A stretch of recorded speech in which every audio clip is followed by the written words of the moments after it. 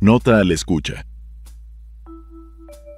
Este audiolibro se nutrió de decenas de testimonios vivos y consultas a numerosos expedientes, pero también de entrevistas a exmiembros de la Unión cuyas identidades, por razones de seguridad, no pueden ser citadas. Su aportación fue valiosa, pues lo que recuerdan de su involucramiento en el crimen organizado, lo que atestiguaron, no aparece en ningún informe policial o averiguación. Mucha de la personalidad de los personajes mencionados en este audiolibro se obtuvo a través de ellos. Los diálogos reproducidos aquí provienen de gente que estuvo presente en el momento en que estos tuvieron lugar, de videos recuperados de los teléfonos de algunos detenidos o de las declaraciones hechas ante el Ministerio Público o un juez durante una audiencia. Por esta razón, en el audiolibro aparecen términos del habla cotidiana de la Ciudad de México, como chilango, que se emplean para describir la realidad con las propias palabras y conceptos de sus protagonistas y nunca con el fin de denostar o ridiculizar. En resumen, grabar este audiolibro fue un viaje a través del periodismo más profundo, el que intenta observar todo a través de los ojos de los protagonistas de la historia, víctimas o victimarios, con los sinsabores y pesadillas que eso implica. Lo que está a punto de pasar para los cuatro hombres de pie es un ritual que celebra su poder absoluto sobre el vencido. Un ritual de muerte. Son verdugos que no usan capuchas medievales, sino chillantes sudaderas adidas. En cambio, el hombre que está a sus pies, hincado bajo la regadera, maniatado y con la cabeza caída sobre su pecho, está por entrar al infierno y disolverse en él. En el cuarto donde se encuentra no hay más que un inodoro y bolsas de plástico negro colocadas en el piso. Una luz lechosa proyecta las sombras de los verdugos sobre el cuerpo semidesnudo de su víctima, quien recobra de a poco la conciencia y suelta algunos balbuceos debajo de la cinta plástica que clausura sus labios. Calles, hijo de su puta madre, le ordena el que lleva el mando, mientras se pone unos guantes de electricista. Por lo que se ve y por lo que dicen, todos andan entachados y periqueados, presas del ansia que crece y brota de sus ojos fuera de órbita. Uno echa la visera de su gorra hacia atrás, otro se remanga. El joven apenas respira porque el plástico con que le han envuelto parcialmente su rostro impide que la sangre coagulada siga escurriendo de su nariz. Sale pues, háganlo carnitas, sentencia el mandón, y es como si hubiera desatado a tres hienas hambrientas frente a un antílope herido e inmóvil. Uno le corta las ataduras de las manos e inmediatamente los otros dos le sujetan los brazos. Un machetazo, dos, tres. Se multiplican los jadeos y las burlas hacia el derrotado. La sangre escurre sobre el azulejo. Los verdugos gruñen con un respirar furioso como dirigido por los golpes de un tambor. La víctima se retuerce. El que sujetaba un brazo se frota un ojo para limpiarse las gotas salpicadas. El que machetea se seca el sudor con la manga de su chamarra y sigue. No se detiene hasta que casi termina. La metanfetamina lo enardece, resopla, aprieta el mango del machete y reanuda su brutalidad. Hay un quinto hombre que solamente hace el registro gráfico del asesinato y lanza arengas para que los otros amacicen. ¿Ya viste, perro? ¿Estabas por la verga? La uva es la mera verga, perro. Clama al tiempo que el hombre del machete batalla para consumar el ritual que, según ellos, los une con la muerte y los volverá, a los ojos de sus patrones, algo más que simples gatilleros que se apiñan en una motoneta y cargan una 9 milímetros. Se sienten en el umbral de los jales más importantes de la uva, como apodan sus miembros a la Unión, el cártel chilango, allí donde serán temidos entre los temidos, pero también donde se pacta una sociedad con la locura y se disuelve el ser bondadoso que alguna vez hubo dentro. El cenit del rito llega cuando el que sostenía el machete alza la cabeza de su víctima. Soberbio y sudoroso, la exhibe ante los demás, que bufan eufóricos o sueltan breves gritos de triunfo. Aún tienen los puños apretados de tensión, los rostros enrojecidos por el calor y así miran fijamente la cabeza que el líder agarra por el pelo, meneándola como si fuera un botín. Ese hombre está a punto de finalizar este ritual. La serie de imágenes, hoy bajo resguardo de las autoridades, no especifica dónde se perpetró el desmembramiento ni cuándo. Tampoco se menciona el nombre de la víctima. En la última fotografía aparece el sicario, que aún sostiene la cabeza, y una sola frase. Estuvo rico. Capítulo 1. Un abuelo dominó Tepito. Bienvenido a Tepito. Las manos callosas de tanto chingarle. La piel grafiteada que se despelleja por lo viejo de los muros. Allí se deslizan las historias de quienes viven en sus pasadizos. Allí se estrechan las balas que erraron el blanco y la lluvia enjuga las lágrimas de quienes lloraron a sus muertos. Tepito trae los ojos rojos de puro desvelo, de tanto humo que dejan los incendios internos de sus habitantes. En este barrio, muy pocos son dueños de su destino. Cada quien le reza a su propio santo, pero después de todo, de tanta chinga, el barrio es el barrio y se le respeta se le cuida. Así ha sido siempre, y bajo esa premisa se fundó el cártel chilango.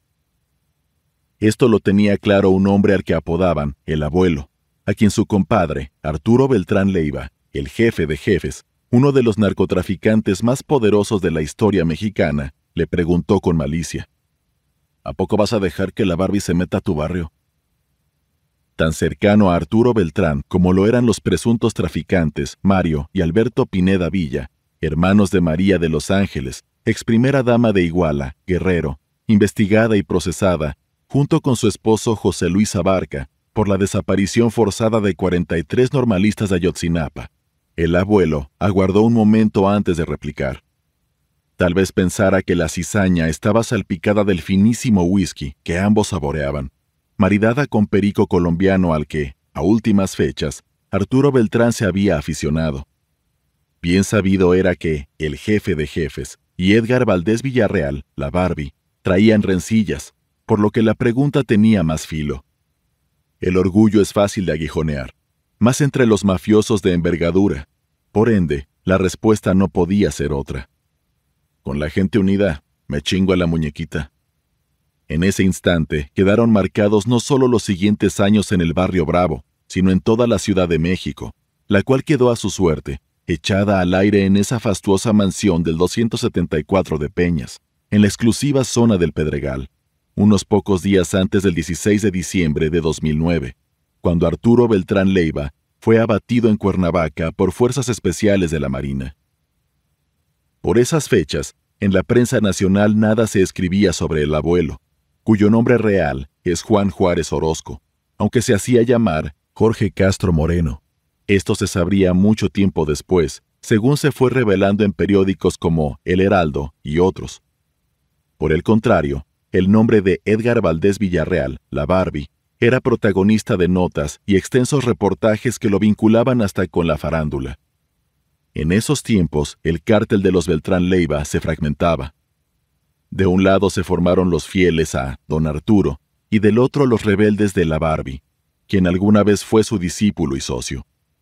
El abuelo, oriundo del centro de la capital, se mantuvo en el bando del jefe de jefes y maquinó un plan para unir a las familias del narco en Tepito y formar un cártel que hiciera frente a la inminente incursión de la Barbie, ávido de las jugosas ganancias que deja un sistema de distribución bien aceitado en la capital y su zona metropolitana se jugaba un mercado de 27 millones de habitantes, donde 10.3% de estos ha probado alguna droga ilegal, y uno de los trampolines más grandes para enviar estupefacientes a Estados Unidos y Europa, el Aeropuerto Internacional de la Ciudad de México.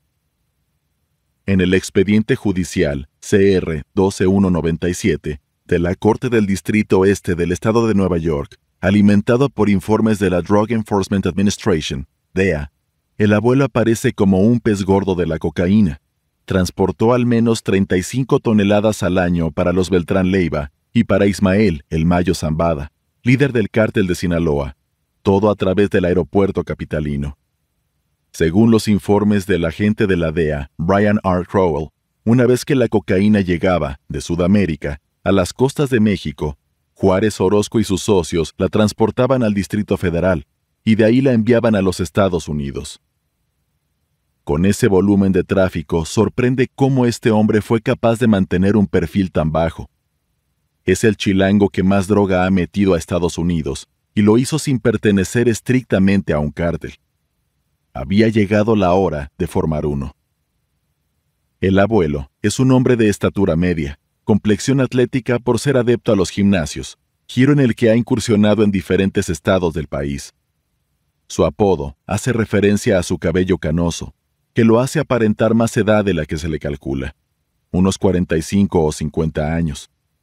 Para 2010, este capo movía mensualmente 8 toneladas de coca pura, parte de la cual se quedaba en el mercado local, con sus aliados en Tepito, quienes alimentaban a su vez a cientos de distribuidores en otras partes de la ciudad y el Estado de México. Tenía decenas de oficinas en la capital, Cancún y Morelos, pero su base de operaciones estaba en la calle que lo vio criarse al amparo de su habilidad como comerciante. República de Belice, cerca del Zócalo, donde pasó de vender bisutería a boxers, ropa deportiva y todo tipo de mercancía que importaba de China. Con el dinero que amasó, el abuelo compró un par de lanchas rápidas con las que posteriormente llevó de arriba a abajo el polvo blanco de sus aliados colombianos del cártel del norte del Valle, según asentó años después el Departamento de Justicia de Estados Unidos en su pedido de extradición. Un hombre sesudo, de maneras tranquilas, como las de un abuelo con sus nietos. Así es Juan Juárez Orozco, a diferencia de su primogénito, Rachid, el árabe, colérico y caprichoso, quien estuvo a su lado en la conformación del primer y único cártel de Ciudad de México. A la postre, a esta organización criminal la denominaron la Unión, pues pretendía ser justamente eso contra invasores como la Barbie. Durante más de una década, ninguna autoridad se atrevió a aceptar que la Unión fuera un cártel. Algunos la calificaron de simple pandilla, todo mientras traficaba cocaína y marihuana hacia los Estados Unidos con independencia de cualquier otro grupo criminal. Fue hasta enero de 2020, durante una entrevista con la periodista de Televisa, Daniel Diturbide, que la recién nombrada fiscal de Ciudad de México, Ernestina Godoy, admitió por primera vez que se enfrentaban a un cártel, que la estrategia de ocultarlo había fracasado. Por su parte, la Barbie también buscaba crear un cártel capitalino tras enterarse de los movimientos del abuelo. Esto gracias a los soplones que tenía aún dentro del clan de los Beltrán Leiva. Así pues, decidió adelantarse a su contrincante y en mayo de 2010 llegó al barrio Bravo para pactar con los cabecillas de algunas de las mafias más arraigadas, según publicó el diario Reforma. En las vecindades y los tugurios de la zona corría el rumor de que la Barbie iba por todo, que las familias tendrían que someterse a sus designios, que Tepito no sería el mismo ya. No todos estuvieron convencidos de que las riendas del indomable barrio quedaran en manos de un fuereño, y la mayoría se alineó con el abuelo. Más vale malo por conocido que bueno por conocer, dicen. Otros vieron a la Barbie como una oportunidad para crecer. Tener un proveedor fijo de droga y armamento, un padrino, aunque fuese ajeno a Tepito, podría hacerlos trepar en el árbol criminal chilango. Ellos también se hicieron llamar la Unión, lo cual provocó un fenómeno inédito en la historia del narco mexicano. Había dos grupos delictivos con el mismo nombre y enemistados. No es que uno fuera escisión del otro, ni que hundieran sus raíces en la misma tierra. Nacieron enemigos. Solo la Barbie sabe por qué quiso apropiarse del nombre. Es probable que para enrarecer la atmósfera y así relativizar el arraigo de los tepiteños. Solo con un disfraz podía entrar al barrio que, junto con el aeropuerto internacional, es la joya de la corona del narco chilango. Por algún tiempo, la artimaña funcionó. Con esto, la genealogía de la Unión quedó envuelta no solo en una bruma de confusión que contagió a la prensa y autoridades, sino también en una guerra que en años venideros se le mal llamó intestina.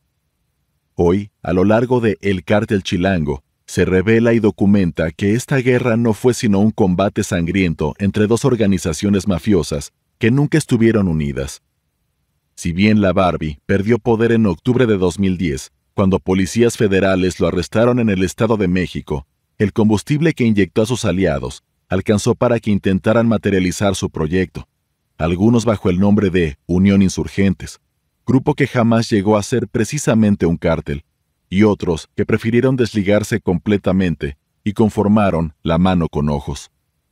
Por su parte, los que apoyaron al abuelo clamaron ser los originales, con su aferramiento a la identidad tepiteña por delante, implícita en el nombre, la Unión Tepito. Para esos entonces, ni la Procuraduría General de la República ni la local tenían claro esto y tampoco anticiparon que, en medio de esta pugna, muerto tras muerto, se gestarían los más recientes líderes del narco chilango, los que de un territorio de paso o refugio para los capos terminaron de convertir a la capital en lo que es hoy, un territorio que se pelea. A la Unión se le consideró un grupo delictivo doméstico, porque supuestamente no traficaba droga hacia Estados Unidos, y sus actividades parecían reducirse a la capital, premisa acomodada con calzador en la prensa, sea por la misma protección que recibió o por un fallo en la estrategia para combatir el crimen aquí mismo, en la sede de los poderes mexicanos, donde duerme el presidente y están sentadas las principales multinacionales y embajadas. En esencia, pese a que el abuelo es compadre de Arturo Beltrán Leiva, el cártel de la Unión nunca ha sido una extensión de dicho clan, como sí serían los rojos o guerreros unidos, pues desde el principio se desbordó con independencia y con una peligrosa capacidad de fuego. Tan es así que la Unión hizo frente a los Zetas en Cancún, al tiempo que importaban toneladas de cocaína directamente de proveedores colombianos a través de la ruta Panamá-Cancún. Se sabe que los grandes cárteles, como el de Sinaloa y Jalisco Nueva Generación, se expanden en territorio nacional e internacional, no siempre con miembros directos de su organización, sino a través de sucursales que pagan miles de pesos por usar el nombre de la organización mafiosa. Así luchan los sinaloenses y jaliscienses, más allá del estado donde sentaron sus reales, por lo que la naturaleza de los cárteles va mutando y su definición debe ser reconsiderada. Esto no aplica tanto a los mitos en torno a sus personajes todopoderosos o multimillonarios, como Joaquín, el Chapo Guzmán, sino más hacia su capacidad de independencia, cohesión, longevidad e impacto en su mercado de distribución. Aún así, la Unión encaja en la definición clásica de cártel. Paralelamente, su mercado principal, más no único, la Ciudad de México y la zona metropolitana del Estado de México, con sus 27 millones de habitantes, representa un negocio tan redituable como pelear las rutas de trasiego en el norte. Pero claro, la dificultad de operar en la capital supera la de muchas de las entidades hoy en disputa. Antes de ser detenido en su lujosa residencia, levantada muy cerca de la turística marquesa, la Barbie logró alianzas en Tepito para repartir su droga, consciente de las grandes ganancias que prometía su proyecto. Curioso que, a finales de 2009, para muchas autoridades, la estructura delictiva de la Barbie sí se consideraba un cártel, a lo sumo en ciernes. Como el propio Valdés Villarreal se jactó en un video difundido por la Policía Federal tras su captura le había declarado la guerra a Joaquín el Chapo Guzmán. Sin embargo, ese incipiente cártel fue perdiendo terreno ante Héctor Beltrán Leiva en Guerrero y Morelos, lo mismo que en la Ciudad de México ante el abuelo, el capo discreto que importaba cocaína para el Mayo Zambada y el jefe de jefes y que puso de su lado al impredecible e indomable barrio de Tepito. Si la Barbie se apoderaba del barrio Bravo y abría un puente hacia el resto de la ciudad, aseguraría jugosas ganancias, sobre todo en tiempos donde se complicaba pasar cargamentos a Estados Unidos, ya sea por guerra en las zonas clave o por operativos de autoridades estadounidenses y mexicanas. Ni para las corporaciones policíacas locales pasaron inadvertidas las dos ocasiones en las que la Barbie puso un pie en Tepito, según ha publicado la prensa nacional y se consigna en el audiolibro Narco CDMX. En la primera, en mayo de 2010, entró a una vecindad para pactar con algunas de las narcofamilias. La segunda tuvo lugar alrededor de un mes más tarde, en un estacionamiento de la calle Peralvillo, propiedad de Cristian Omar Larios Tierra Blanca, el Quiquín. En su perfil público de Facebook, al Quiquín se le veía de complexión atlética, barba de candado y alhajas de oro. Parecía un junior cada vez que frecuentaba los bares, antros y estacionamientos de su propiedad, ubicados en Polanco, Zona Rosa y Centro. Pero según publicó la prensa nacional, en realidad era uno de los distribuidores de drogas más poderosos del barrio Bravo. Su credencial para votar tenía como dirección la colonia cosmopolita en Azcapotzalco, aunque era tepiteño de cuna y crianza, harto conocido y saludado por los meros naturales del barrio Bravo. Apenas bordeaba los 30 años de edad, pero ya presumía arcas llenas y suficiente respeto callejero para no aparecer demasiado en el radar de la prensa o la policía. Era el intermediario ideal para la Barbie, con quien compartía el gusto por los reventones fresas, las mujeres sudamericanas y el coqueteo con la farándula.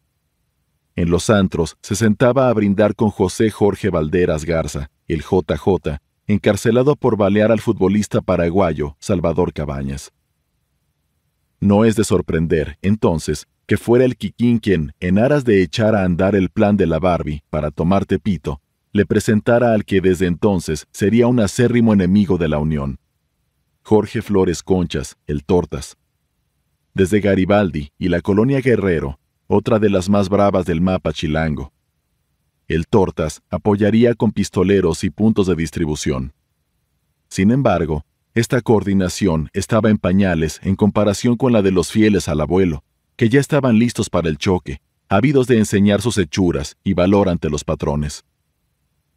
De acuerdo con informes de inteligencia de la Procuraduría y la Policía Capitalinas, el organigrama de la Unión quedó en ese tiempo con el abuelo al mando y su hijo, Rachid, como segundo. El tercero era Miguel, el Miguelón, quien había estado preso en Cancún luego de que una avioneta en la que volaba, cargada de cocaína colombiana, se estrellara en una pista clandestina. Como cuarto estaba Ricardo López Castillo, el Richard, individuo de tez morena, barba, complexión robusta y cabello arrape.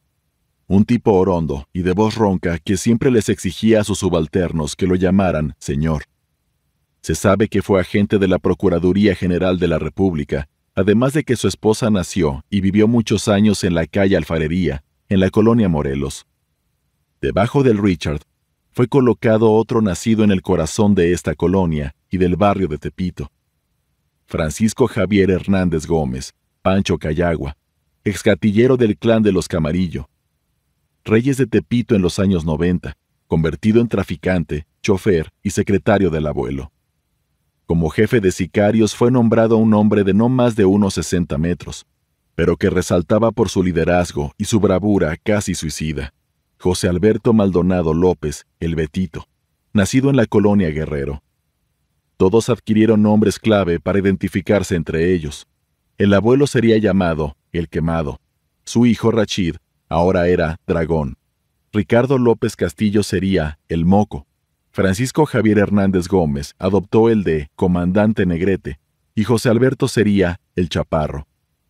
Las órdenes las recibirían todos desde Cancún, donde vivían el abuelo y su hijo Rachid a través del Richard, quien había sido nombrado líder operativo de la naciente organización delictiva, una especie de CEO mafioso.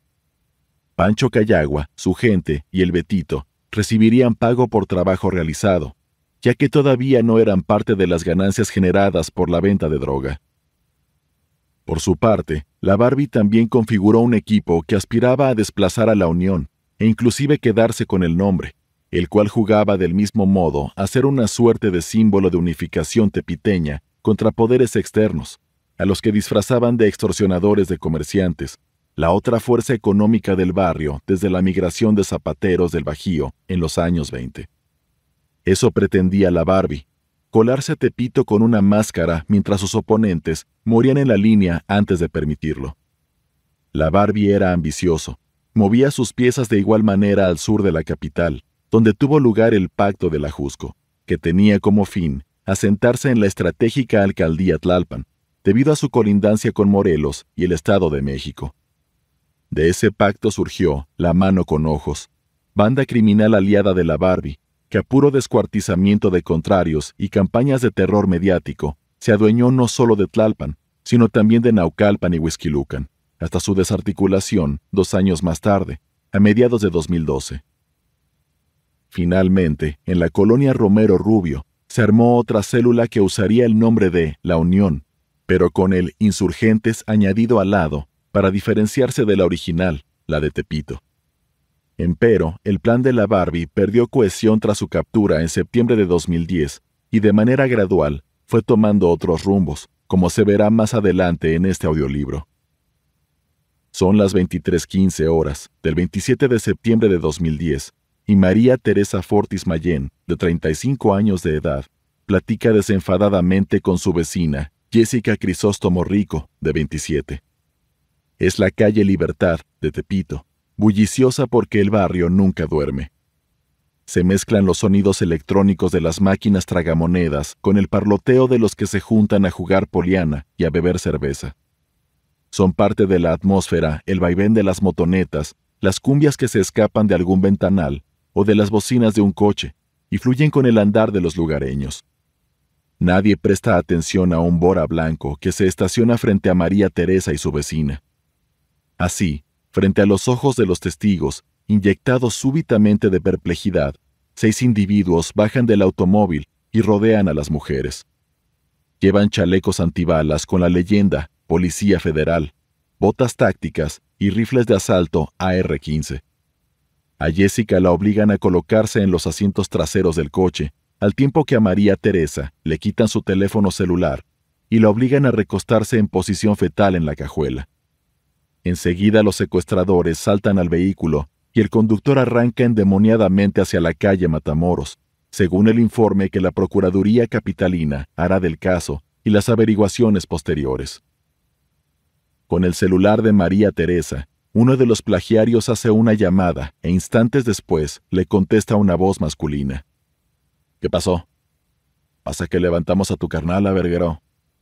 No se pasen de pendejos, contesta Juan Luis Fortis Mayén, miembro de una de las familias más longevas en el discurrir mafioso de Tepito, aunque el 19 de abril de 2004 alegó que lo que se decía de ellos eran puras mentiras por medio de un escrito publicado en el periódico La Crónica. ¿Te vas a alinear con la empresa o qué? Presiona el secuestrador de María Teresa. Mi madre es culeros. Alíneate, te la regresamos enterita. No seas pendejo. Tras un largo silencio, se oye insistir al sicario.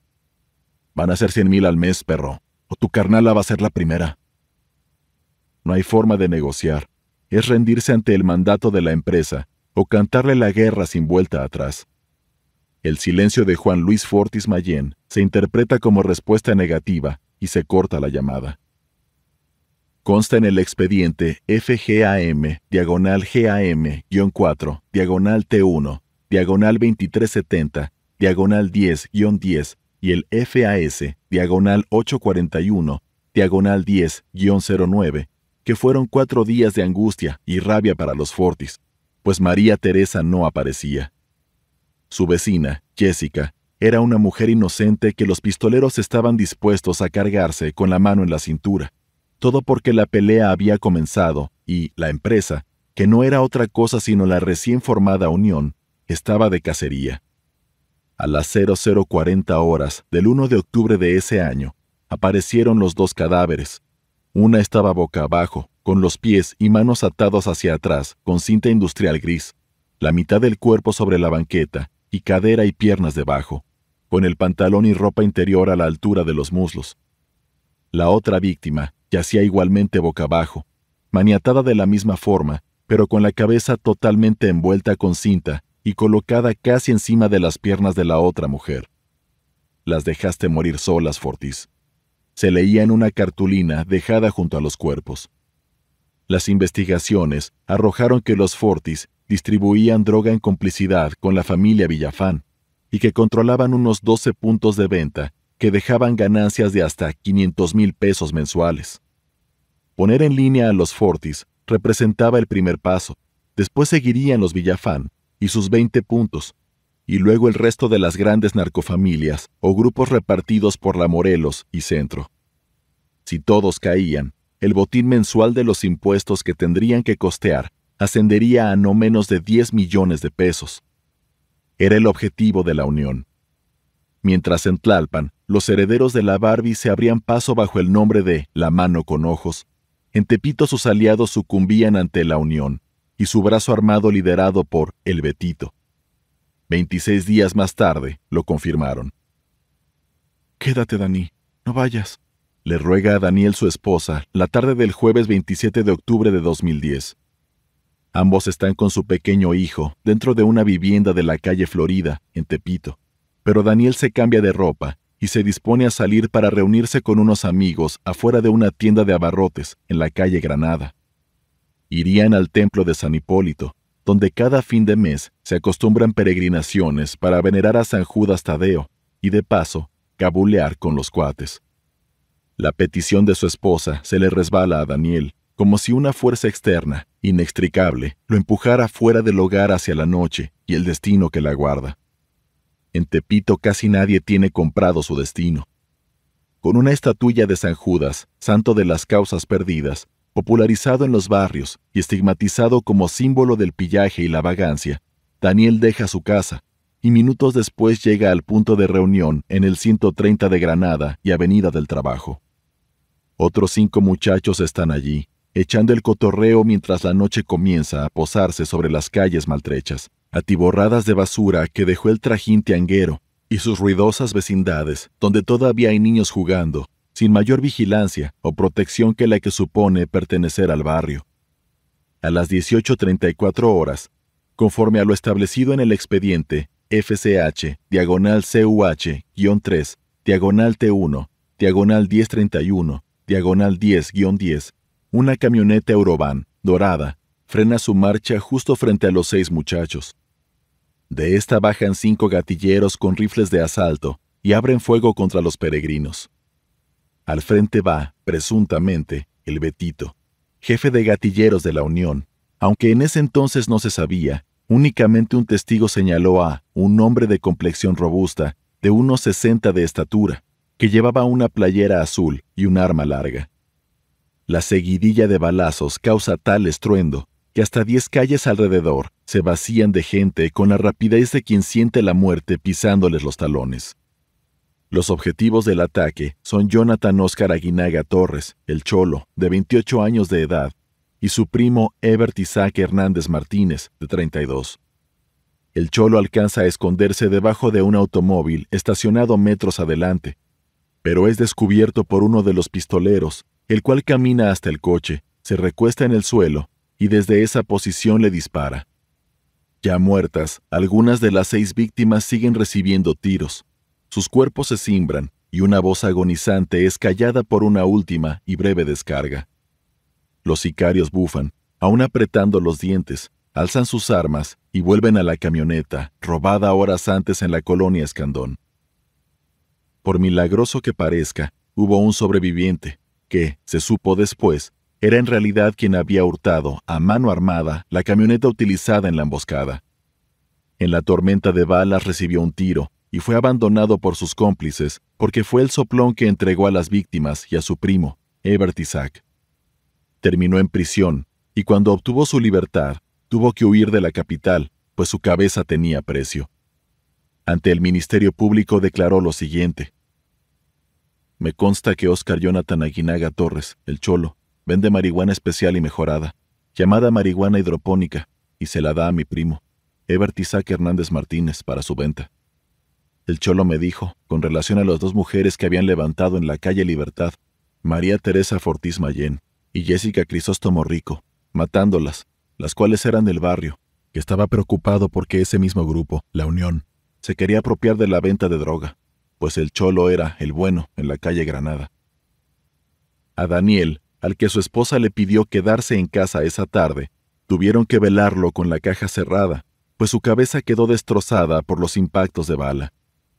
En los días posteriores, las autoridades callaron respecto del móvil del sextuple homicidio, pero en algunos diarios se manejó la versión de que dos de las víctimas habían participado en el robo de un cargamento de perfumes y por ello su dueño había pagado para liquidarlos. Otra versión, la más simple, era la naciente batalla que libraban la Unión y otros narcos en Tepito, pero nunca se publicó a ciencia cierta a quién respondía el cholo. Hoy a casi una década, a este autor le fue detallado el motivo. Supuestamente, el cholo era trabajador de Jorge Flores Conchas, el Tortas, que desde hacía unos meses se había adherido al plan de la Barbie de domar el barrio Bravo junto con el tepiteño mencionado anteriormente, Cristian Omar Larios, el Quiquín, y sus hermanos Marcos Hugo y Ariel. A este multihomicidio, le sucedieron otros asesinatos y emboscadas, donde la Unión también tuvo bajas, mas no significativas. Gracias a que luego de una agresión a tiros contra tres jóvenes fue dejado un mensaje contra la Unión, la Procuraduría Capitalina no tuvo más remedio que masticar la idea de que no se podía ocultar por más tiempo la existencia de este cártel al que, sin embargo, redujeron en términos comunicativos a banda delictiva dedicada al narcomenudeo y extorsionar comerciantes de Tepito. Ignoraban u omitieron que su líder, el abuelo, ingresaba a México entre 5 y 8 toneladas de cocaína pura al mes. Poco más de la mitad volaba a Estados Unidos, el resto se quedaba en Tepito. Alguna luz parpadeante ilumina apenas las tres figuras que están al pie de un viejo cancel. Es la entrada al 106 de la calle Jericó, una vecindad cuya fachada es roja y mamey en el día, pero que por la noche no es sino una estructura negra que solo cobra vida cuando una de sus ventanas llega a iluminarse. Es una noche gélida de enero, día 16, año 2011. Pero eso no acalambra a Gerardo, Samuel y Luis, quienes beben cerveza, se fuman un gallo y ríen con desparpajo. Sus carcajadas rompen el silencio de la calle, vacía desde hace horas, pues la colonia Aquiles Cerdán, en la Venustiano Carranza, tiene autoimpuesto un toque de queda por los peligros que la acechan. Aquí proliferan las vecindades, casonas en obra negra o apartamentos maltrechos por el olvido de sus dueños, Está a solo tres kilómetros del aeropuerto capitalino y es vecina de la famosa Romero Rubio, con su mercado y su tradición popular. Será por lo entrados que están en el cotorreo o por el adormecimiento tibio de la mota, pero no se dan cuenta cuando dos individuos bajan de un bora blanco y se les aproximan con paso amenazante. ¿Quién es el bueno o qué? Oyen decir a uno de los hombres, al que la oscuridad lo convierte en una negrura fantasmal. No hay tiempo para nada, pues la sombra cobra vida al avanzar hacia el trío. Aparece ante sus ojos el cañón de una pistola calibre 9 milímetros. El que la empuña tiene la mirada encendida y jala el gatillo. Otro lo secunda y Gerardo y Samuel caen al suelo. A Luis se le petrifican las piernas. El pavor lo transforma en una pálida estatua. De un empellón lo meten a la vecindad pero apenas cruza el umbral recibe una seguidilla de balazos. Cae, pero no muere. Después confesaría a las autoridades que no se le ocurrió fingir su muerte para evitar un disparo final, sino que por unos instantes creyó que en efecto estaba muerto. Su cuerpo no le respondía y sus ojos se cerraron con una pesadez como de sueño eterno. En realidad, solo una bala lo impacta cerca de la axila, pero tendido allí, ni siquiera oye el resto de los tiros que le propinan a sus valedores. Mucho menos se da cuenta cuando los pistoleros dejan una cartulina verde fosforescente con el siguiente mensaje. Sigues tú, Antoine, y malandrín por sapos. Un rechinar de llantas. El Bora blanco arranca y cruza la noche con las luces apagadas. Su conductor no ve una patrulla estacionada también sin luces. Pasa por un costado como un soplido y el policía prende la sirena. La unidad P27-45 de la policía y el Bora se enfrascan súbitamente en una endemoniada persecución por el eje 2 Norte Transvaal y luego por Avenida Eduardo Molina. De pronto se oyen balazos que a lo lejos parecen pirotecnia. Un proyectil alcanza la llanta derecha de la patrulla y el volante enloquece. Casi choca con un poste de concreto. Casi. El pie del oficial empuja el pedal de freno, pero los discos gastados hacen que el vehículo tarde en pararse. El oficial sostiene con fuerza el volante. Un giro brusco y volcarán. Al fin lo logra, pero los del Bora se esfumaron. Él y su pareja bajan de la unidad, humeante por los plomazos. Se escucha a uno de los oficiales informar por radio a sus superiores. Ya los compañeros pidieron caucho hace cuatro. Es afirmativo, jefe. 4x4 con X13. Es negativo de Z2, dice con la voz acelerada por el rush de la adrenalina. La traducción es, ya los compañeros pidieron ayuda al centro de comando. Es afirmativo, jefe. Cuatro sospechosos con armas de fuego. No hay lesionados. No pasan ni tres minutos cuando el lugar se llena de patrullas, sirenas, voces agitadas y radios. Un par de horas más tarde, la noche chilanga vuelve a quedar en silencio. La relevancia del ataque no fue dimensionada en la prensa, pero en los cuarteles policiales había una creciente preocupación. Antoine y Malandrín eran sobrino y tío, respectivamente, y también dos narcos de la zona que hasta ese 16 de enero de 2011 parecían intocables. Malandrín se llamaba Germán Magaña. Tenía dos hermanos, Manuel y César, a quienes en el Lampa conocían como los malandrines. Harto conocidos en la Romero Rubio, la Simón Bolívar y en la colonia Aquiles Cerdán, aunque con bajo perfil más allá de sus terrenos, los malandrines controlaban la famosa y trasnochera Zona Rosa y sus alrededores. Informes de la entonces Procuraduría General de la República los vinculaban con Jorge Antonio Armenta Recendis, operador del Cártel del Golfo, detenido en 2004, con 2 millones de dólares y 154 kilos de cocaína, que almacenaba en una residencia de Lomas de Chapultepec, una de las zonas más exclusivas del país. Cuando esta liga se rompió, los malandrines acudieron a los Beltrán Leiva y posteriormente a la Barbie, urgido de aliados en la capital y el Estado de México para hacer frente a la Unión y a los fieles a Arturo Beltrán Leiva, que los querían muertos. Los hermanos Magaña fueron ultimados o apresados y con el paso del tiempo abrieron paso a su sobrino Antoine para que se hiciera cargo del grupo delictivo de sobra ambicioso y con un arco perfil más ad hoc a los tiempos que se vivían, es decir, un perfil más de junior, atlético y de maneras fresas, Antoine aceptó colaborar con la Barbie, aún después de su captura en 2010. Un año más tarde, Antoine y sus cómplices ya se habían expandido más allá de la zona rosa a través de Avenida Insurgentes, una de las más emblemáticas vías de la Ciudad de México, que la cruza de norte a sur. Los antros, bares y table dance que proliferaban en esta avenida fueron tomados por los de Antoine, cuyo nombre real es Edwin Agustín Cabrera Jiménez. Se le veía con su primo Luis Felipe Chávez Cabrera, el Damián, en los VIP de la Condesa y Zona Rosa, con camisas italianas, brindando con voluptuosas chicas sudamericanas.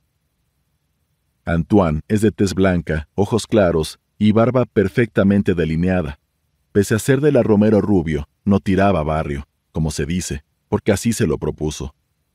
Estaba definitivamente más identificado con el look de la Barbie, quien, alto y rubio, solía vestir playeras Ralph Lauren ajustadas, que lo diferenciaron del cliché de narcotraficante, ese de botas de cocodrilo, cinturón piteado, bigote y sombrero, tan instalado en el imaginario colectivo. Antoine encabezaría lo que después se conocería como la Unión Insurgentes, enemiga natural, como ya se dijo, de la Unión Tepito. Este cártel, desde antes de aquel 16 de enero de 2011, cuando acribilló a tres secuaces del Antoine y le dejó un mensaje, ya quería hacerse sentir más allá del barrio bravo. A fin de cuentas, la expansión siempre es la inercia rabiosa de un grupo mafioso, ese instinto casi animal de despedazar al más débil y rugir sobre su cadáver. Las diferencias entre los de Tepito y los de insurgentes residían en su manera de hablar, vestir, pensar. Los primeros se identificaban con su barrio, los segundos se mezclaban con juniors y la apariencia flashy del VIP. Y es que el mafioso, tarde o temprano, aspira a integrarse a un núcleo de poder distinto, a legitimarse por lo menos en apariencia. Mientras tanto, el abuelo movía los hilos de la unión desde Cancún, y en el corazón de Tepito ya no había nadie que les hiciera frente. Sus tentáculos comenzaron a estirarse fuera del barrio Bravo, hacia el oriente por la Venustiano Carranza y hacia el norte por la Gustavo Amadero, por lo cual la tensión contra los herederos de la Barbie crecía con cada anochecer, mientras la tranquilidad de Ciudad de México, cuyo jefe de gobierno, Marcelo Ebrard, negaba sistemáticamente la operación del crimen organizado, se convertía en un hielo muy delgado sobre el que caminar. José Alberto Maldonado López, el Betito, nació el 15 de agosto de 1981 en Ciudad de México. Su padre, José Maldonado Báez, y su madre, Juana López Muñoz, lo registraron en el Juzgado 5 Civil.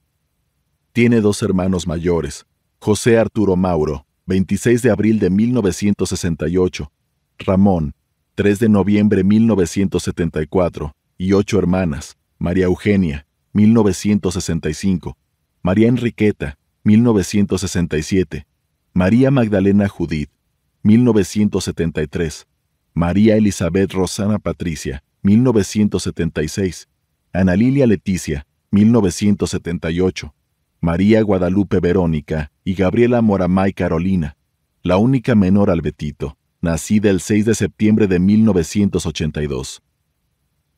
El informe especial, La Unión Tepito, elaborado en 2018 por el CISEN, expone estos lazos familiares del Betito y cómo se crió en una atmósfera criminal, pues tanto sus dos hermanos como dos de sus hermanas, además de varios de sus cuñados, estuvieron en prisión en algún momento de sus vidas. Del resto, hay que aclarar, no hay registros que los vinculen con ningún ilícito. Al ser el penúltimo hijo, el Betito recibió más atención de sus padres que la mayoría de sus hermanos, algunos de los cuales le llevaban hasta 13 años de diferencia. Muy poco saben las autoridades sobre su infancia, pero destaca un hecho que sacudió a la familia el 8 de febrero de 1990, cuando María Eugenia, la mayor de los 11 hermanos, murió de insuficiencia renal a sus 25 años. El Betito tenía apenas nueve años, y sin recuperarse del golpe, el 28 de octubre de ese mismo año, el esposo de su hermana María Enriqueta, Jesús Mollado Esparza, falleció por leptospirosis y linfoma de Hodgkin. Fue una pérdida sensible, pues era muy apreciado en el círculo de los Maldonado, sobre todo por el Betito. Muchos años más tarde adoptaría su nombre. La relación que había con algunos de sus hermanos, salvo con José Arturo Mauro, era intermitente, por lo que con el paso de los años y a la par de su ascenso en el organigrama criminal, el Betito generó una especie de fijación por ser parte de una hermandad, por crear lazos indestructibles, complicidades, sí, pero también vínculos afectuosos que no abundaban en su familia tan grande, tan compleja, tan como muchas que se forman en la brava colonia Guerrero, parte de la cual se construyó sobre el antiguo y demolido Panteón de Santa Paula. Allí se guardó el descanso de miles de muertos por cólera y hasta la pierna del general Antonio López de Santa Ana, hasta que en 1944 un grupo de personas la exhumaron y la pasearon por las calles. Esa idea de carnalismo brotaba de Betito hasta en la forma en la que se dirigía a la mayoría de sus subalternos dentro del cártel. Hermanito esto, hermanito lo otro, los cuales se comunicaban de la misma forma entre ellos, quienes colaboraron con él afirman que es la clase de líder que no solamente va al frente en las balaceras, sino que visita a su gente lesionada en el hospital, donde sobornan a un médico para que los atienda sin avisar al Ministerio Público. Sin embargo, el Betito es un ser de dos caras, una suerte de Harvey Dent, villano de Batman, que lucha con dos fuerzas disímbolas en su interior, alguien que podía abrazar a sus amigos para decirles, ¿qué hay, hermanito? Y minutos después, transformarse en un monstruo con la vista perdida, enardecido y sudoroso cuando llegaba la hora de matar. Capítulo 2 La Unión Tepito y su falso gemelo. Minutos antes de dar marcha a su tráiler, Ernesto humedece la punta de un cigarro con la lengua. Saborea el papel arroz y entorna los ojos mientras lo enciende. Enseguida, suelta una gustosa bocanada de humo y prende el radio. Es el 4 de julio de 2012, dos días después de las elecciones presidenciales que gana Enrique Peña Nieto, tiempos en los que la Unión goza de un reinado relativamente tranquilo en Tepito y sus alrededores.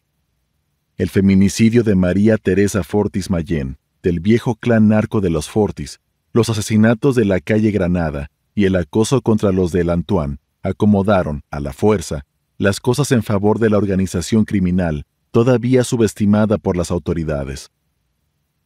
Ernesto es un hombre común, un conductor de la empresa transportista Troca que se dejó convencer de llevar un cargamento de marihuana a Estados Unidos.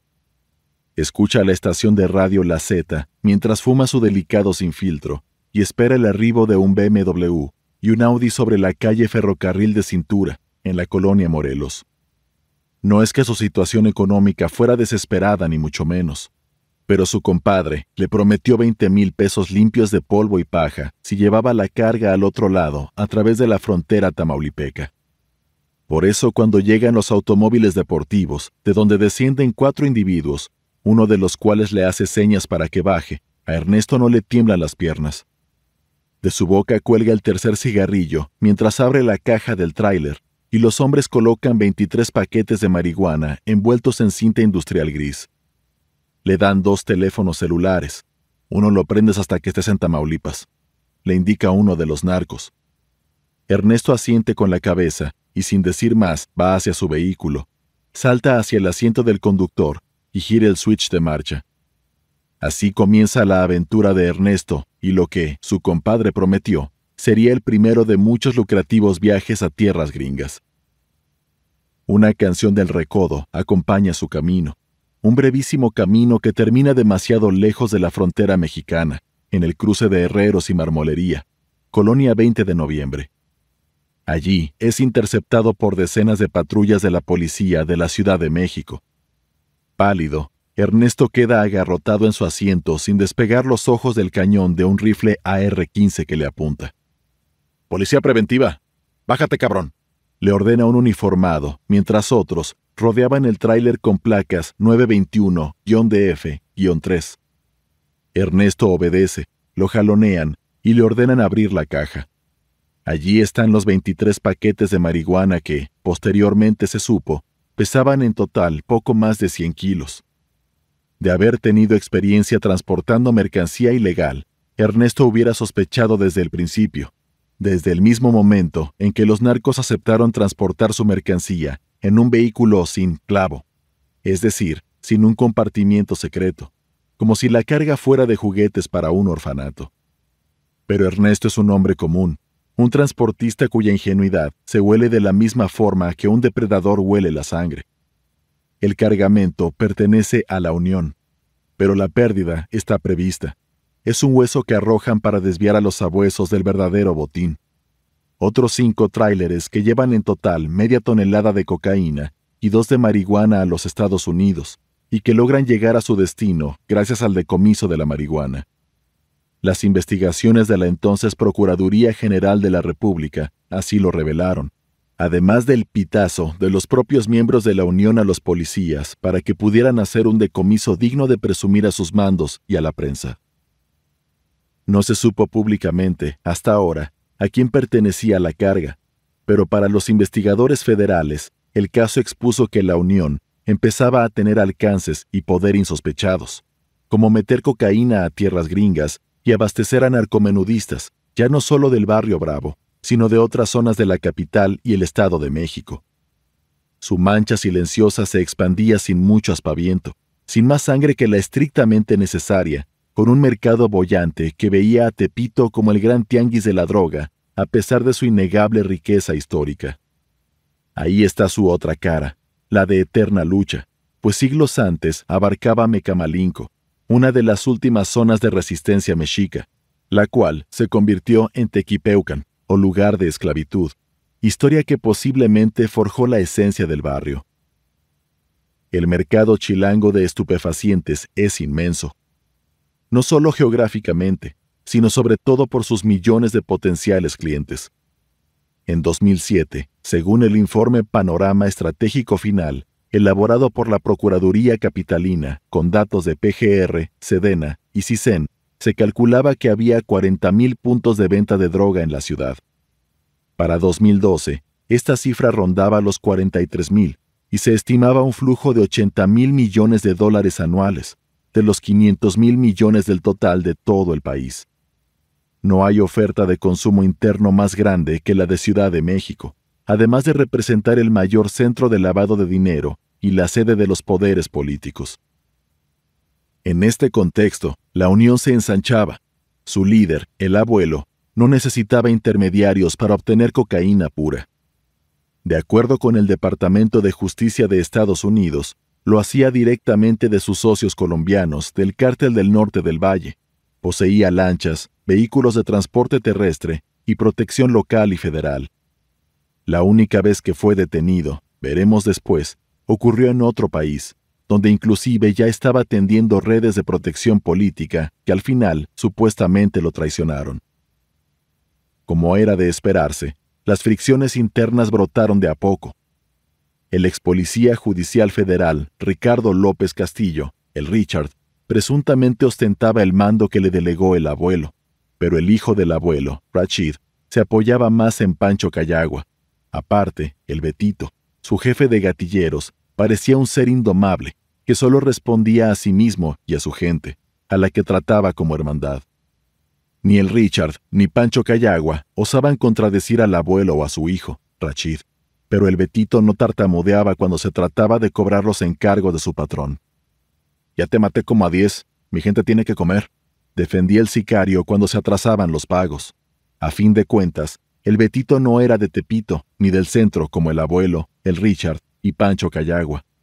El escosor que causaba en estos dos últimos se iba visibilizando para la organización, aunque el abuelo le tenía suma confianza debido a su eficacia, no nada más a la hora de matar, sino a la hora de mantener a su gente marchando derechito, hermética, sin alardear sobre las cosas que en el AMPA se consideraban proezas. No por nada la Procuraduría Capitalina tardó años en saber quiénes participaron en los asesinatos de la calle Granada, no así los cometidos más tarde por otra célula que armó el Richard con el fin de no depender del Betito. Las cosas dieron un giro el 15 de marzo de 2012, cuando se realizó, en el aeropuerto de Tocumen, Panamá, la detención de Juan Juárez Orozco, el abuelo, tras una operación conjunta entre autoridades panameñas, la DEA y el Departamento de Justicia estadounidense. El fundador de la Unión Tepito acababa de aterrizar cuando fue arrestado en solitario, con documentos falsos y la apariencia de un próspero empresario mexicano. En realidad, consta en el expediente CR-12197 de la Corte del Distrito Oeste del Estado de Nueva York que el abuelo usaba la ruta de Panamá-Cancún para transportar cocaína pura, la misma ruta que usaba su contrincante, la Barbie, según confesó este último a la PGR luego de su captura unos 18 meses antes. El abuelo era buscado por el gobierno de Barack Obama por ingresar en promedio 8 toneladas de cocaína al mes en su territorio. Se lee en el boletín 13-1212 del Departamento de Justicia. Su arresto era con motivos de extradición, por lo que su futuro apuntaba hacia la peor pesadilla de un narcotraficante, la vida tras los barrotes de una cárcel estadounidense. Medios panameños dieron cuenta de que el abuelo había contratado un renombrado bufet de abogados, encabezados por la actual diputada Zulay Rodríguez Lu, todo con el propósito de evitar la extradición mientras el narcotraficante dormía en la cárcel La Joya. Ni en México ni en Panamá se sabía mucho del capo, pero por los cargos que pesaban sobre él, aparecía como un misterioso criminal de altos vuelos. En esta historia surgió un inesperado protagonista que supuestamente contactó al abuelo con la diputada panameña, Héctor Rojas, el enano. Este sujeto era también un traficante que invertía en bienes raíces y por medio de un cliente se puso en contacto con el fundador de la Unión Tepito. Esto lo reveló años después cuando fue encarcelado y alegó ser un preso político al que buscaban callar por saber la historia entre la figura política Zulay Rodríguez Lu y el narco mexicano. Rojas relató en una entrevista al periódico Panamá América yo hice el contacto con el abuelo a través de uno de mis clientes en bienes raíces, el cual me consultó si conocía a un abogado que manejara temas internacionales y penalistas. En ese momento le comenté que yo tenía una relación íntima con la abogada, Zulay Rodríguez Lu. Yo le dije a Zulay sobre el cliente. Posteriormente ella fue a dicha reunión, donde se acordó hacer los trámites pertinentes y revisar el expediente. Después nos dimos cuenta de quién era Juárez Orozco, quien presentaba un caso de extradición detalló que el abuelo entregó un millón doscientos mil dólares a la diputada para que se hiciera cargo de su caso. Aseveró haber sido testigo presencial de las reuniones entre Zulay y familiares del capo, a quienes prometió frenar su extradición. Presentó también una serie de correos electrónicos donde Zulay aparentemente fijaba fechas para citas y comunicaba avances en el proceso judicial. El asunto iba más lejos, pues Rojas afirmó que 800 mil dólares usados en la campaña de Zulay para convertirse en diputada provenían de las arcas del abuelo, todo bajo la promesa de que ella usaría su poder político para evitar que el narco cayera en manos gringas. Pese a todo, el 8 de noviembre de 2013, el criminal mexicano, socio de los Beltrán Leiva y el Mayo Zambada, fue extraditado. Rojas obtuvo su libertad en febrero de 2016 en medio de protestas por parte de Zulay y miembros de su partido, que habían insistido en la peligrosidad del hombre y las amenazas que, acusó la propia Zulay, disparaba contra ella. Veinte días más tarde, Rojas fue acribillado cuando salía de un restaurante de sushi en la capital panameña. Todavía subió a su camioneta, condujo agonizante y en su intento de huida atropelló a dos transeúntes, antes de extinguirse en el asiento del conductor.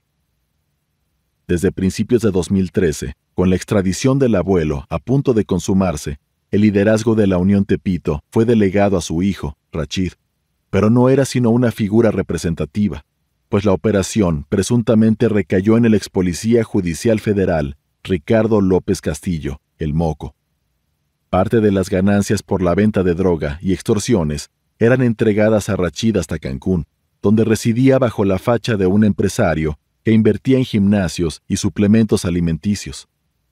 La cocaína que su padre importaba de Colombia siguió el mismo camino a Estados Unidos y Ciudad de México, luego de unos meses, donde el negocio tuvo que reorganizarse. Con el nuevo cargo que ostentaba, y según consta en las causas penales 176, diagonal 2013, y 35, diagonal 2014, las cuales concentran toda la información de uno de los crímenes clave para entender cómo se quebró el frágil cristal de la tranquilidad chilanga y se reconfiguró el mapa del narco en Ciudad de México, el Richard conformó su propio grupo de choque. Tenía ya en mente expandir las operaciones de la Unión a las zonas de El Antoine, aliado de la Barbie. Explotaba a diestra y siniestra.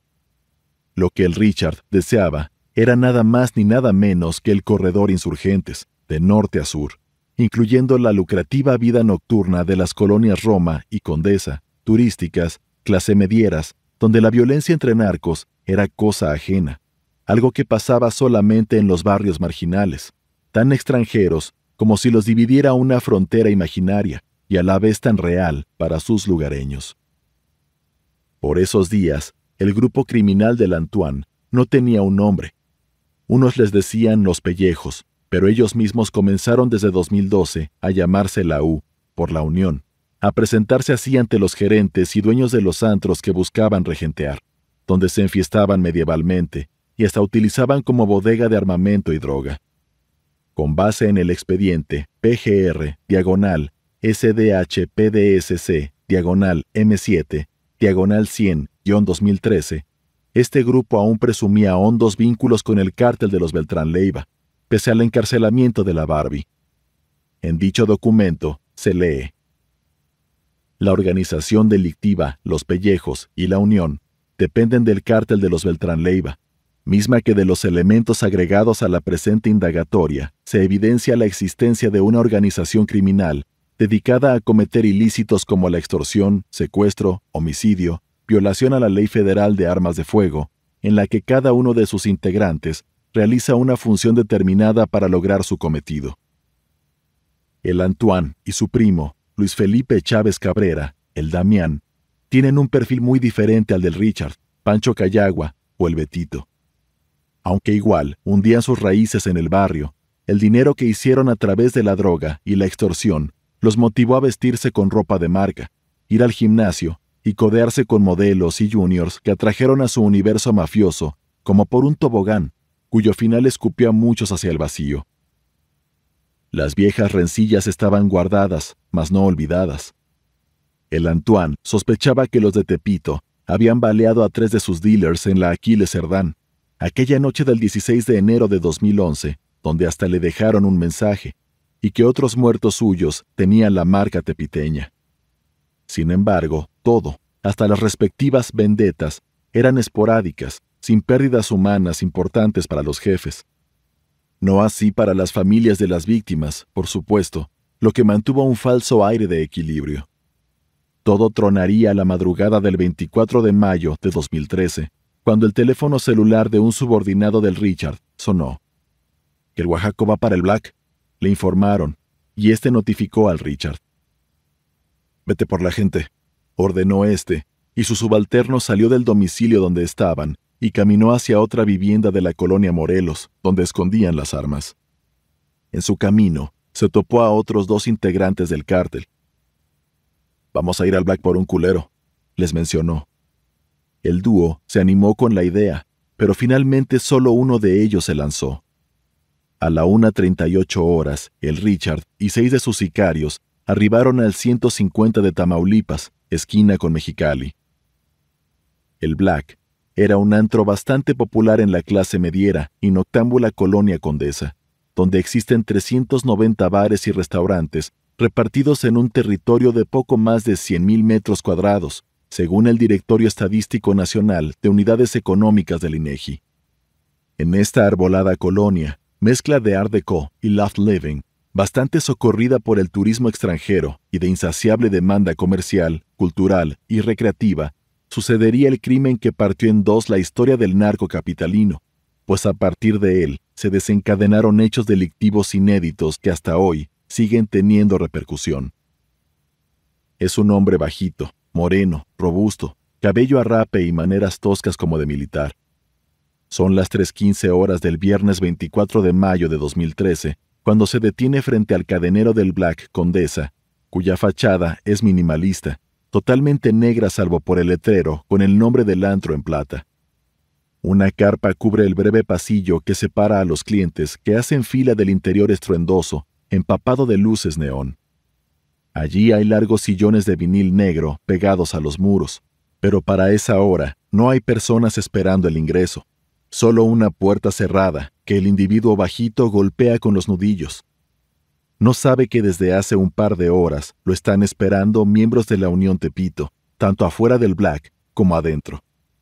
Ajeno a los siete hombres, algunos con gorras, que atestiguan su llegada sentados o de pie frente a una jardinera, Vuelve a golpear la puerta con la palma de la mano, y enseguida, un empleado de seguridad lo recibe familiarmente. No precisamente por ser un cliente conocido, sino porque es el Oaxaco, un vendedor de drogas que entra y sale de los bares desde que abren y se colman hasta que enmudecen y se vacían con la luz del día. Lleva una camisa de manga larga desfajada, pantalón de mezclilla negro y zapatos cafés. Va desarmado, pero con seis grapas de cocaína y una tacha en el bolsillo del pantalón, según consta en el expediente judicial 176, diagonal 2013. El Oaxaco había recibido un mensaje de una mesera que hacía de intermediaria entre él y los enfiestados, a los que se les antoja un levantón de coca u ocho horas de desfogue anfetaminoso. Apenas cruza el umbral de acceso, un joven mucho más alto que él, y que segundos antes escribía en su teléfono celular lo para con un toque en el brazo. El Oaxaco alza la mirada y después aguza el oído para descifrar lo que le dice. Algo muy breve, porque enseguida contesta y sigue su camino hacia el fondo del Black. Todo es grabado por las cámaras del lugar. Esta vez, los mismos empleados que lo saludaban y solapaban bloquean su paso. Afuera, el cadenero que lo había dejado entrar abre paso a los siete pistoleros que lo esperaban y que rápidamente lo rodean como llenas a una desamparada presa. Uno lo sujeta por detrás, otro le asesta un puñetazo en el estómago para inmediatamente derribarlo, inmovilizarlo entre todos y patearlo repetidamente frente a las miradas atónitas de los pocos clientes que alcanzan a observar entre el gentío y la tenue luz, que a propósito fue ajustada durante la golpiza. Para cuando el Oaxaco es sacado a rastras, el DJ baja el volumen de la música toma el micrófono y repite lo que ha estado pregonando toda la noche. Noche de Antro Black, Contesa. Tres por dos en bebidas internacionales y cuatro por tres en nacionales. ¡Vámonos! Afuera caminan algunas parejas que buscan un taxi, rondan los vendedores de cigarros y desfilan coches que avanzan lentamente, como si sus ocupantes tantearan la noche y sus rincones. Esas puertas que parecen cerradas, pero están abiertas no más para los que se las saben, los sabios de los recovecos inesperados, el after o donde sea que, ya de perdis, dejen que el desmadre siga un rato más. Tal vez por eso muy pocos ven al grupo de sujetos con gorras que cargan un bulto hasta una jardinera. La imagen podría resultar común, quizá un borracho sacado del antro, pero no, es el Oaxaco, semi inconsciente por la paliza que le acomodaron.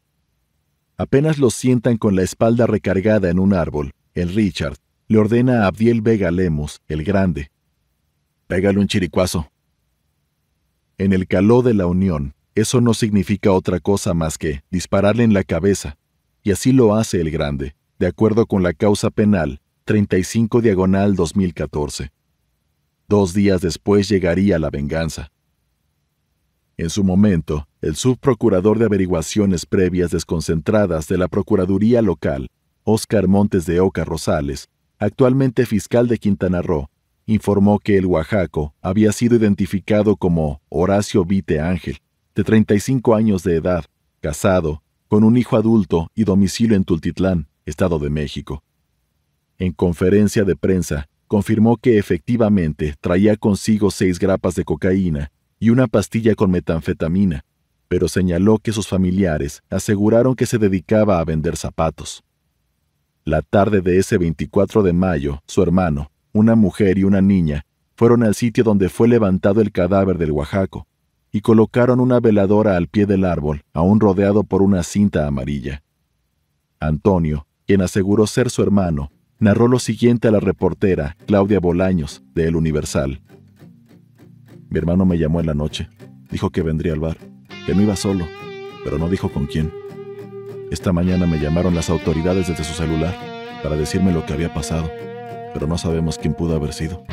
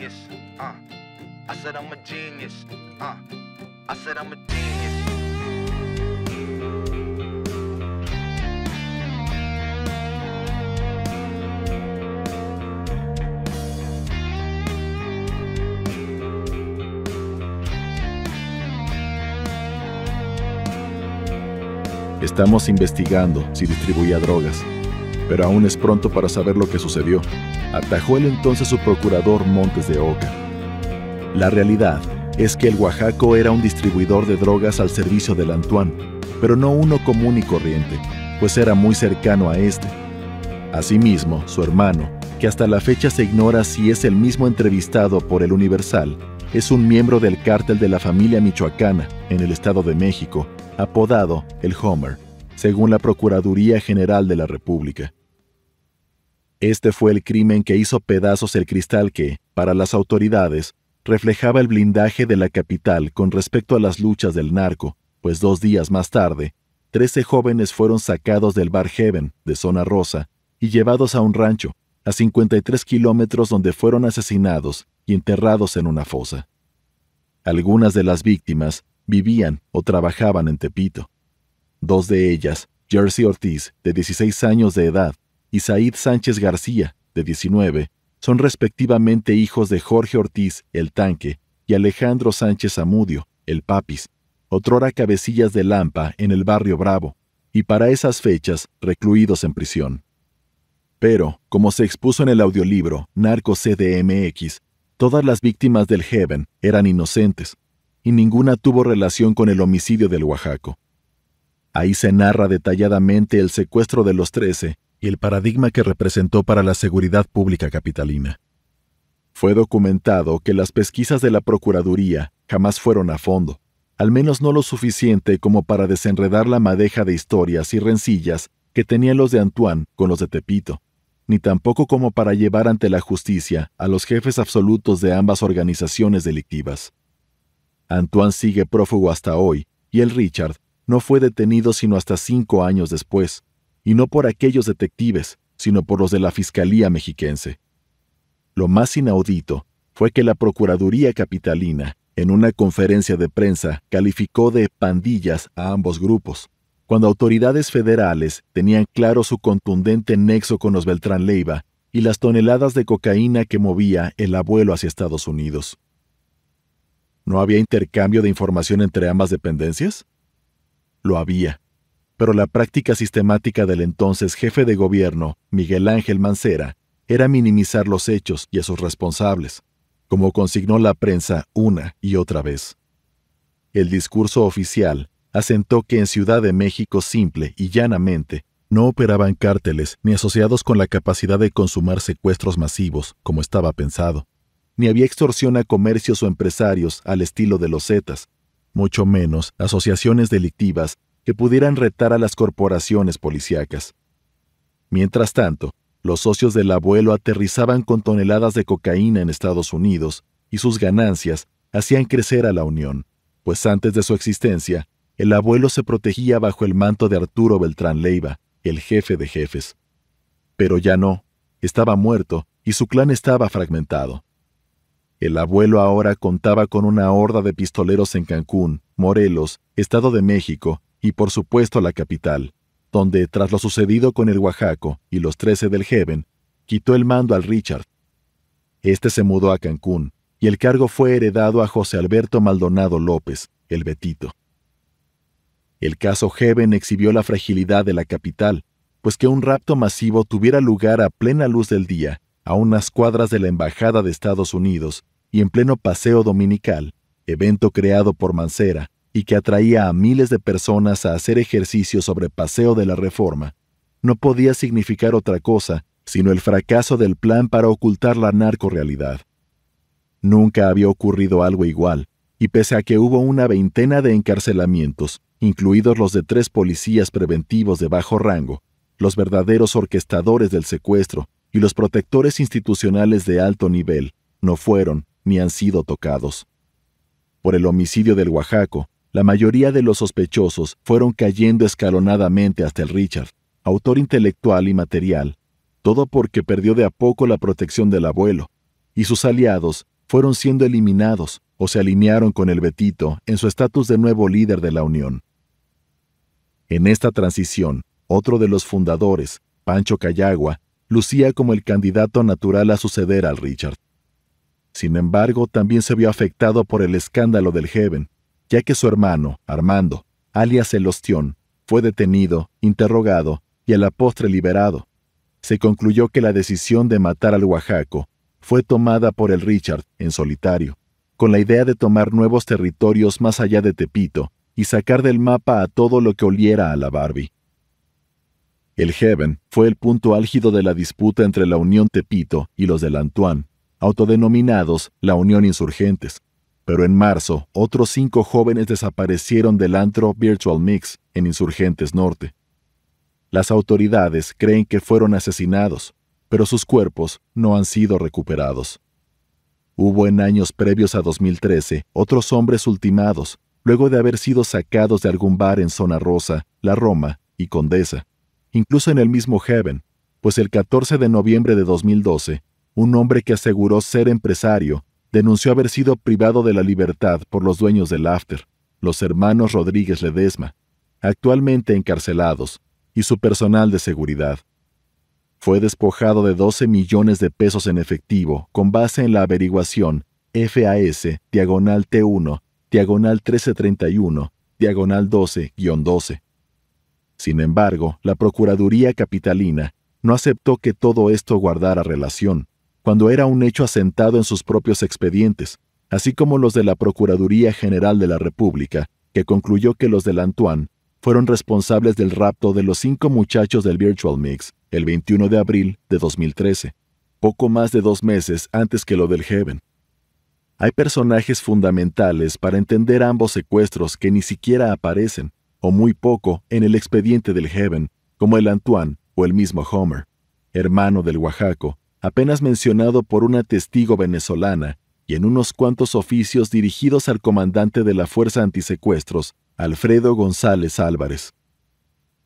La unión estaba lejos de ser solo una pandilla, dado que contaba ya con una estructura jerárquica definida, amplia, en ese entonces piramidal, cuyos integrantes se asociaban de manera constante para cometer una baraja de delitos inherentes a la delincuencia organizada.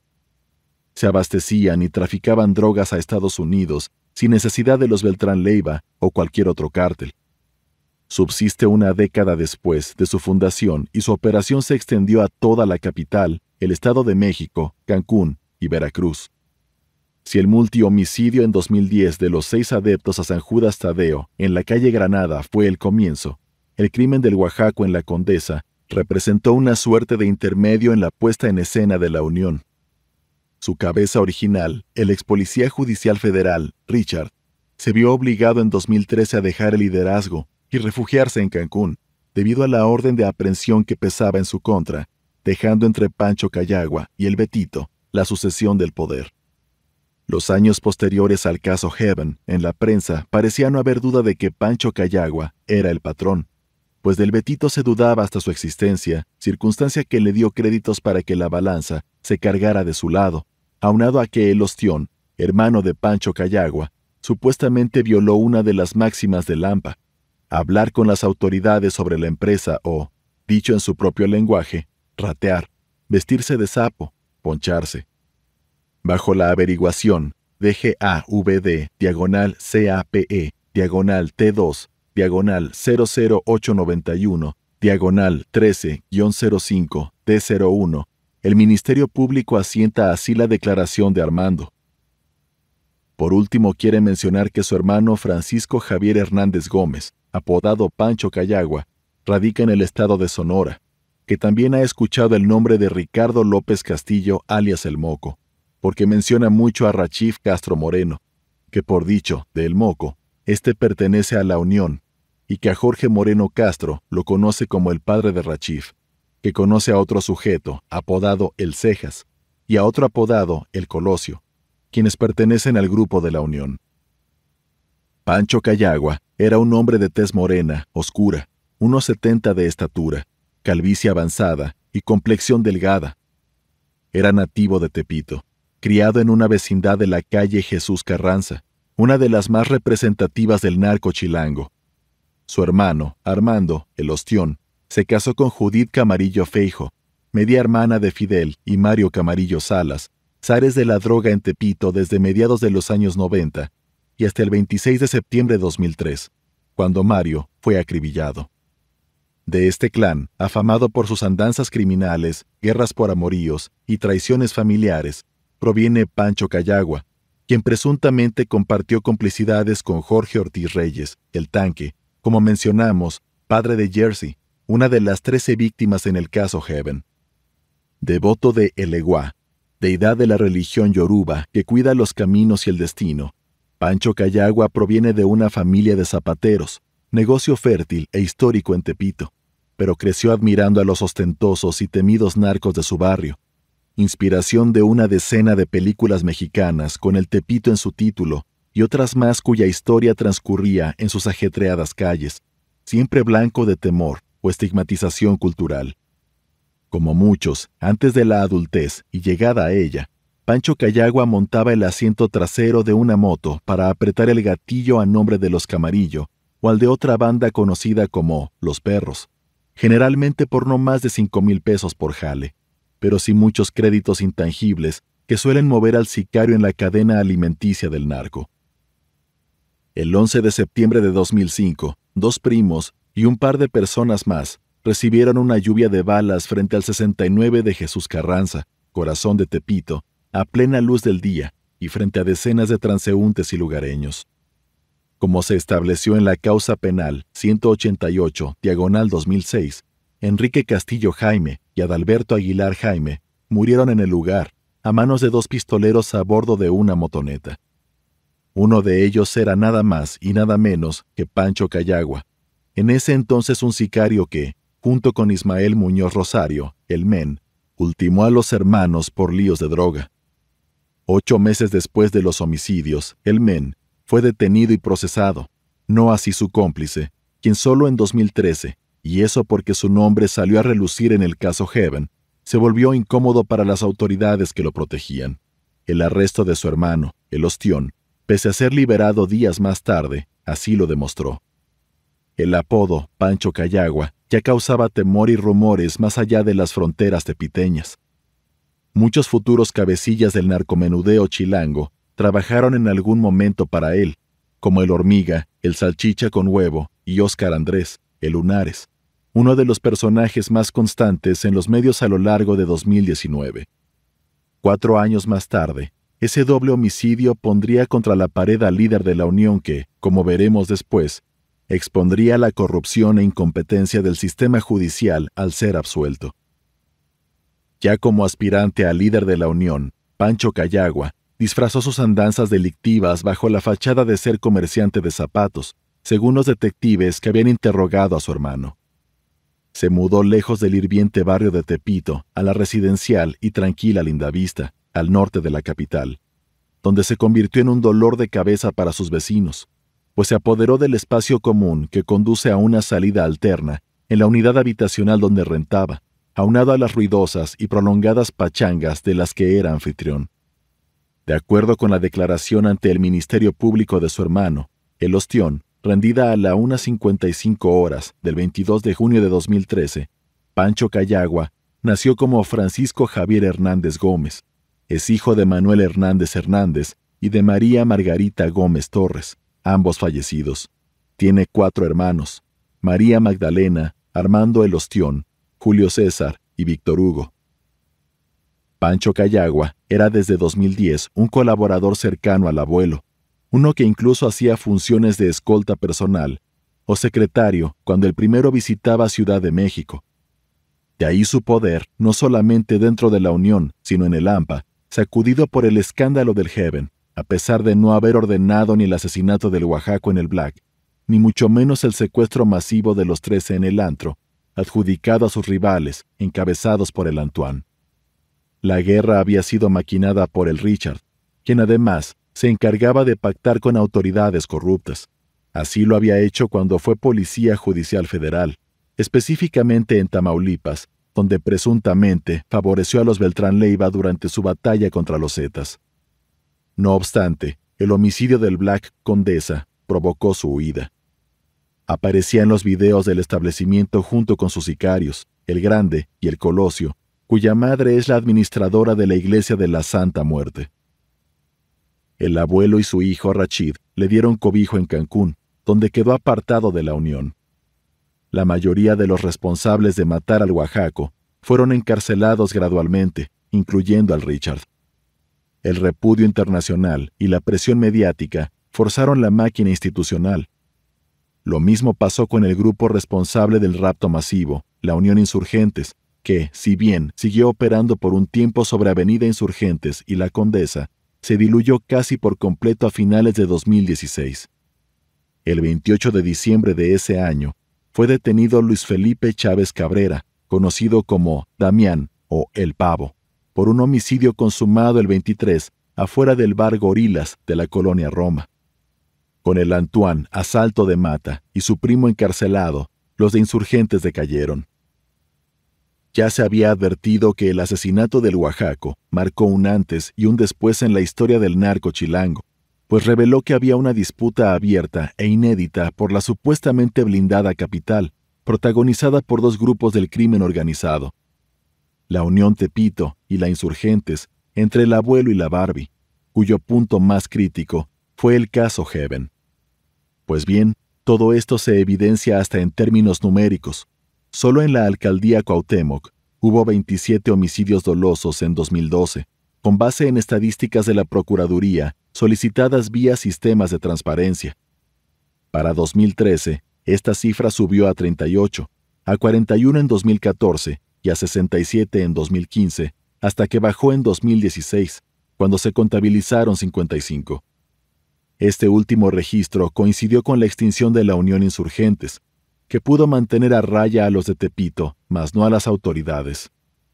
El único eslabón que queda es su jefe absoluto, Edwin Agustín Cabrera Jiménez, el Antoine, todavía prófugo, y los hermanos Pedro y José del Pilar Valle Salas, los Pilos, traídos de Durango para desmembrar a los hombres del Heaven y a los cinco muchachos sacados del antro Virtual Mix un mes antes. Según la averiguación, PGR, diagonal UEBPD, diagonal 0006, diagonal 2013. La disminución de los asesinatos en la Cuauhtémoc en 2016 respecto de 2015 fue solo una pausa mientras se gestaba una nueva pugna, de nuevo con la Unión Tepito implicada. Fueron tiempos en los que el abuelo tuvo que dejar el control de la organización criminal a José Alberto Maldonado López, el Betito, decidido a tomar toda la capital y la zona conurbada del Estado de México. El problema que tenían las fuerzas policiales con este ampón, a diferencia del Richard o Pancho Cayagua, era que sabían muy poco de él. Los pocos indicios habían partido de investigar a alguien oculto bajo una identidad falsa. En el trabajo policial, sobre todo en indagatorias contra cabezas del crimen organizado, resulta de gran ayuda conocer al sospechoso, saber de dónde viene, su familia, entorno e historial delictivo, para poder delinear cómo piensa y anticipar sus movimientos, hallar puntos débiles, generar una estrategia personalizada. Esto no sucedió con el Betito, a quien la Procuraduría local incluso creyó haber capturado una vez acontecimiento que desnudó no nada más sus carencias al investigar, sino que probó que el nuevo patrón de la Unión era más elusivo e ingenioso que sus antecesores. Es una vieja fotografía familiar. Un hombre mira hacia la cámara mientras fuma un cigarrillo. Esboza una ligera sonrisa, tiene barba rala y cabello rizado que le tapa las cejas. Carga a una niña que hace un berrinche y a su lado está un bebé tomando su biberón. Son los años 80 y el escenario es un balneario público del entonces Distrito Federal. El hombre es Jesús Mollado Esparza, cuyos apellidos aparecen en informes y noticias policiales entre 2008 y 2018, ligados a un hombre llamado Roberto, que las autoridades afirmaban era líder de la Unión Tepito. Pero, ¿qué vínculo hay entre los dos si Jesús murió el 28 de diciembre de 1990 por una falla orgánica derivada de un linfoma de Hodgkin. En otra fotografía familiar, Jesús aparece junto a su esposa, María Enriqueta Maldonado López, el día de su casamiento. Es el 12 de febrero de 1985, y Jesús viste un traje oscuro con corbata a rayas. A su derecha, María Enriqueta luce un vestido blanco, un arreglo floral en la cabeza y un velo. Es llevada del brazo por su padre, don José, un hombre de pelo negro entrecano, bigote y traje claro. A la izquierda de Jesús está la madre de la novia, Juana, ataviada con un vestido azul. Todos tienen un extraño semblante en el rostro. No presumen la típica sonrisa de bodorrio. Aparecen serios, casi hoscos. Jesús parece entornar los ojos cuando los dirige hacia la cámara, mientras mantiene las manos juntas por delante. El enlace es importante pues doña Juana y don José son cabezas de una numerosa y bien conocida familia de la céntrica y brava colonia Guerrero, los Maldonado López. El novio, Jesús, desarrollará cierta simpatía especial por uno de los hermanos de su esposa, José Alberto, apenas de tres años de edad en el momento. El niño reconoce la gallardía del cuñado y su desenvolvimiento en las calles, pero cuando cumple nueve años, su cuñado, Jesús Mollado Esparza, muere. Al convertirse en un adulto, José Alberto decide llevar sus apellidos, aunque con el nombre Roberto. Así José Alberto Maldonado López se convertiría en Roberto Mollado Esparza, el Betito, burlador de las autoridades con esa y otras falsas identidades, según consigna el informe antes citado. Su apodo, tan reproducido en medios, es curiosamente con el que nadie dentro de la Unión Tepito se refería a él. Todos lo llamaban el Chaparro o, de cariño, el Chaparrito, debido a su estatura. Con el tiempo se le colgarían otros como Mini Alex Sintek, por su parecido con el cantante mexicano, o el de la B, pero muy pocos saben hasta ahora que de adolescente lo llegaron a apodar el Flamitas. La gente en la colonia Guerrero, que recuerda haberlo conocido durante los años 90, asegura que siempre fue un niño problemático, pese a ser el penúltimo en nacer de sus diez hermanos. Con quien creó un vínculo más sólido fue con José Arturo Mauro, quien tiene 13 años más y naturalmente adoptó el papel de protector. Cuentan sus conocidos que, rondando los 14 años, el Betito comenzó a cortejar a una muchacha, que supuestamente es sobrina de la popular cantante mexicana Paquita la del barrio, oriunda de la Guerrero, donde levantó un restaurante-bar desde principios de los años 80. Paquita misma cantaba ahí a todo pulmón. La gente que recuerda aquello dice que los encuentros entre el Betito y la joven tendrían que haber sido furtivos, pues la familia de ella no aprobaba la relación. Cuentan que el muchacho comentó a sus amigos que incluso Paquita la del barrio le advirtió, a través de terceras personas, que ya no viera más a su sobrina, a lo que el adolescente respondió, Si no me dejan verla, les voy a quemar el restaurante. Y así ocurrió un día que estaba cerrado. Solo fue parte de la fachada, pero la adolescente jamás volvió a poner un pie en la colonia. Este hecho lo cuentan algunos allegados y conocidos del Betito con la ligereza de una anécdota, pero refleja el carácter de un niño que a la postre se convertiría en un temido jefe de la mafia. En los informes del CISEN se detalla que el Betito comenzó robando. Estuvo internado en el tutelar de menores de San Fernando, donde forjó amistades con algunos de los que, en el futuro, se unirían a su grupo delictivo. Tras volver a las calles, pasó al asalto de camionetas blindadas. Aunque no se tiene comprobado, policías capitalinos llegaron a ligarlo con Roberto Paniagua Paniagua, un presunto defraudador y clonador de tarjetas bancarias, con arrestos y procesos penales en varios estados mexicanos, Canadá, Estados Unidos y Francia. La última vez que se mencionó a Paniagua en los medios fue en agosto de 2016 cuando fue asesinado a balazos justo al pie de una refaccionaria de la colonia Doctores, una de las colonias más bravas de la capital, caracterizada desde hace décadas por la venta de autopartes robadas a la vista de todos, e irónicamente, a unas cuantas calles del búnker de la Procuraduría local. En 2008, y a sus 27 años de edad, el Betito fue capturado y encarcelado por primera vez como adulto. De acuerdo con la ficha RN, diagonal 3938, diagonal 2008, se le acusó de irrumpir y asaltar a un comensal de un restaurante italiano sobre la calle Emilio Castelar, en el barrio altamente comercial y chic de Polanco, al poniente de la ciudad, donde la comunidad judía se ha asentado, lo mismo que las grandes marcas de ropa y automóviles. A unas calles del restaurante, patrulleros lo atraparon y le encontraron el reloj hurtado, valuado en 400 mil pesos. Estuvo en el reclusorio norte apenas unos meses bajo el nombre de Roberto Mollado Esparza, apellidos tomados de su tío fallecido. Durante los diez años siguientes, no volvería a pisar la cárcel, viviría con una identidad falsa y dos veces más se haría pasar por otros hombres parecidos físicamente para despistar a las autoridades. El expediente que el CISEN hizo del Betito marca el 6 de marzo de 2009 como la fecha en que asumió una nueva identidad. Tramitó su licencia de manejo 8538161 con el nombre de Roberto Mollado Esparza. Cuando su apodo comenzó a sacudir las instancias gubernamentales y los medios, nadie sabía su verdadero nombre ni su rostro. Incluso tendió una trampa que ridiculizó a la propia Procuraduría, que presumió su captura a finales de 2015, presentando al hombre equivocado. Capítulo 3 El clan de Garibaldi Tras el caso Heaven, la disputa de la Unión contra los herederos de la Barbie entró en una suerte de guerra fría. El corredor insurgentes, la zona rosa, Roma y Condesa seguían bajo control de Luis Felipe Chávez Cabrera, el pavo, quien no participó en el secuestro de los Trece y por consecuencia no estaba huyendo. Entre 2015 y 2016, era claro que la pelea había dejado de ser abierta, al menos en comparación con lo sucedido en 2013.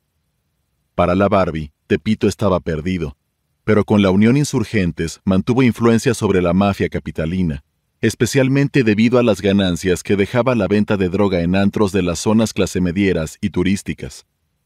Como sea, detrás de ese telón se divisaba un debilitamiento sin vuelta atrás. En ese escenario reaparecieron, hambrientos de poder, viejos actores. El restaurante La Soldadera, frente al Monumento a la Revolución, goza de un buen número de clientes, ávidos de hacer plática con las meseras y brindar a rienda suelta mientras el sol se oculta este 8 de abril de 2015. En una mesa departen tres hombres ruidosos que se empinan caballitos de tequila y paladean cortes de carne finos, no sin aderezarlo todo con mentadas de madre seguidas de risotadas y manazos en la mesa. El lugar es frecuentado casi en su totalidad por hombres, ya que el sitio explota su machismo al emplear mujeres jóvenes que, como si fuera uniforme, van y vienen con faldas cortas y pronunciados escotes. Esta tarde, el lugar está más concurrido de lo usual, pero de pronto todo queda en silencio, porque la voz imperativa y amenazante de un hombre se impone al parloteo generalizado. Ahora sí se pasaron de verga. El que se levante, grite o saque un teléfono se lo va a llevar la chingada.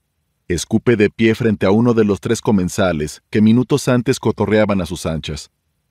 ¿Crees que con tu pinche denuncia me vas a hacer algo? El blanco del reclamo es propietario de un bar en Garibaldi, cuyo semblante se desdibuja al instante y queda en un garabato del que solo se distingue una mueca de súbito nerviosismo. Frente a él está Jorge Flores Conchas, el Tortas, que como ya se había mencionado, era aliado de la Barbie contra la Unión, pero que para esas fechas presuntamente ya tenía consolidada una red delictiva que abarcaba algunas calles de Tepito, el centro y todo Garibaldi. Consta en el testimonio de las víctimas, asentado en el expediente 60, diagonal 2015, que junto al Tortas está un individuo armado, Carlos Maldonado Vilchis, quien obliga a los acompañantes del empresario a pararse y salir del sitio junto con él. Tienes 30 minutos para darme 100 mil pesos, o ya no te regreso a tus chavos. Advierte el Tortas, quien en ese momento tiene 38 años de edad, está flaco, con avanzada calvicie y bigote ralo. Echa una mirada agresiva, con pupilas dilatadas, bien fijada en su víctima, que se hunde en su silla en medio del cuchicheo de algunos comensales ve salir con paso presuroso a un líder narco de menos de unos 70 de estatura, pero que siembra el miedo a donde vaya, aunque todavía le hace falta escalar en la cadena alimenticia de Lampa para enfrentar a la Unión, cosa que tarde o temprano hará.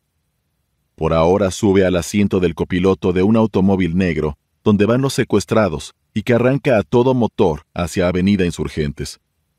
Los minutos siguientes son borrosos, pues el relato policial indica que uno de los secuestrados alcanza a observar una patrulla de la policía cuando ésta circula lentamente frente a la sede de la alcaldía Cuauhtémoc, y que grita y patalea desde los asientos traseros para llamar la atención de los oficiales.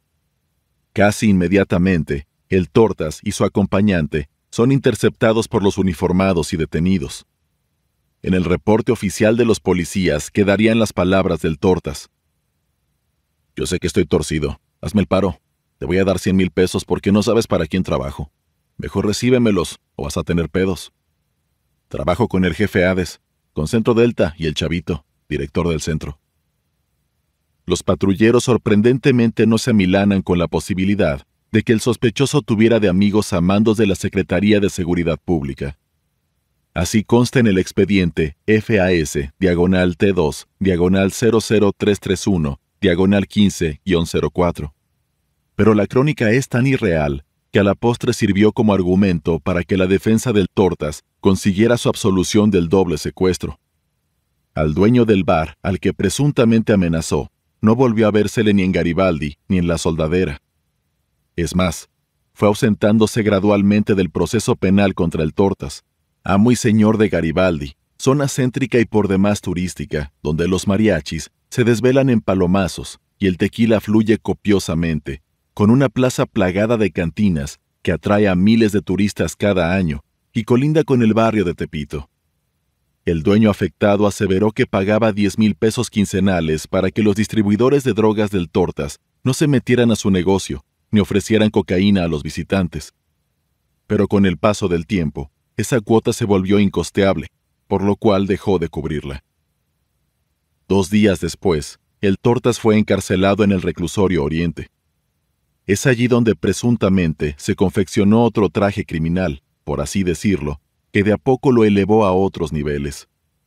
Allí tejió una enorme red criminal que acentuó su poderío, apoyado por su hermano José Luis y sus primos Omar, Roberto Francisco y Jonathan Flores, todos apodados las primas, que están sentenciados y recluidos en la penitenciaría local por un famoso secuestro perpetrado el 6 de marzo de 2001, el de Agustín Gómez Álvarez, entonces candidato del PAN, PBEM, a la jefatura delegacional de Gustavo Amadero, asesor en la Cámara de Diputados y propietario de varios colegios.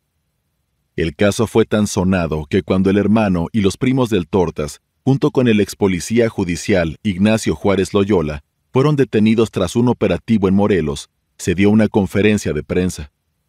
En ella, el exdirector de la Policía Ministerial, Alberto Pliego Fuentes, dio los pormenores de la liberación de la víctima y el arresto de los hombres a los que, incluso, vinculó a un crimen muy conocido, el del conductor televisivo Paco Stanley, perpetrado dos años antes.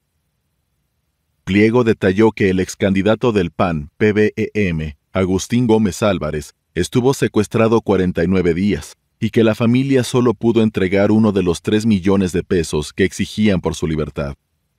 Mientras tanto, la Procuraduría de la Ciudad de México integraba a marchas forzadas cuatro averiguaciones contra los Flores por otros secuestros. Al menos eso informaron a los medios. Pero la realidad es que solamente se les condenó por el de Gómez Álvarez, 40 años de cárcel y una multa de 750 mil pesos, la cual dos años después se redujo a 30.262, según los registros del sistema penitenciario. Había más. Uno de los primos del Tortas, Jonathan, era al que ligaban con el homicidio de Paco Stanley, pues había sido detenido en el mismo yeta utilizado por los sicarios y hasta coincidía con el retrato hablado obtenido de testigos. Pero luego de varios años de estar bajo la lupa, libró esta acusación y quedó recluido por secuestro junto con sus hermanos y su primo, José Luis. Desde la cárcel, de acuerdo con el informe especial, la Antiunión de Tepito, elaborado por personal del CISEN, todos formaron un clan que tiene como base la zona de Garibaldi, codiciada por los narcos, ya que deja enormes ganancias en cuanto a la venta de droga y las cuotas que se les exigen a los comerciantes informales y locatarios, principalmente restaurantes, pulquerías y cervecerías.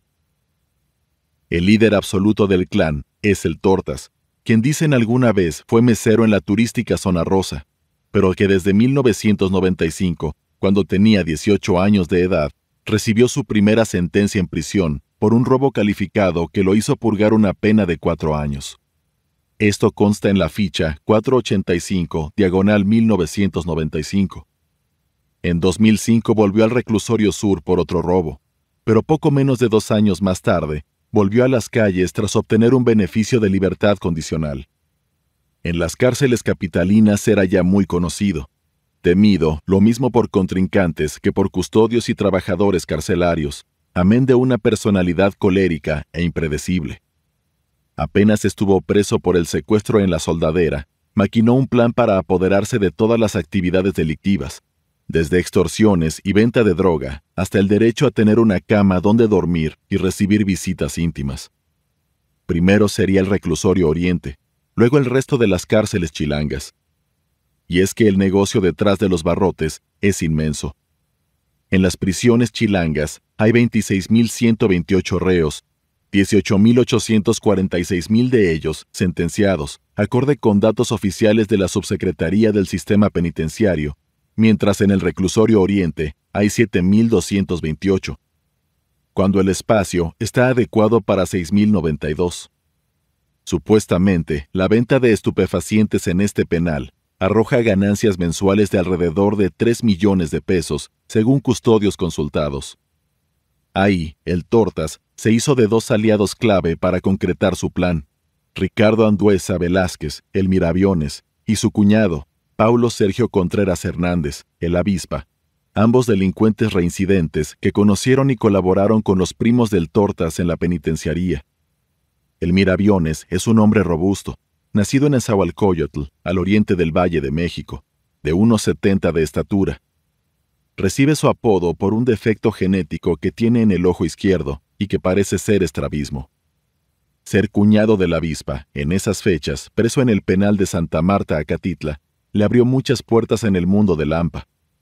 Pese a ello, todavía en 2013 se dedicaba al robo con violencia, como lo establece la averiguación FIZP, diagonal IZP, 6, diagonal T1, diagonal 3725, diagonal 1306, iniciada tras el asalto a un policía que vigilaba un banco en la colonia San Lorenzo Chicotencatl, Iztapalapa, en 2017.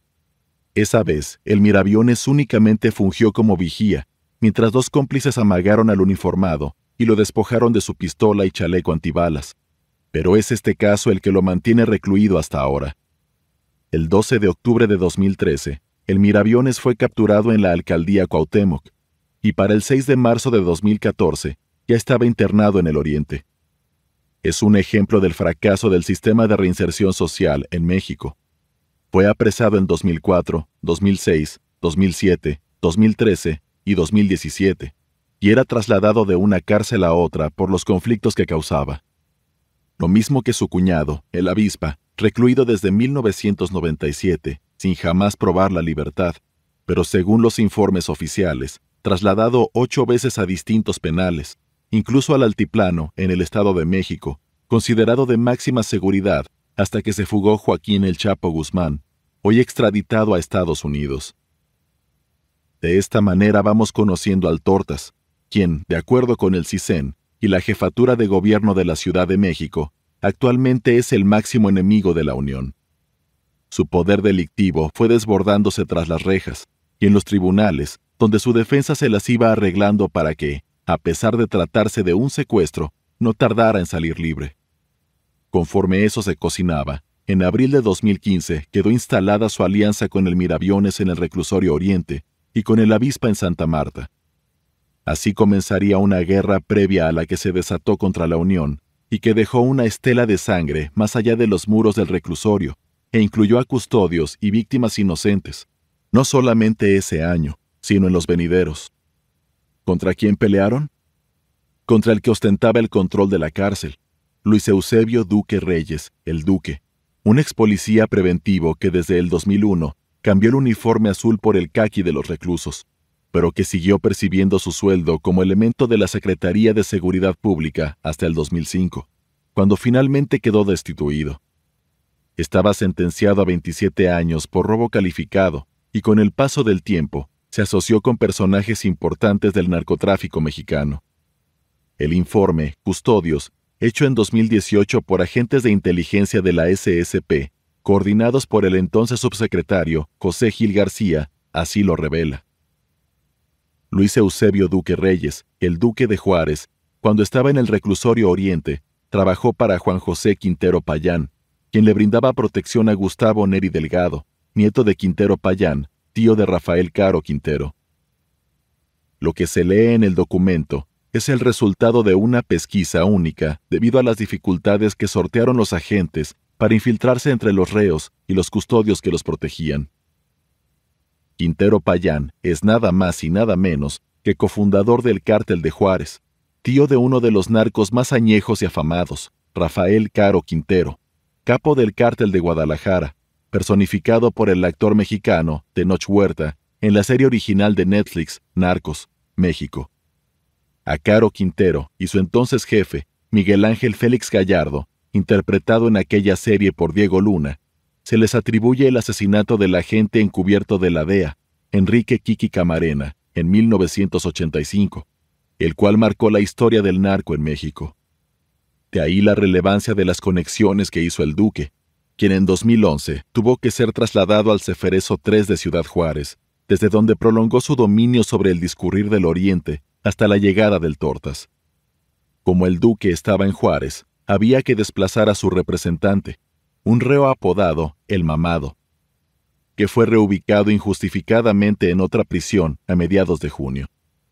La información voló hasta Juárez, donde el duque se enteró de que todo fue maquinado por el avispa, quien hasta entonces, si bien no era su socio, tampoco era su rival. Un mes después, el avispa fue atacado a tiros dentro de la cárcel, pero sobrevivió. ¿Cómo fue que los agresores tuvieron acceso a un arma de fuego? La corrupción en las prisiones era una cloaca sin fondo. Fue en este contexto de violencia, jamás calculado por el gobierno de Miguel Ángel Mancera, cuando el Tortas saltó al radar de las autoridades y a las páginas de la prensa, donde nada se escribía sobre su enemistad con la Unión, tras ser reclutado por la Barbie, junto con el Kikín, cinco años atrás. Nada se sabía de los secuestros organizados en familia y el dominio que tenía sobre Garibaldi. Esos nexos son producto de esta investigación. Aún así, desde 2015 era un reo peligroso, cuya guerra cobró su primera víctima en mayo de ese año. Tania Gómez Cruz, encargada de la aduana del reclusorio Oriente, fue acribillada dentro de su camioneta justo al llegar a su casa en Iztapalapa. Basta hojear el informe, Custodios, citado párrafos atrás, para darse cuenta de cómo fue escalando la hazaña hasta convertirse en una secuencia de atrocidades, que parecían salidas de filmes como Una película serbia y Holocausto caníbal. No nada más eran balas, sino también cuerpos mutilados, exhibidos grotescamente, como el de un hombre sin genitales hallado dentro de un taxi en Lomas de San Lorenzo, Iztapalapa, junto al que el duque ordenó dejar un mensaje contra el miraviones, y el del primer cadáver colgado en Ciudad de México. Se habían visto cosas así al norte del país, en algunas otras partes, e incluso una vez en Interlomas, zona de alta plusvalía ubicada al poniente, pero era el Estado de México, a fin de cuentas. De hecho, ese colgado se lo atribuyó justamente la mano con ojos, pero nadie se había atrevido a hacer algo parecido en un puente de la capital. Ocurrió el martes 14 de octubre de 2015, cuando automovilistas que enfilaban hacia la autopista México-Puebla observaron lo que parecía una momia balanceándose de una cuerda de 8 metros, atada a unos barrotes que delimitan el puente de la Concordia, zona de entrada y salida de la capital, donde cada mañana circulan miles de automóviles. El cuerpo estaba prácticamente vendado de pies a cabeza, salvo el rostro, y pendía maniatado por la espalda, justo donde una luminaria lo exponía en todo su surrealismo. Sigo cumpliendo, concluía el mensaje inscrito en una cartulina, donde se amagaba una vez más a miraviones y a custodios del reclusorio Oriente. De nuevo había sido el duque, pero las indagatorias revelaron que la víctima no era sino un migrante chiapaneco que había llegado desde hacía 18 años a la ciudad para trabajar como cargador de bultos en la Merced, un popular mercado asentado en el centro. No había indicios de que estuviera involucrado en la pugna, simplemente no había, solo videos grabados por cámaras del gobierno donde se observaba el momento del secuestro. Días más tarde, la Procuraduría dio una conferencia de prensa y anunció la detención de un sospechoso. Ahí quedó todo. Ni uno más. Las pesquisas plasmadas en el informe, Custodios, revelan que el duque operaba desde Ciudad Juárez, por medio de un escuadrón de pistoleros encabezados por Enrique Labastida Cortés o Heriberto Murrieta Jasso, la Pepa, otro ex policía preventivo que se volvió asesino a sueldo y formó su propio grupo delictivo mientras estuvo encarcelado de 2013 a 2016. Desde el Diamante, módulo de máxima seguridad en Santa Marta, cumplía los mandatos del duque como lo sigue haciendo ahora en libertad. El caso del puente de la Concordia causó mucho impacto en los citadinos, en los medios que mostraban una y otra vez las imágenes del cadáver, pero no tanto en la Procuraduría, que estaba enredada y bajo una enorme presión por el multihomicidio de la Narvarte, perpetrado el 31 de agosto de ese 2015.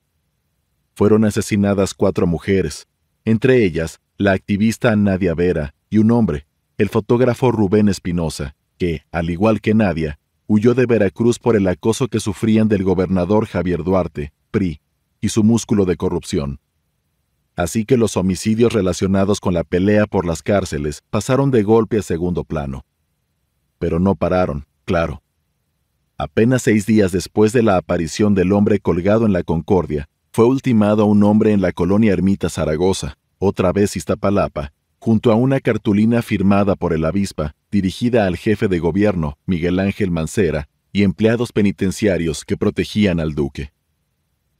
Tardaron casi un año, pero las autoridades por fin consiguieron mandar al Miraviones al penal de Nesa Bordo, en el Estado de México, y al Tortas a la penitenciaría donde están su hermano José Luis y sus primos. Esto no duraría demasiado. El 8 de septiembre de 2017, el Tortas volvió a las calles. ¿Es sorprendente? En este lapso los asesinatos por el control de las prisiones siguieron, sobre todo de custodios, pero el duque retuvo su dominio con pinzas, dejando atrás decenas de muertos, hijos que se quedaron sin madres o padres.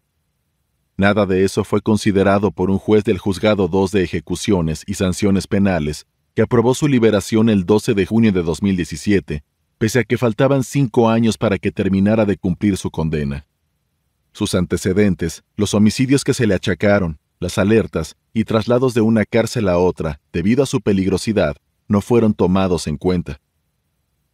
¿Qué papel jugó la Unión en este regadero de cuerpos? Ninguno. Estaba en una fase de reorganización, en la que Pancho Cayagua y el Betito pujaban por hacerse de liderazgo absoluto del cártel. La contienda no era abierta, sino una especie de round de sombra en el que cada cual fue ganando o perdiendo terreno. Pese a haber sido sicario y que su figura pesaba más allá de los linderos tepiteños, Pancho Cayagua no contaba con un brazo armado propio, sino que entregaba dinero a diestra y siniestra al gatillo más eficiente, o a cualquiera de los sicarios de Tepito que le jalara. En cambio, el Betito se abría paso en la mafia con las armas por delante. Lo oían repetir un dicho, en detrimento de la tranquilidad chilanga, materializado con las manos y no con la lengua. Si quieres respeto, mata. Corrían rumores de que el Betito había peleado en Tamaulipas con los Beltrán Leiva, que había sido adiestrado por los famosos pelones, gatilleros de alta escuela que servían a los capos y cobraban millones. Pero nada de eso era verdad. El Betito forjó su perfil criminal en las calles y ya sea por gusto o disciplina, entrenaba tiro junto con su equipo fuera de la ciudad. De ese placer surgían las recurrentes idas al gocha, pasatiempo que organizaba por lo menos una vez al mes. A finales de 2015, el Betito ya había conformado un pelotón de la muerte, y con la bendición del abuelo, extraditado a Estados Unidos, y su hijo Rachid, asentado en Cancún para recibir los cargamentos de cocaína provenientes de Panamá, comenzó a crecer e imponerse a Pancho Cayagua. Al paso de los días, el Betito estaba más preocupado por la cacería que había en su contra, firmada por miembros de la Unión Insurgentes, ávidos todavía de vengar al Oaxaco, que por evitar ser desplazado a un segundo plano dentro del cártel. Las finanzas y la droga recaían totalmente en Rachid, pero paulatinamente el control sobre los puntos de venta de droga en la capital, la extorsión y la estrategia de expansión quedó en manos del Betito. Aquí no hay patrones, el patrón está en el cielo. Se dice que les dejó claro a sus secuaces. De dientes para afuera, claro. Tiempo después, mandó traer a un conjunto sinaloense para que le compusiera un corrido. Los músicos aterrizaron en la ciudad, se hospedaron en un hotel y horas después fueron por ellos para llevarlos a Tepito y La Guerrero. Al parecer querían comprobar las hazañas del Betito y conocerlo en persona. Estuvieron tres días y al final aceptaron componer el corrido, titulado El Chaparrito de la B. Noticia que se festejó con un pachangón de proporciones carnavalescas estilo Tepito. El grupo delictivo lo conformaban su hermano José Arturo Mauro, Alberto, el Elvis y el Manzanas, a quien conoció desde la adolescencia durante su estancia en la correccional. El mi jefe, de bajo perfil pero pieza fundamental, tan así que el trato que tenían era de mucho respeto y sana distancia. Estaban también Pedro Ramírez Pérez, alias El Jamón, Gabriel Sandoval, el perro, amigo de toda la vida del Betito. El Irving, sobrino del Elvis. Eduardo Ramírez Tiburcio, el Chori, y su sobrino Víctor Hugo Ávila Fuentes, el Huguito.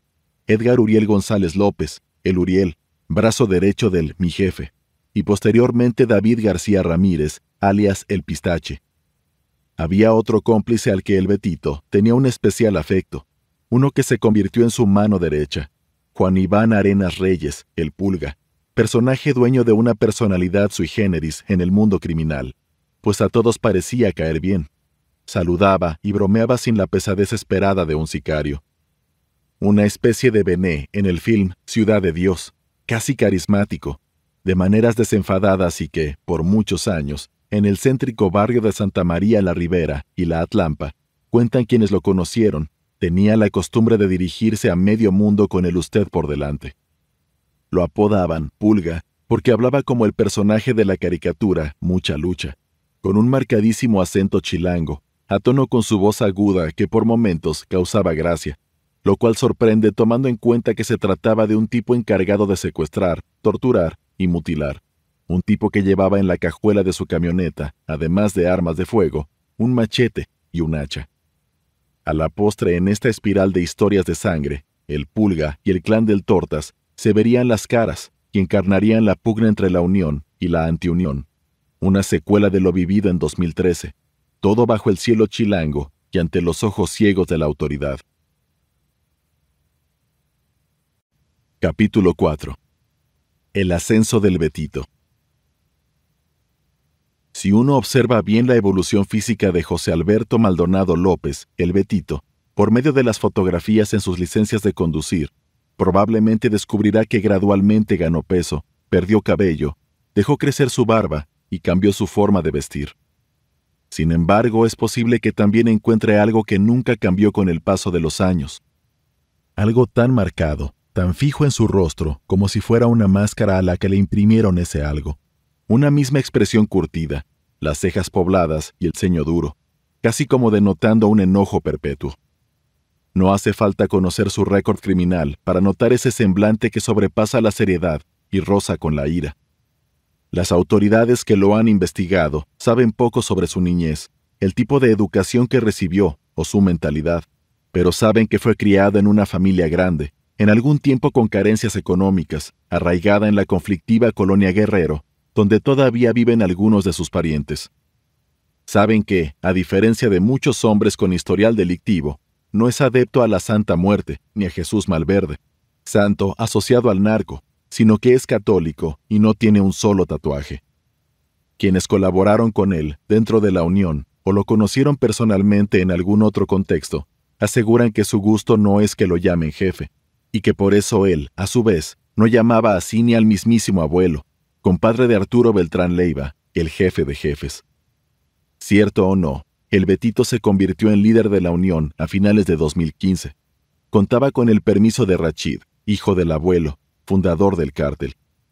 Así, poco a poco, otras células criminales lo apoyaron. En la Guerrero lo siguieron los kilos. En el centro fue Gabriel Sandoval Pastrana, alias el perro, amigo de muchos años que presuntamente controlaba la extorsión desde pequeños comercios hasta la comunidad china, coreana y vendedores informales del metro. En la alcaldía Venustiano Carranza lo respaldó Panchito Valle Gómez, quien prestaba pistoleros a Pancho Cayagua y que cuando dejó de hacerlo lo debilitó. Uno de sus meros cabecillas, apodado Hormiga, también prefirió adherirse al Betito. Pasó lo mismo con El Jamón, quien controlaba las movidas ilegales en toda la alcaldía Azcapotzalco y con la gente del 62 de Paraguay, una enorme vecindad enclavada en el centro que se considera un nido de sicarios, donde hay lo mismo viviendas que bodegas, casas de seguridad, improvisados bares y salidas secretas. El 5 de noviembre de 2015, la Procuraduría Capitalina tropezó en su carrera por atrapar al Betito, cada día más incómodo por los constantes homicidios que se le colgaban, por las quejas de comerciantes agobiados por las cuotas que en su nombre se cobraban, tanto en el centro como en Tepito, y hasta por videos de YouTube, donde se rogaba al jefe de gobierno, Miguel Ángel Mancera, frenar el crecimiento del cártel. Ese 5 de noviembre, el autor de este audiolibro fue citado a una reunión oficial con el entonces subprocurador, Óscar Montes de Oca, fiscal de Quintana Roo, quien recibió la instrucción del procurador, Rodolfo Ríos Garza, de compartir con el diario Reforma la supuesta detención del Betito. Según el parte policial que hicieron sus detectives, el multimensionado delincuente había sido capturado un día antes en el centro y reconocido por dos comerciantes como el individuo que les cobraba cuotas. Todo bajo la averiguación FCH, diagonal CUH-2, diagonal T2, diagonal 01736, diagonal 15-11. Su nombre era Juan Antonio Ruiz Maciel, de 34 años de edad, hombre con sobrepeso, calvo y facciones similares a las descritas en las denuncias de YouTube, notas periodísticas e indagatorias policiales. Montes de Oca dijo al respecto. Hay dos denunciantes que señalan directamente al Betito por pedir dinero a cambio de dejar trabajar a los comerciantes. No tenemos otras denuncias por extorsión, pero las estamos esperando con esta detención. La primicia fue publicada en portada al día siguiente. Vinieron aplausos de la corriente mancerista que soñaba al entonces jefe de gobierno en la silla presidencial y una cascada de medios reproduciendo la noticia ocurrió algo que anteriormente hubiese parecido imposible. El reconocimiento de una parte de la iniciativa privada a cargo de Guillermo Gasal, presidente de Procéntrico, que hasta ese momento había sido muy crítica de la poca disposición del gobierno capitalino para atacar las extorsiones en el centro histórico. Es un avance haber agarrado a uno. El gobierno federal y estatal niegan que hay delincuencia organizada en la ciudad, señaló Gasal. Empero, todos presumieron la medalla precipitadamente. En unas cuantas semanas, los reportes de inteligencia federales y de la propia Procuraduría daban cuenta del error. Los comerciantes seguían siendo chantajeados e insistían que Ruiz Maciel no era el Betito. Es más, que ni siquiera era cabecilla de la Unión, sino un miembro más, un simple cobrador que casualmente se parecía al escurridizo líder. La Procuraduría optó por callar dejar al globo mediático desinflarse por sí solo, con los días, cosa que no sucedió, pues los crímenes en nombre de la Unión seguían ensangrentando el suelo chilango. Los propios agentes de la dependencia, enredados en sus propias rivalidades, aseguraban que la Unión había puesto a Ruiz Maciel en bandeja de plata para que fuera detenido como el Betito, y de esta forma apaciguar a víctimas, comerciantes y a la ciudadanía en general. Lo que no se sabía, hasta ahora, es que detrás del telón de este teatro hay una historia que explica la estrategia del Betito para burlar a las autoridades con su doble tras las rejas. A principios de agosto de ese año, los medios informan sobre una balacera en la Plaza de Santo Domingo, pedazo del centro histórico y el epicentro de las quejas por extorsiones a comerciantes. Esta plaza tiene cinco siglos de antigüedad, es patrimonio histórico de la ciudad, alberga un museo, el antiguo Palacio de la Inquisición y una iglesia colonial. A unas cuantas calles del Zócalo, ofrece por un lado un vistazo al pasado y al folclor capitalino, pero por otro, la plaza es conocida por sus imprentas y coyotes que ofrecen documentos, identificaciones, diplomas, títulos universitarios y hasta certificados de defunción falsos. Es una tarde como otras hasta que se oyen balazos. Horas más tarde, algunos medios adjudican el incidente a extorsionadores, quienes de esta forma les tuercen el brazo a quienes se niegan a pagarles tributo. Esta mentira se instala como verdad en la realidad de los citadinos, alimentada por la cantidad de quejas previas y solicitudes de ayuda por parte de los vendedores, los cuales indudablemente padecen a la unión, mas no se atreven a denunciar formalmente. Empero, la balacera es en realidad un atentado contra el Betito, maquinado por un antiguo amigo que pretende obtener dinero, aprovechando la reciente implementación del derecho de piso en la zona. Se trata de Fabián Miranda, el Fabián, criado a unas calles de la plaza, en Costa Rica, junto con su grupo armado. El Fabián presuntamente cobra cuotas tanto a dueños como a empleados de los más de mil negocios que hay en Santo Domingo. Betito se entera de esto en el momento que sus emisarios le reportan que algunos comerciantes alegan ya haber pagado. Cuestiona a todos sus mandos, y todos coinciden en que no fueron ellos. Pronto los dedos apuntan hacia el Fabián, que por casualidad se parece físicamente al Betito, incluso más que el mismo Ruiz Maciel. Como no son enemigos, e incluso habían coincidido en pachangas y tienen un amigo en común, el Mariano, cercano a Rachid, ambos acuerdan reunirse el 4 de agosto por la tarde en un estacionamiento de la plaza. Betito va acompañado de algunos de su equipo, pero andan desarmados. Quizá pensaran que no era necesario o que últimamente hay muchos policías en los alrededores. Apenas se encuentran con el Fabián, se dan cuenta de su error. Está flanqueado por dos escoltas armados. Aún así, el nuevo jefe de la Unión le reclama por las extorsiones, algunas lanzadas en nombre del cártel. Su mirada se encaja en los ojos del Fabián, quien niega todo. Allí están, frente a frente, cada cual con sus centinelas.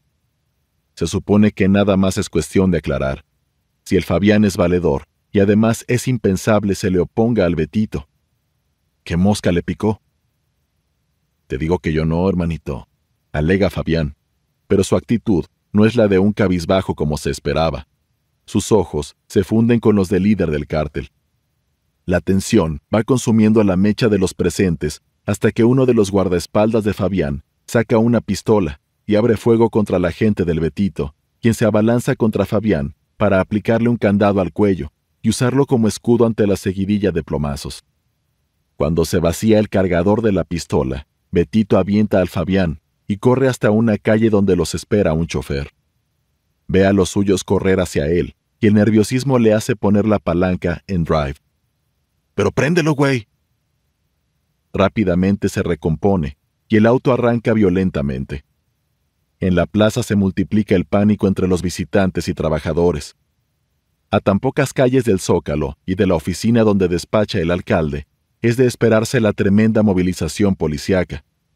Los protagonistas del pleito ya están bastante lejos, pero sigue el corredero, el aullar de las sirenas, la confusión y la aparatosa búsqueda de sospechosos, cuyo saldo es el arresto de dos incautos liberados a las pocas horas.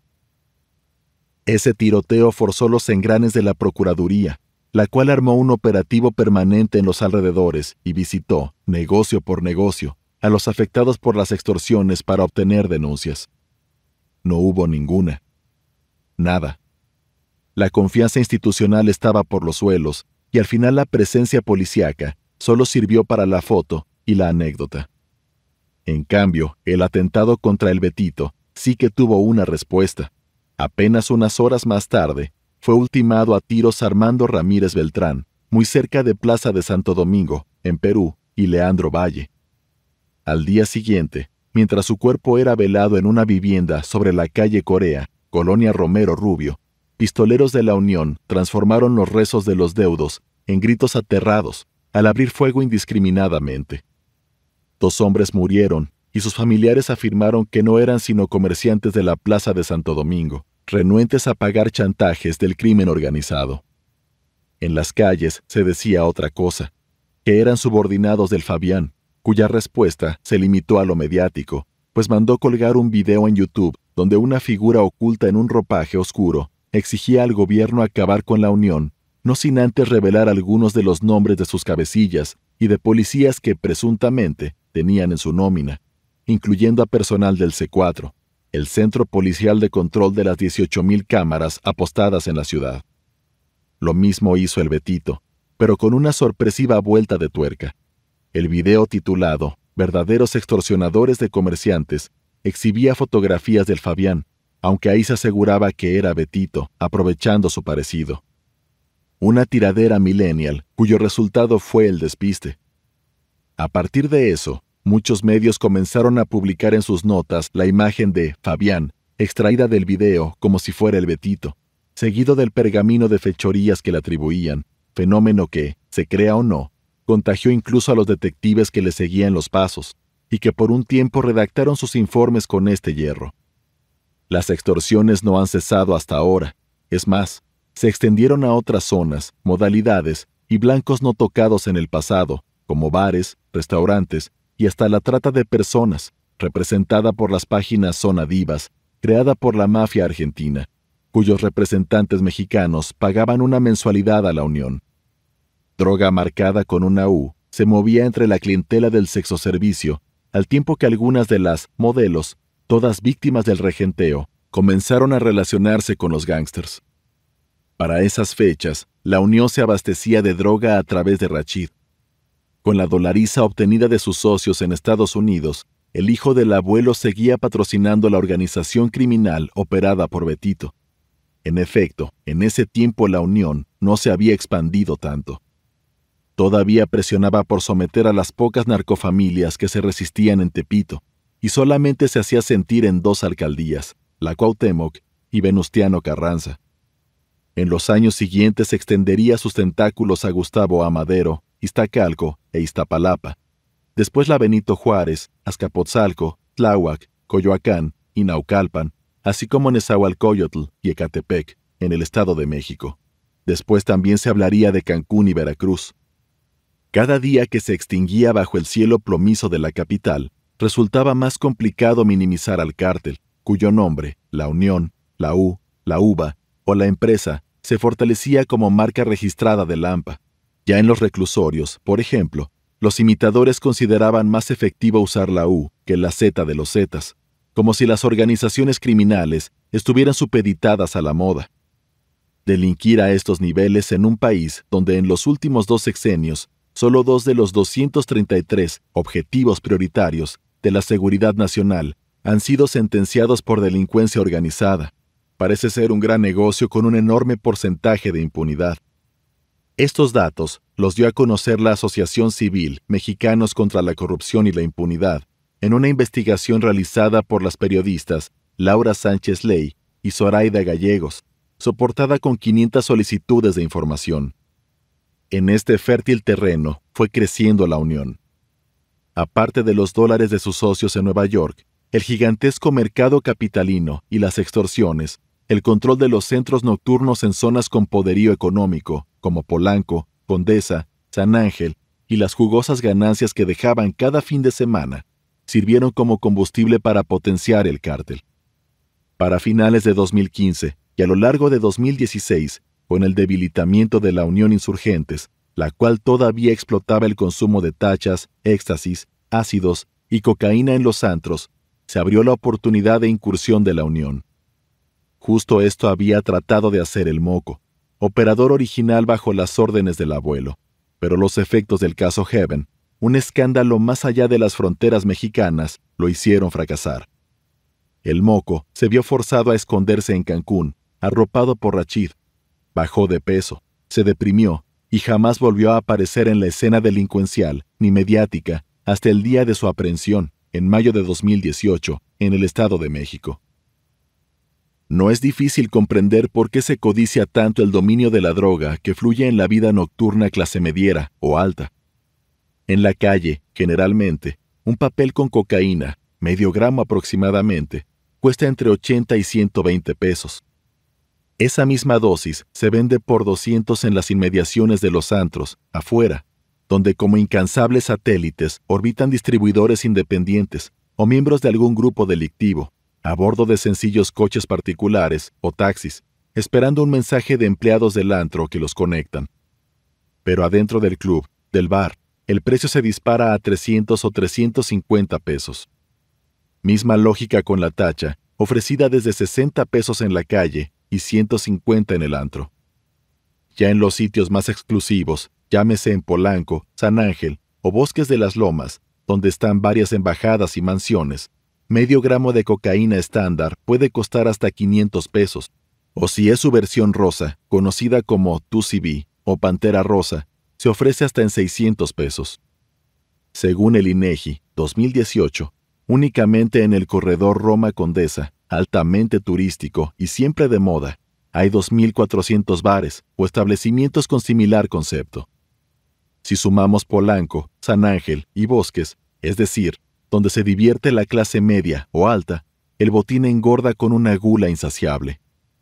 Falta anotar a la lista otras zonas a la postre, controladas por la Unión, donde también se presume una actividad nocturna prolífica para personas de todos los estratos, como Nápoles, Narvarte, Coyoacán Centro, Cuapa, Zona Rosa y la del Valle. Tan solo en el centro histórico, 1.327 bares abren sus puertas cada día. Entonces, suena o no el clink de la caja registradora.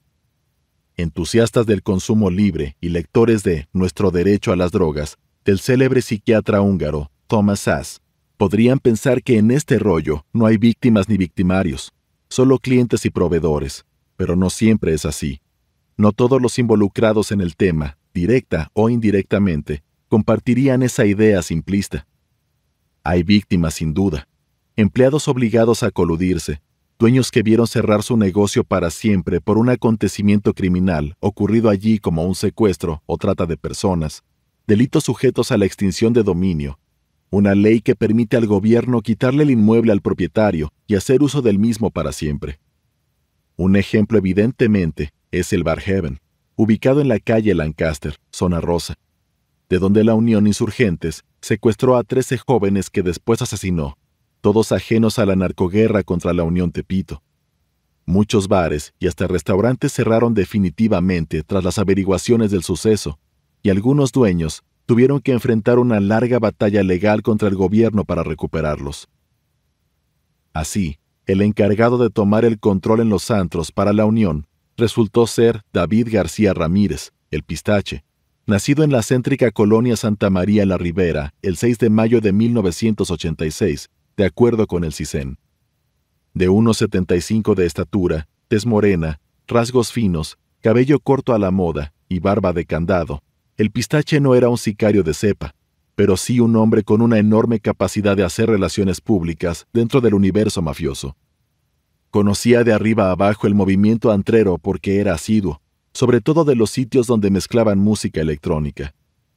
Para finales de 2015, su expediente criminal estaba limpio, a diferencia de la mayoría de los miembros del cártel. Aprovechó eso para crearse una imagen menos intimidante, y así colarse en círculos donde los demás no podían en ese entonces, como el de los juniors, actores, youtubers y participantes de reality shows, como Acapulco Shore. Criado con carencias, antes de escalar en el mundo delictivo, se las arreglaba para vestir con ropa de marca y maquillarse un rostro más parecido al de un microempresario que al de un ampón. No tardó mucho en traer Gucci y Louis Vuitton de pies a cabeza. Él resultó esencial para el despegue del Betito, pues pudo reunir una bola de dealers desperdigados que ya hacían presencia en centros nocturnos. Solamente Zona Rosa y el corredor Roma Condesa seguían en manos de Luis Felipe Chávez Cabrera, el Pavo, y los de insurgentes, pero sobre un hielo muy delgado. A principios de octubre de aquel 2015, la Barbie fue extraditado a Estados Unidos y sus socios en la capital tuvieron que navegar solos. Uno de sus primeros aliados, mencionado anteriormente, Cristian Omar Larios Tierrablanca, alias El Quiquín, originario de Tepito, se distanció del pavo e incluso comenzó a entrar al fructífero negocio del narco en la Condesa. Según el informe Tlatelolco, elaborado por SSP el 24 de marzo de 2017, ya poseía un par de bares en el centro y zona rosa, pero se apoderó del Ducel, ubicado en la calle Saltillo, clausurado varias veces por distintas irregularidades, cuyo dueño original fue atacado a tiros en enero de 2016, lo cual lo forzó a ceder el establecimiento al Quiquín y a su socio Jaime Giovanni Rodríguez Jiménez, el tiburón. Como se ve, en la mafia todo es una dialéctica cargada de vehemencia, donde los pactos y los reinados se sostienen de un hilo, como agua, o más bien sangre, que escurre entre los dedos. En esas movidas buscaba abrirse paso el pistache, pero en noviembre de 2015 cometió un error, un arranque de celos que expuso su verdadera cara. Es la madrugada del 8 de noviembre y la música se escapa de los muros del Luca, una discoteca en Campos Elíseos, Polanco. Para esas horas pululan los trasnochados de cinturón Ferragamo y camisa Dolce y Gabbana, con los botones del pecho abiertos. Entre ellos va y viene Carlos Apaez Romo, de 21 años de edad, quien hace poco se mudó de Sinaloa para trabajar con su tío, próspero empresario del ramo alimentario. Horas antes, su tío le prestó una camioneta Tajo y le asignó una escolta para que lo llevara, junto con cuatro amigos, a diferentes antros de Polanco. Al final se deciden por el Luca.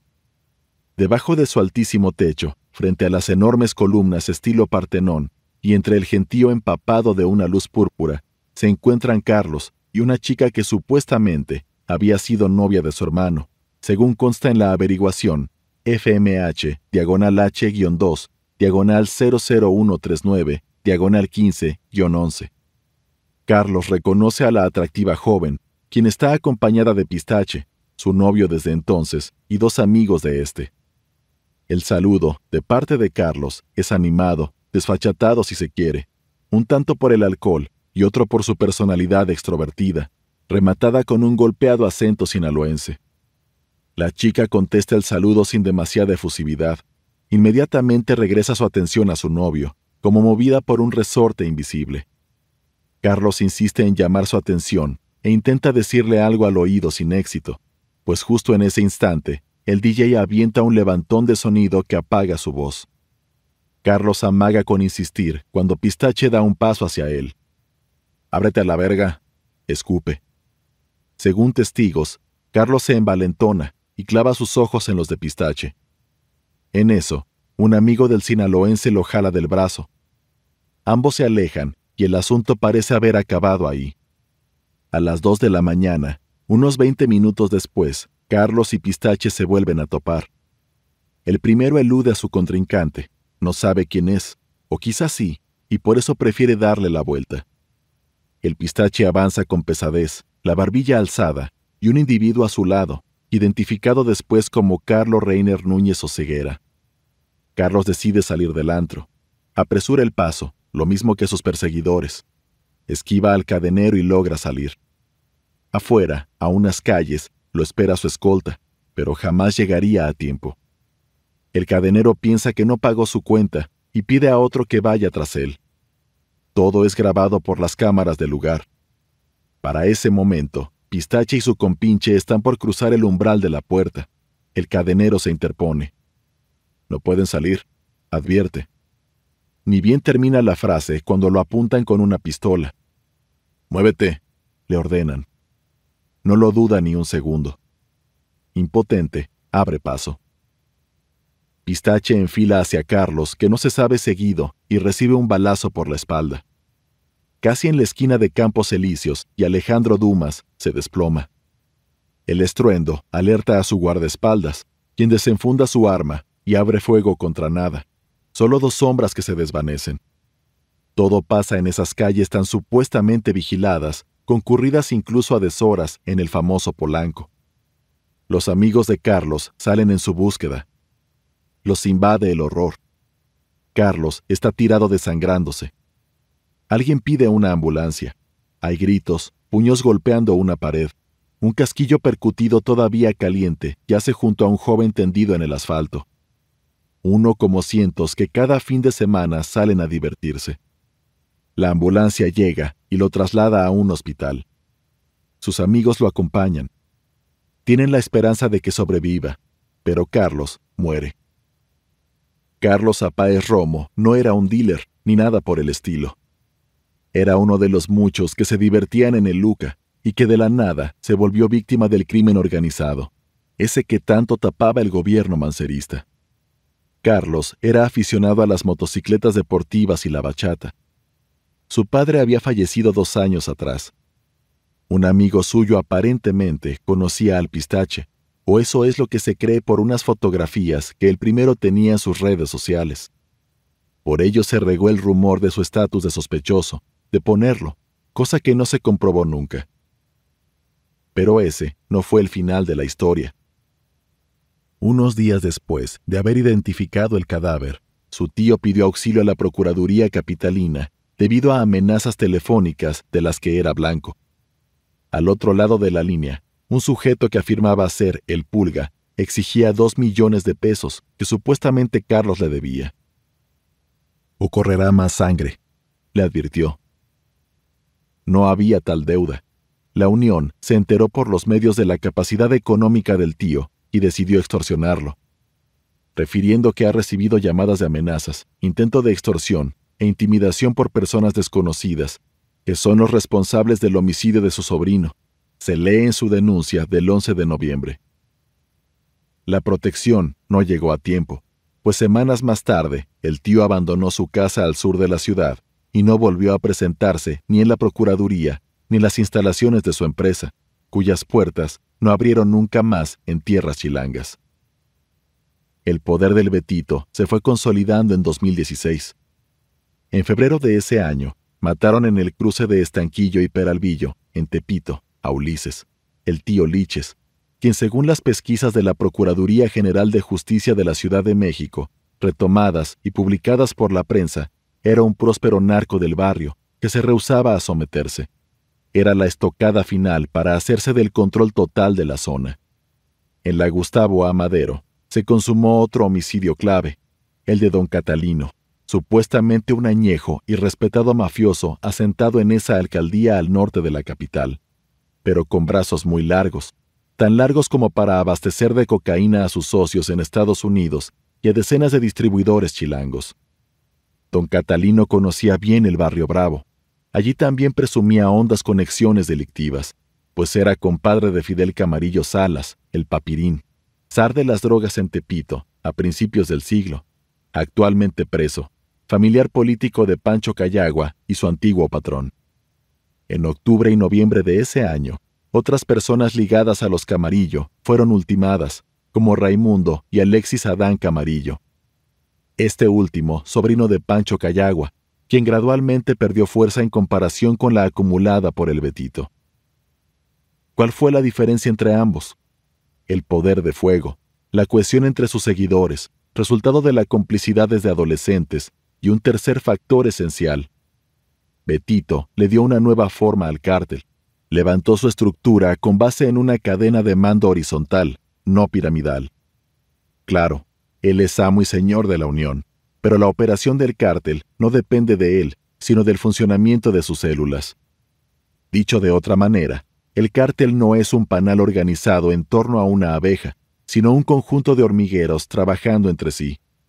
Por eso la Unión siguió creciendo pese a la extradición de su fundador, pese al caso Heaven, la huida del Moco, su operador original, la detención de Pancho Cayagua en agosto de 2016 y la de otros cabecillas.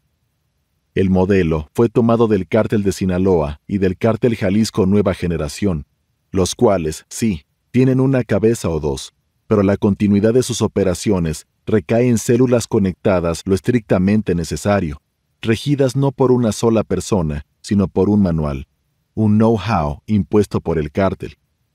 Podrán caer jefes, pero el cártel persistirá en tanto las células sigan apegándose a una forma de delinquir, a respetar la renovación de liderazgos y no pelear unos con los otros, pues eso debilitaría el nombre de la marca y por tanto el negocio. Evidentemente, lo que amalgama esas células es la corrupción. Así se explica la longevidad de la Unión, a diferencia de, por ejemplo, muchos de los grupos delictivos nacidos de la fragmentación de los Beltrán Leiva, algunos que se autodenominaron cárteles, pero no duraron ni un lustro, como la mano con ojos, el cártel independiente de Acapulco, el cártel del centro, etc. No pasaría mucho tiempo para que el Betito aceptara que otras bandas usaran el nombre de la Unión para delinquir a cambio de un pago mensual y respetar algunos lineamientos básicos en aras de perpetuar el poder de la marca Unión. Cuando Pancho Cayagua fue aprendido el 15 de agosto de 2016 al dirigirse a su casa en Linda Vista, al norte de la capital, y pese a que no estuvo mucho en prisión, el nombre de la Unión Tepito se extinguió. Él era el eslabón que unía al cártel directamente con el barrio Bravo, pues ahora su líder absoluto y la mayoría de sus capitanes eran nacidos en la colonia Guerrero. El nombre ya no necesitaba ese arraigo para ponerlo como insignia contra los fuereños, como la Barbie. Para los medios, el Tepito seguía vendiendo, pero con la caída de Pancho Cayagua, el nombre del cártel cambió a la Unión de la B letra que no es sino el sello de su nuevo jefe, todo con la aprobación de Rachid, hijo del abuelo. A partir de este momento, la organización criminal creció aún más, a prácticamente toda la capital mexicana, el Estado de México, Veracruz y, por supuesto, Cancún, paraíso turístico y cultural al que le cambiaron su estatus de refugio y zona para recibir cargamentos de cocaína por otro más peligroso, uno bajo el cual les permitiría vacacionar, pelear contra los Zetas y armar tiroteos con toda impunidad. Una segunda casa, pues. Capítulo 5 Cien gatilleros chilangos amenazaron Cancún. Tres autobuses con pasaje lleno salieron una fría mañana de la Terminal Oriente rumbo a Cancún. Eran los primeros días del 2017 y casi 24 horas de camino esperaban a los falsos vacacionistas que cargaron los camiones con pelotas de playa, trajes de baño y bronceadores. Iban algunas mujeres y niños, pero la mayoría eran hombres adultos que, de antemano, sabían el verdadero propósito del viaje, matar a miembros de los Zetas. Todos estaban al servicio de la Unión, conscientes de las instrucciones recibidas. Fingir ser excursionistas hasta que los autobuses los dejaran en las casas de seguridad, donde ya los esperaban emisarios con nuevas órdenes y un arsenal. Horas antes, un avión aterrizó en el aeropuerto, y de allí salieron los mandos del cártel con una fachada distinta. Ser parte del staff de un evento deportivo internacional. Traían gafetes y todo, pero no eran sino el Betito y sus capitanes, que se habían mezclado con los pasajeros del vuelo procedente de Ciudad de México. En la misma fila, bien pudo haber ido un joven estudiante, una pareja de abuelos saboreándose por adelantado la brisa del Caribe, y al lado, el pulga. No se diga el mismísimo Betito, para entonces, uno de los mafiosos más buscados por autoridades de todos los niveles. Los rostros de algunos de ellos ya habían sido difundidos, pero a pesar de todo, los diez pasaron sin problema las aduanas, salieron del aeropuerto y se treparon a unas suburban negras con chofer incluido. Los informes posteriores del CISEN y de la Fiscalía General de la República confirman la llegada de los delincuentes a tierras quintanarroenses, pero no el momento de su detección. No se especifica si su paso por los aeropuertos se confirmó demasiado tarde o si fue en tiempo real y no se les arrestó por algún motivo o instrucción de alguien. En cualquier caso, el músculo de la Unión estaba en Cancún, una de las ciudades más turísticas de México, gracias a sus aguas cristalinas, su proximidad con majestuosas ruinas mayas, sus cenotes, parques acuáticos, lujosos hoteles y centros comerciales, además de su bollante vida nocturna. El objetivo era pelear con los Zetas, pues habían secuestrado al bebé, hermano menor de Rachid. Sin embargo, las razones del secuestro siguen siendo un misterio. Corrieron versiones más razonables que otras. El bebé, apenas mayor de edad, se presentó en un antro bajo el control de los Zetas, enjollado, ruidoso, soltando dólares de aquí para allá, presumiendo a las voluptuosas mujeres colgadas de sus dos brazos o no sabía del dominio Z en el sitio, o le importó un carajo. Rápidamente llamó la atención, y apenas iba por el tercer trago, cuando un comando armado lo sacó de ahí junto con sus acompañantes. Esta versión sugiere que sus agresores no sabían que era hijo del abuelo, por demás conocido no solo en Cancún, sino de sur a norte, y hasta en el seno de las cúpulas del narco mexicano. Tras interrogarlo, se enteraron. La otra versión desliza que los Zetas estaban perfectamente enterados de a quién mantenía secuestrado. El nombre de la Unión sonaba cada vez con más fuerza en el panorama criminal nacional y a últimas fechas lo hacía más en el de Cancún. En algunos antros y gimnasios VIP, donde se vendía droga, se mencionaba con más frecuencia. Cuando el río suena, es porque agua lleva, dice el refrán. Con el abuelo extraditado, no parecía haber garantías de que sus hijos, menos experimentados y por lo tanto menos diplomáticos en el mundo mafioso, resistieran la tentación de sumarse a la pugna por el paraíso. Tenían la capacidad de fuego, dinero y el apoyo de las autoridades que por años el abuelo tuvo en el bolsillo. Así, para cuando la Unión irrumpió en Cancún, los Zetas peleaban encarnizadamente contra la banda de Leticia Rodríguez Lara, Doña Leti y el cártel del Golfo. Así que más allá del vaivén paradisiaco, se invocaba a un demonio con tufo a muerte. Liderados por el Betito, los cabecillas del cártel se encontraron con Rachid en uno de sus gimnasios, donde discutía acaloradamente con un supuesto comandante de la Procuraduría General de la República. El primero iba y venía dentro de su oficina, apretando los puños y mentando madres. Igual encaraba al comandante que a sus guardaespaldas, era evidente que la tensión arreciaba a la par que el calor caribeño se manifestaba en la empapada playera deportiva de Rachid. Los pistoleros chilangos fueron desplegados en puntos estratégicos vinculados a los Zetas, bares, autolavados, casas de seguridad, narcotiendas e incluso cuarteles de la policía local. Así se fueron consumiendo los minutos y los cigarros, apilados como cadáveres en el cenicero con incrustaciones de diamante. Solo Rachid sabe lo que se dijo y no se dijo, con quién negoció, cuán cerca estuvo la matadera y el acuerdo al cual llegó con los Zetas. Pero su hermano fue liberado esa tarde con apenas unos cuantos golpes en el rostro. Para los gatilleros chilangos probablemente todo quedó en anécdota, pero en el seno del CISEN y en el de algunas otras autoridades enteradas de lo sucedido, se encajó una idea nueva e inquietante. Un grupo criminal surgido y asentado en la capital había crecido demasiado. Se manifestaba peligrosamente ya, no nada más en su patio trasero, sino ahora en uno ajeno, donde midieron fuerzas con los Zetas. Para fortuna de los quintanarroenses, fue solo eso. La historia, sin embargo, no termina aquí. Por circunstancias muy distintas, la Unión no se retiraría del Estado sin dejar muertos atrás. Resulta que, liberado el bebé, la centena de matones chilangos volvieron sobre sus pasos, pero los jefes del cártel decidieron quedarse al Festival de Música Electrónica BPM, celebrado por esas fechas en Playa del Carmen. El Betito es amante de este tipo de música, fanático del DJ inglés Carl Cox, por lo que propuso acudir al evento. A todos sus capitanes les entusiasmó la idea. Estaban el Pulga, mi jefe, Uriel, el Tomate, el Pistache y el Manzanas, que compartían la afición por los raves. Las autoridades federales corroboraron después la asistencia del Betito y su gente con fotografías, entre ellas una del Pulga, apoyado en muletas debido a una cirugía reciente, secuela todavía del balazo que recibió tras el ataque del Fabián y sus escoltas en 2015. Así, la noche del 14 de enero de 2017, estaban todos en el bar La Selva, cuando el Uriel bailaba con una mujer que resultó ser acompañante de uno de los supuestos dueños del exclusivo antro Blue Parrot, una de las sedes del prestigioso festival BPM, el cual celebraba su décimo aniversario con los mejores mezcladores del mundo. Las entradas costaban entre 350 y 900 dólares.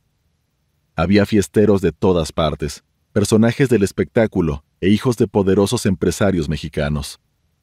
Es el tipo de eventos a los que Cancún y Playa del Carmen están acostumbrados, con la bien ganada etiqueta de foco turístico mundial. El encuentro entre Uriel y la acompañante del supuesto propietario del Blue Parrot se convirtió en amenazas entre este, el Uriel, y el resto de los capitanes de la Unión. Todo quedó ahí, pero a la siguiente noche, ambos bandos volvieron a encontrarse en el Blue Parrot, donde los amagos continuaron. De nuevo, de ahí no pasó el asunto. Sin embargo, cuando la fiesta terminó, el Betito les dijo a sus capitanes que, la siguiente noche, el 16 de enero de 2017, atacarían a su rival. Esa noche calurosa fluía la clausura del evento. Mandalas y figuras de neón colgaban de palmeras y del techo de la atiborrada discoteca. Todo era un desfogue de luces que se correspondía con las pupilas dilatadas y la euforia. Dientes rechinantes, sudor fluorescente y cuerpos vibrantes que no se cansan de bailar. Los más puestos se desgañitaban frente al DJ o sacudían la cabeza frenéticamente a unos pasos del océano. En ese oasis anfetaminoso, pasadas las dos horas con diez minutos, y según el expediente FGE, diagonal QR, diagonal DRMPRM, diagonal UDHO-M, diagonal 01, diagonal 31, diagonal 2017, de la Fiscalía de Quintana Roo. Se desató un tiroteo cuyas balas alcanzaron a guardias de seguridad y a la clientela. Cuando la música paró, ya reinaba el caos en el Blue Parrot. Los que antes aullaban de éxtasis, ahora lo hacían de pánico, que se multiplicaba a cada segundo. Rápidamente la confusión generó una estampida, mientras en los alrededores crecía el pasmo. El saldo, seis personas muertas, tres de ellas que eran parte del staff, dos mexicanas y una estadounidense, fallecida por severos traumatismos en la cabeza, además de otras 15 lesionadas. Han pasado dos años de la tragedia y la investigación parece estancada, según sendos análisis del periódico Excelsior y del canal local 10. Algunos medios reprodujeron la hipótesis oficial de una riña o de un lío entre narcomenudistas, pero el periodista Marcos Muédano fue enviado al lugar y logró generar hipótesis más hondas, incluyendo el dato de que la venta de droga en el festival estaba a cargo del cártel del Golfo, luego de haber llegado a un acuerdo con los propietarios de Blue Parrot. Aparentemente, miembros de la mafia de Quebec, Canadá. Los informes policíacos obtenidos por Muédano así lo establecen. No obstante, lo que pasó realmente no ha sido desentrañado por la Fiscalía local. Testimonios de algunos de los propios perpetradores confirman el pleito entre la Unión y uno de los dueños del Blue Parrot. Una noche antes, el Uriel convivió con dos modelos venezolanas, con las cuales supuestamente consumió B, cocaína rosa, y bailó de tal manera que aparentemente molestó a uno de los mandamás del antro, el cual desde la tarima del DJ supuestamente mandó a personal de seguridad a verificar. Brotó la discusión y las amenazas, pero no fue sino hasta la noche del cierre del BPM que los malandros chilangos fueron al festival con la orden expresa de atacar. El Betito ordenó ir por las pinzas, que no son otra cosa sino las pistolas, pero esa noche no fue partícipe de la balacera. Consta en la carpeta de la Fiscalía de Quintana Roo que un hombre de playera blanca abrió fuego. Las imágenes de la matadera rodaron no solo por las televisoras mexicanas, sino por las internacionales, no se diga por las redes sociales, atestadas de clips donde aparecían turistas tirados bajo las mesas o parapetados lo mismo detrás de coches que de palmeras. Un infierno en pleno paraíso. Se sabe que los capitanes de El Betito huyeron a pie, mezclados entre el gentío, sin bajas ni heridos, incluyendo al pulga con todo y muletas. La casa que rentaron estaba a unos 10 minutos a pie del Blue Parrot. Todavía se quedaron en Playa del Carmen unos días hasta que, de forma escalonada, aterrizaron en Ciudad de México, y hasta ahora no son mencionados en la indagatoria de la Fiscalía Quintanarroense, salvo por este testimonio.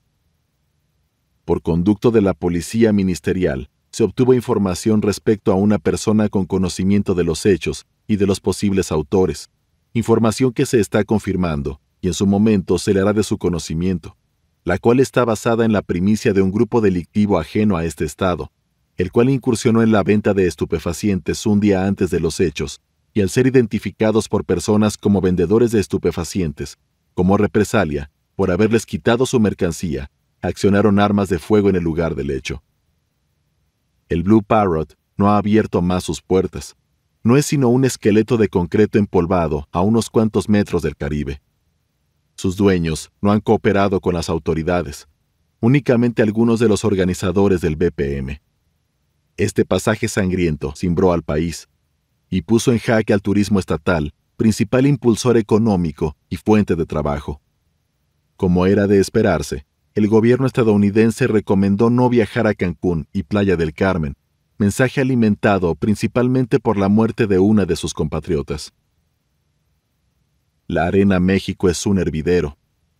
Poco más de 10.000 fanáticos de la lucha libre se deshacen en porras o insultos, te gustan pepitas y se pasan los tacos de canasta con largos tragos de cerveza. Al centro del cuadrilátero miden fuerzas LA Park y el cibernético.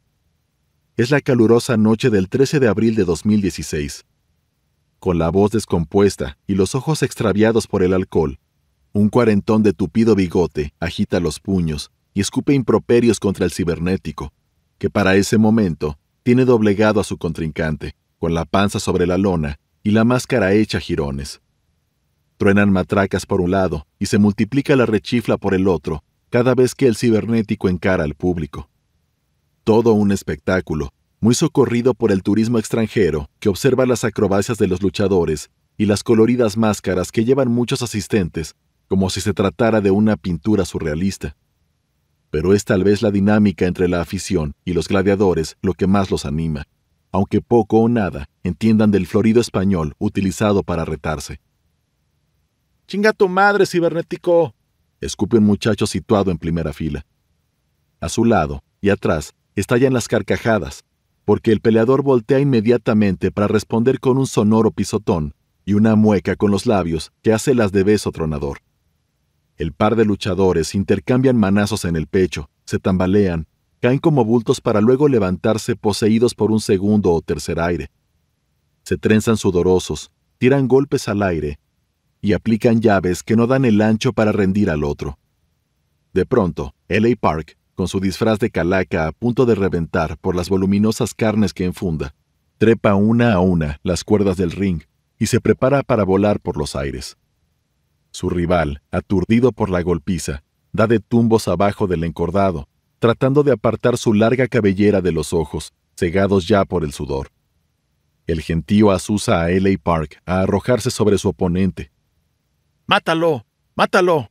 ladran unos, mientras el resto se inclina sobre su butaca, casi aguantando la respiración para no perder detalle del vuelo suicida. Una escuálida mujer de pelo canoso hace resonar su matraca, y la muchedumbre bate palmas para alentar al guerrero enmascarado. Casi pierde el equilibrio, pero al fin consigue posicionarse, abre los brazos y se arroja hacia su oponente, que no hace otra cosa sino recibir el tonelaje en una especie de abrazo. La fanaticada explota en un griterío y aventadero de cerveza. Los ánimos están caldeados. No faltan los encares entre espectadores, las mentadas de madre y la cábula.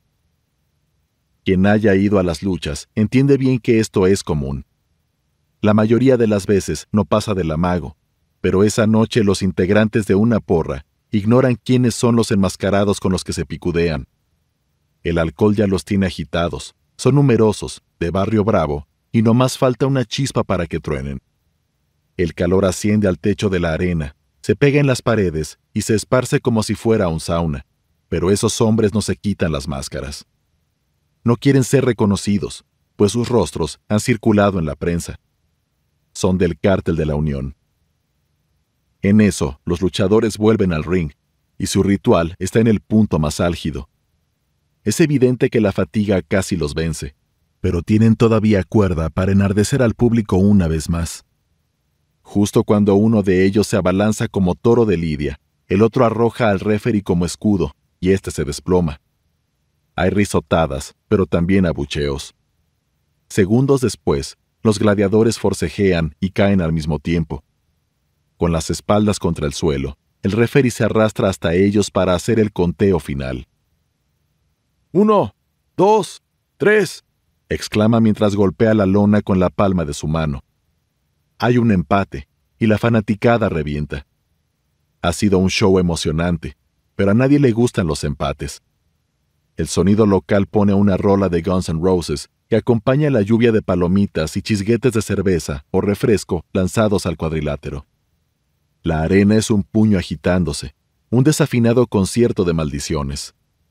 Con el paso de los minutos se diluye el drama y la gente se agolpa en las salidas.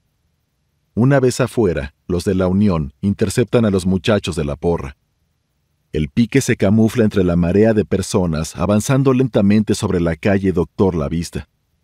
Uno de los enmascarados deja ya ver su rostro, cejas pobladas, barba, calvicie y mirada osca. Parece importarle un carajo si alguien lo reconoce como el mal afamado Betito, buscado hasta por debajo de las piedras por autoridades chilangas. Está junto con dos de sus cómplices justo afuera del estacionamiento del bar Búho Tropical, donde se forma un breve zafarrancho. Todo es videograbado por cámaras del estacionamiento. Se ve al propio Betito, de pantalón y playera blanca, calmar a sus hombres, invitándolos a retirarse e incluso empujando levemente a uno para que se aleje. La cosa aparentemente termina ahí. La gente retoma su camino y el tumulto se deshace, pero apenas unos segundos después se observa al Betito regresar al punto empuñando una pistola. Abre fuego una, dos veces, provocando a la corredera. Empuña el arma con dos manos, voltea a su izquierda, corre hacia el estacionamiento y desaparece. Dos jóvenes y una mujer resultan heridos en las piernas, nada grave. Al parecer el fin no era matar a nadie, solo dar una especie de escarmiento, divertirse. Así es el Betito según quienes lo han conocido un tipo al que la violencia se le antoja recreativa. No se sabe bien el origen de esa actitud, pero desde hace años los informantes policíacos, agentes de inteligencia y colaboradores capturados coinciden en que es un personaje que infunde un miedo poco común, incluso para los estándares de Lampa. No es hijo de ninguna leyenda del narco, no proviene de una familia ligada a algún cártel tampoco de la política ni de alguna banda delincuencial que hiciera el papel de escuela o carta de presentación. Pese a haber trabajado para cabecillas del hurto y para el abuelo, siempre lo hizo con cierta distancia, sin lealtades más allá de las estrictamente necesarias para sobrevivir. Desde adolescente fue conformando su propio grupo delictivo, forjando lazos duraderos. Solo quienes estuvieron con él en la correccional para menores podrían adivinar cómo fue puliendo una imagen tan atemorizante que al mismo tiempo no le impidió tener sólidas amistades, o mejor dicho, complicidades. En la película A Bronx Tale, 1993, dirigida y protagonizada por Robert De Niro, se plantea que a los gángsters no se les respeta, se les teme, que en eso reside la diferencia entre un conductor de autobuses saludado y respetado por todos en su barrio, y el jefe mafioso al que los saludos y el respeto le duran en tanto es temido. Es un misterio si la imagen del Betito representa para sus cómplices más que solo violencia y terror. Podrían saberlo, quizá, el mi jefe o el Elvis, con quienes creció entrando y saliendo del tutelar para menores. Probablemente lo sepa su hermano José, brazo derecho desde la adolescencia, pero nadie más. Lo claro es que hasta para otros cabecillas de la mafia, el Betito parecería alguien con quien no conviene pelearse.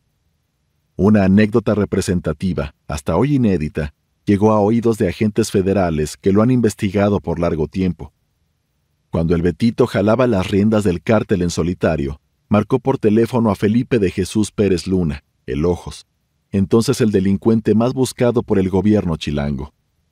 Desde hacía casi una década, el Ojos se había adueñado de la alcaldía Tláhuac, al oriente de la capital, y todo apuntaba a que su grupo criminal seguiría creciendo exponencialmente, lo cual no pasó inadvertido para el presidente Enrique Peña Nieto, el alcalde Miguel Ángel Mancera, la prensa ni el mundo de la mafia. A principios del 2017, meses antes de que un equipo de élite de marinos abatiera a Ojos, tuvo lugar la llamada. Supuestamente, el Betito le comunicó que la Unión iba a apoderarse de toda la Ciudad de México, que habría temporada de sicariato y que respetaría sus territorios solo si se alineaba con él. Aparentemente, el Ojos tenía más años dentro de Lampa. Había sido compinche de Héctor Peralta Vázquez ligado con la famosa banda de secuestradores de Andrés Caletri y de Marcos Tinoco Gancedo, el coronel, nada más y nada menos que pareja de Cintia Mercedes Romero Verdugo, a su vez, comadre de Joaquín El Chapo Guzmán, de acuerdo con el expediente PGR, diagonal UEDO, diagonal 281, diagonal 2002. Pero ni semejante currículum desanimó al Betito de llamarle para tal advertencia. Una persona que estuvo en la oficina de Lojos al momento de la llamada aseguró a agentes federales que el capo de Tláhuac rechazó una guerra contra la Unión, pero exigió que Iztapalapa, la alcaldía más poblada de la capital, pasara a manos de El Ojos. Con esto no estuvo de acuerdo el Betito, quien supuestamente firmó la guerra instantes antes de colgar. Los días posteriores fueron un manojo de nervios. Sicarios de la Unión recorrieron Tláhuac para preparar el ataque utilizando a narcomenudistas rivales de Lojos para señalarles las casas de seguridad, narcotiendas y almacenes de armamento. El enfrentamiento nunca se dio porque el Ojos fue abatido y su hijo menor, Luis Felipe, el Felipillo, optó por pactar una tregua con la Unión tras quedar al frente del grupo criminal. Es como si el Betito hubiera sido un desconocido nada más para las autoridades locales. Bueno, al menos oficialmente, porque la mayoría de los jefes policíacos sabían de él, no de unos cuantos meses sino de años, simplemente evadieron el problema. Aparentemente, los apodos de Betito y el Chaparro venían sonando desde hacía mucho, casi siempre con la etiqueta de matón por gusto y no por necesidad, el cual, para rematar, había conformado un escuadrón de gatilleros, un equipo orgánico de cómplices, es decir, que no lo seguían solo porque les pagaba, sino porque estaban con él desde abajo, desde las primeras fechorías, con todas las pruebas de lealtad que el tiempo pone. De esa cohesión proviene mucha de su fuerza letal, y eso lo sabían los mafiosos. ¿Por qué el gobierno capitalino aparentemente no? Si es que hubo, ¿cuáles fueron los éxitos de su estrategia de minimizar al crimen organizado? ¿Pudieron evitar el crecimiento del cártel de la Unión y así evitar masacres sin precedente fuga de inversionistas, víctimas inocentes? Preguntas que hasta el día de hoy nadie se atreve a responder. Capítulo 6. Unión versus antiunión. En la fotografía se observa a un grupo de 20 hombres sin camisa posando dentro del río de Chalma, Estado de México. A este pueblo, de apenas 1.800 habitantes y asentado a 95 kilómetros de la capital mexicana, acostumbran venir miles de peregrinos para demostrar su fe al Señor de Chalma. La leyenda dice que, en la época de la colonia, la imagen de Cristo apareció en una cueva, en tiempos donde religiosos agustinos evangelizaban la región.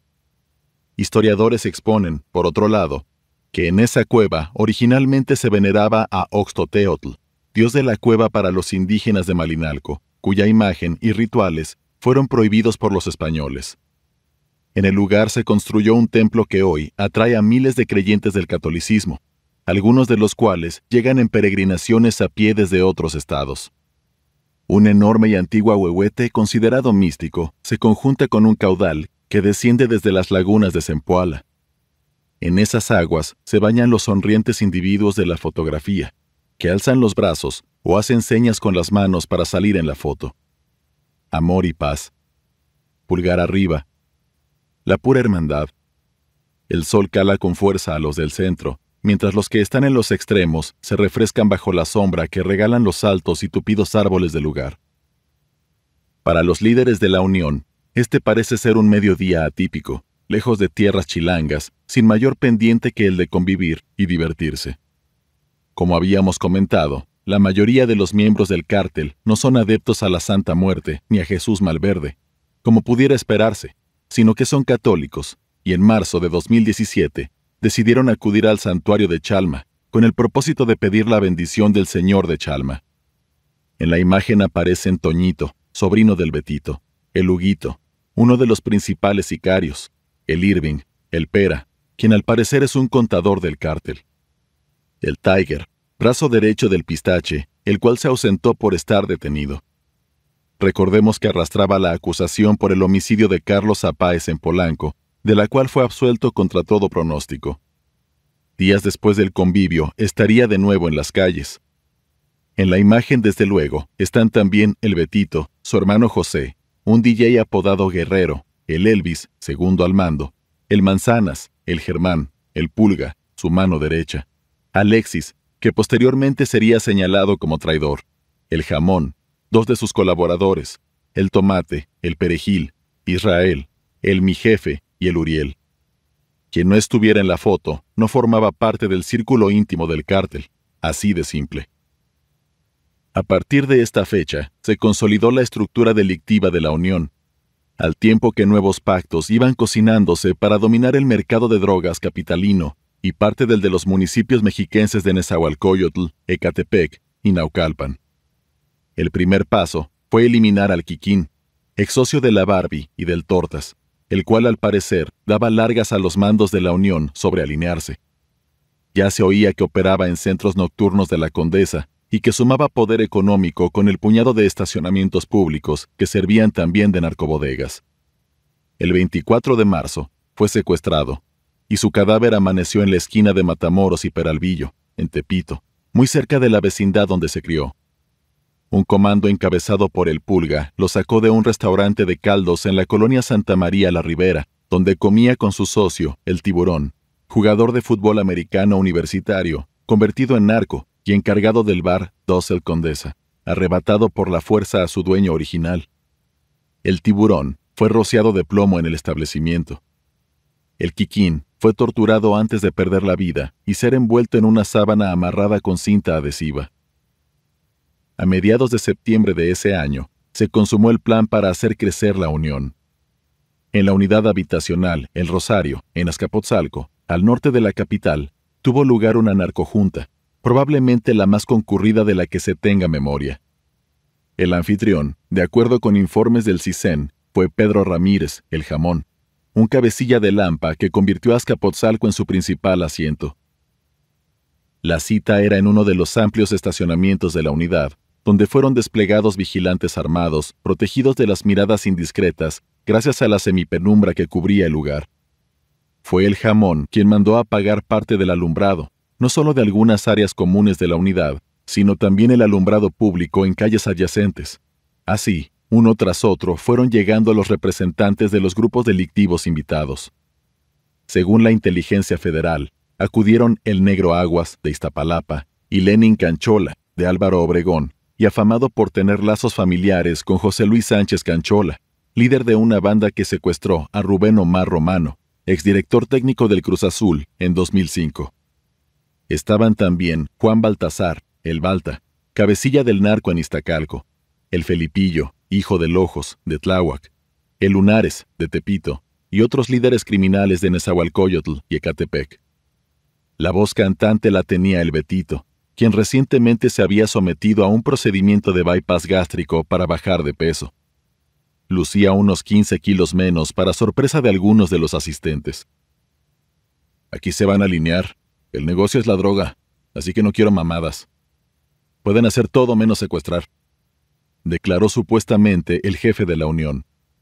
El pacto consistía en conjuntar los principales distribuidores de droga con el cártel, que a cambio ofrecía compartir su red de protección y apoyar con pistoleros en caso de pugnas. De aceptar, todos estarían bajo las órdenes del Betito, quien se llevaría una tajada de las ganancias por la venta de droga o le comprarían solo a él la mercancía. De acuerdo con las pesquisas que hizo la Agencia de Investigación Criminal, en ese tiempo encabezadas por Omar García Harfuch, actual titular de la Policía Capitalina, el Betito consiguió un proveedor de cocaína colombiano. Una mujer, la cual comenzó a abastecer al cártel con el fin de no depender de Rachid, cada vez más conservador en su volumen de importación. Asimismo, contaban con otro socio para otras sustancias, identificado nada más como el Güero Versace, aparentemente ligado con Ismael el Mayo Zambada. La Secretaría de Seguridad Pública, luego llamada de Seguridad Ciudadana, descubrió que el Lunares, antiguo subalterno de Pancho Cayagua, creció en el mundo de Lampa y cosechó socios en la frontera norte mexicana, por lo cual se sospecha que empezó a traficar coca a los Estados Unidos, ruta que aparentemente es aprovechada por la Unión, su socio a partir de esta narcojunta del Rosario.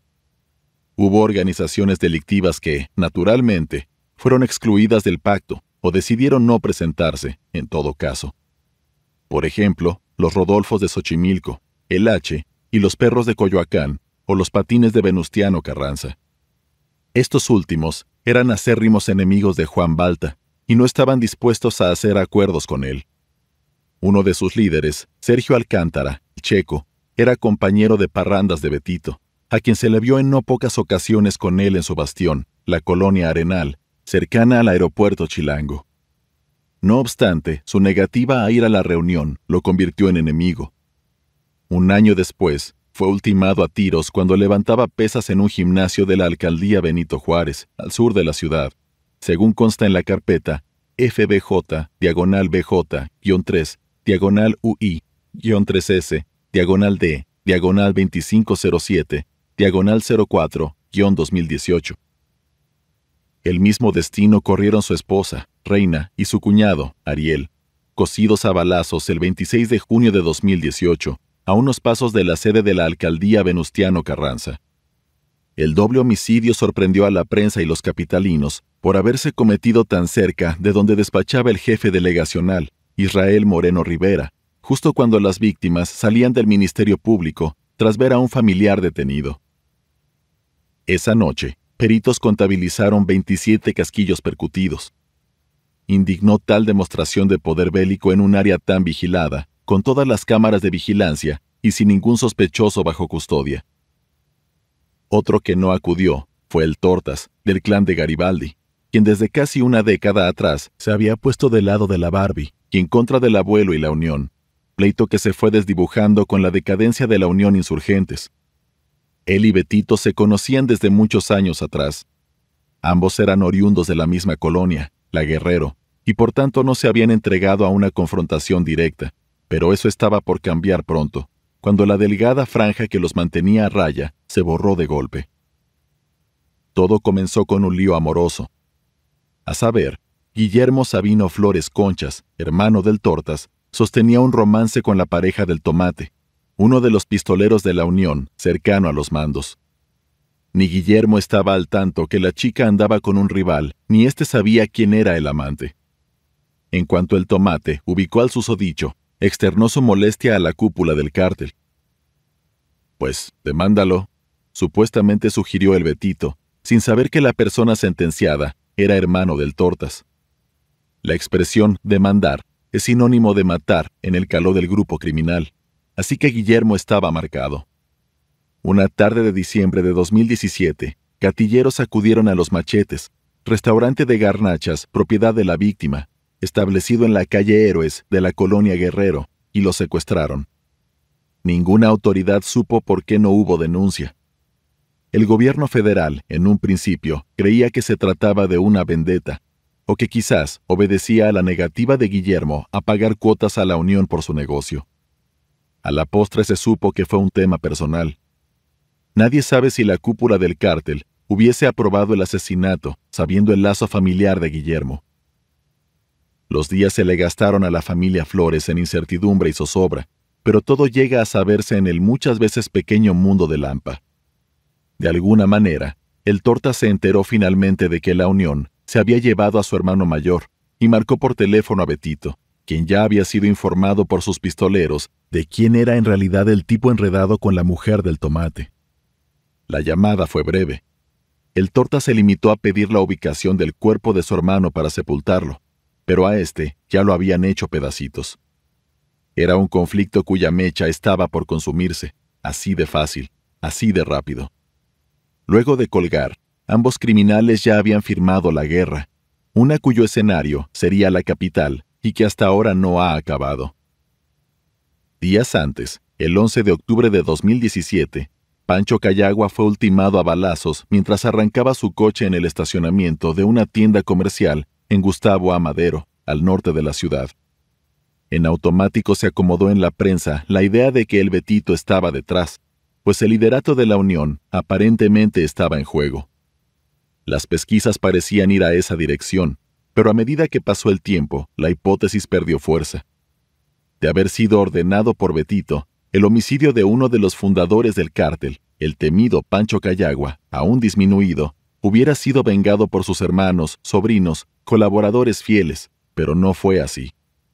Su hermano, el ostión, desapareció del mapa, mientras que su familia política, los Camarillo, se mantuvieron al margen.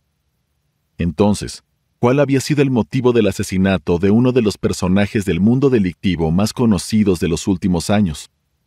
Hay dos hipótesis en las áreas de inteligencia de la policía y la Procuraduría. Una apunta a que Pancho Cayagua cobró 30 millones a un comerciante pesado del centro histórico, producto de las cuotas que no le dio durante los meses que el primero estuvo encarcelado. El comerciante, al parecer, es Miguel, el Cejas, dueño de varios corredores comerciales con cientos de negocios formales e informales. Al supuestamente negarse, el Cejas y Pancho Cayagua se confrontaron. El poderío económico del primero le permitió madrugar al narco tepiteño y de esta forma eludir la millonaria deuda. Nada comprobado.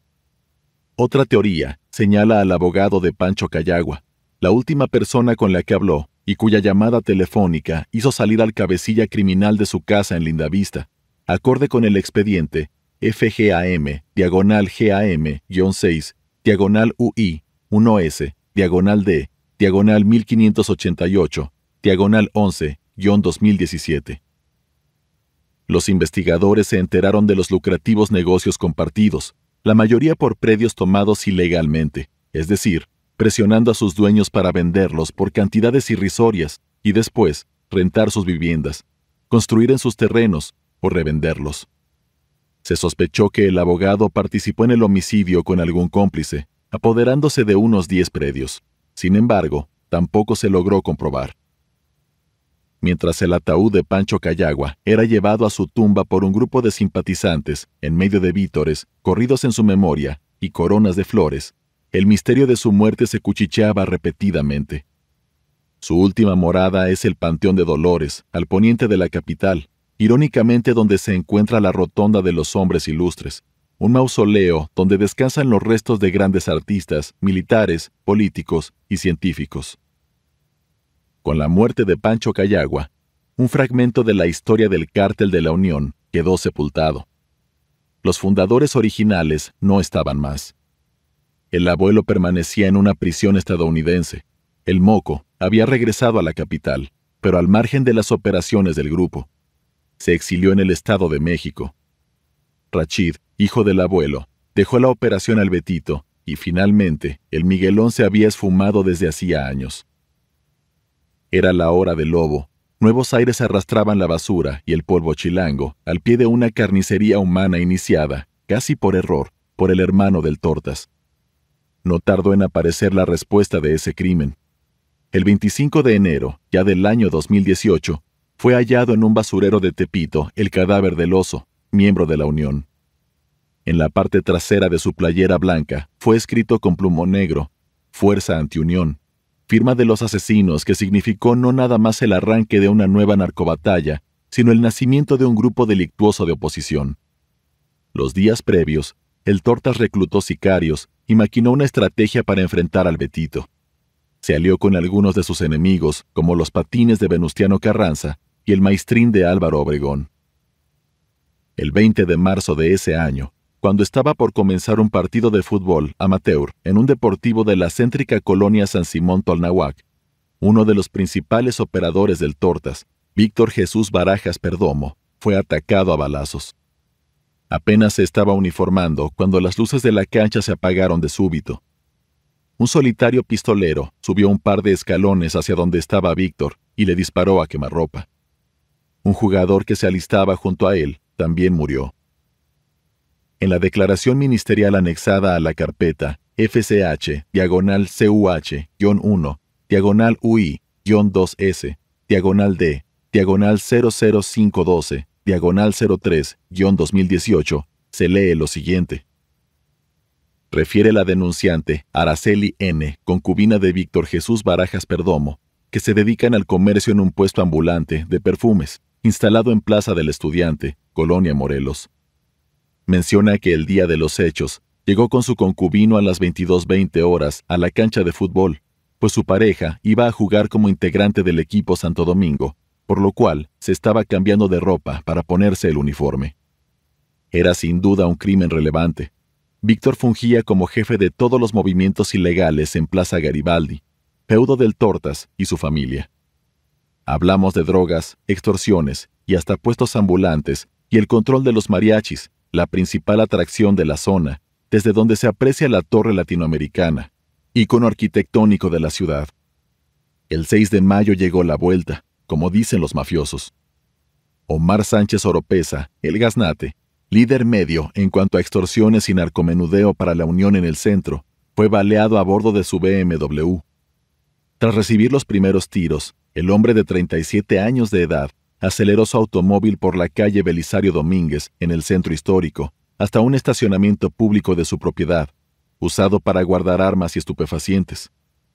Apenas se adentró en el lugar, el gaznate se desvaneció y el BMW chocó contra un muro. Todavía fue llevado con vida a un hospital, pero murió minutos más tarde. Días antes, su apodo y el de otros miembros de la Unión fueron expuestos en una narcomanta colgada de un puente peatonal en la alcaldía Miguel Hidalgo. El mensaje contenía amenazas firmadas por el cártel Jalisco Nueva Generación. Falso. Fueron secuaces del Tortas los que dejaron la manta con el propósito de desconcertar a sus contrarios. De a poco, el toma y daca estaba alcanzando a mandos de ambas mafias y no pararía. Uno por uno siguieron apareciendo cuerpos torturados y con balazos en la nuca. Sus espaldas tenían la firma de la antiunión. No hubo más remedio que admitir la crisis, aunque para las fuerzas del orden no era sino un problema de percepción. Tenemos dos grupos delincuenciales que han creado la percepción ciudadana negativa. Son los que han dejado cuerpos en las calles y tiroteos. Son la Unión y el Tortas declaró Raimundo Collins, entonces secretario de Seguridad Pública, al finalizar una conferencia de prensa. En realidad, no había muchos que compartieran esa idea. No se trataba solo de una sociedad observando el discurrir chilango a través del espejo mediático, enfermo de gigantismo y ávido de sangre para elevar su audiencia. Estaba pasando algo similar a lo del mortífero 2013, con el caso Heaven como trágico colofón. No obstante, esta vez los capitalinos no se tragaban el cuento de dos pandillas arrojándose piedras y palos en las calles. La Unión ya llevaba años aterrorizando a Ciudad de México. crecía en lugar de recular hacia su cuna y zona de confort, Tepito o, a últimas fechas, La Guerrero. Contaba ya con sucursales de norte a sur y de igual modo en el Estado de México, nuevos aliados y un sanguinario líder que los había burlado a las autoridades varias veces. De este contaminado río bebían los capitalinos, unos más que otros, frente a un gobierno timorato, cuya estrategia de negación sabía más a impotencia que a estrategia. Había jefes policíacos trabajando, sin duda, pero se les ataban las manos. Otros eran constantemente cuestionados, como Raúl Peralta Alvarado, titular de la Policía de Investigación, a quien la Marina y Policía Federal tenían bajo la lupa, pues poseían indicios de que presuntamente estaba coludido con la Unión, según reportaron medios como El Universal. Así lo indican también algunos informes, uno de los cuales se hizo público tiempo después por el reportero Arturo Ortiz Mayén, de Televisa. En palabras de Raúl Peralta, Yo jamás he sido citado, y por lo que a mí respecta, te lo digo así. Yo no tengo ni tuve vínculos con nadie. No hay ningún solo cabrón que me haya tenido en la bolsa. No tengo fotos incómodas, llamadas de ningún tipo. Y pues reitero, en todas las notas periodísticas que han sacado fue con dedicatoria. Ninguna tiene sustento jurídico. Ese informe de la Policía Federal no es un informe, no tiene validez jurídica. Curiosamente hablan ahí de mandos de seguridad pública, federales y locales, de todo mundo, pero solo ponen mi nombre, así que eso fue con dedicatoria. La mayoría de las detenciones que se hicieron, de la Unión, fueron con órdenes de aprehensión que salieron cuando yo estaba como jefe de la Policía de Investigación.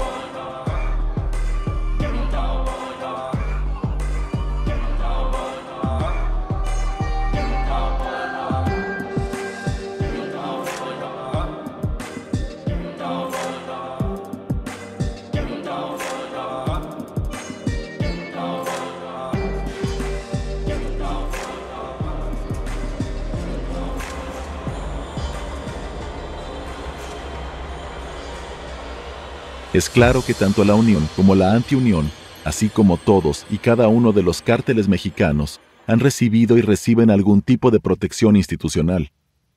En el caso capitalino, no se ha probado nada ante los tribunales.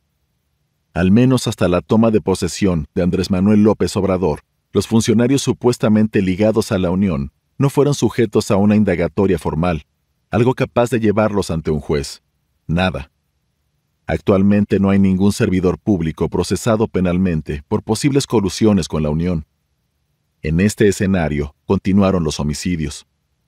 El 8 de junio de 2018 se perpetró el que probablemente conmocionó más al Betito y sus cómplices, de cuya rabia nacería otro, el más sangriento de los últimos años. Si hay un tipo carismático, a pesar de su apariencia intimidante, es Juan Iván Arenas Reyes, el pulga. Quien lo tuviera de frente no lo creería, con ese tatuaje de esqueleto que abarca desde su antebrazo derecho hasta los dedos de la mano. De tez morena oscura, barba tupida, cabello casi a rape y vestido de Gucci, así se aparece en los antros más exclusivos el muchacho criado en la colonia Atlampa, conocida por sus oscuras vecindades y altos índices delictivos. Tiene la piel llena de tatuajes, un pescoy, un San Judas Tadeo y su apodo en la espalda, más los nombres de sus hijos y su esposa en el resto del cuerpo. Tiene 29 años de edad y casi toda una vida de malandro. Su historial criminal es un pergamino, y no por delitos menores, sino por varios homicidios, incluyendo el de Horacio Viteángel en 2013, detonante del secuestro masivo del Heaven dos días después. Posesión de armas de fuego, narcomenudeo, amenazas, lesiones por disparo de arma de fuego, todo un currículum y acusaciones que luego desaparecían, reflejo de lo mal que se investigan los delitos en México o de la corrupción que carcome a sus instituciones. Y esos son únicamente los crímenes en los que se le implicó formalmente, sin contar muchos otros donde formalmente jamás apareció como probable responsable. Al ser el jefe de sicarios de la Unión y el encargado de consumar, por propia mano, los asesinatos ordenados por el Betito, este hombre es sin lugar a dudas el que más vidas carga sobre sus hombros. Aún así, el pulga no se desenvuelve de una forma sombría ni violenta con sus cómplices. Tampoco con las amistades que ha trabado en las discotecas e incluso en el mundo del espectáculo.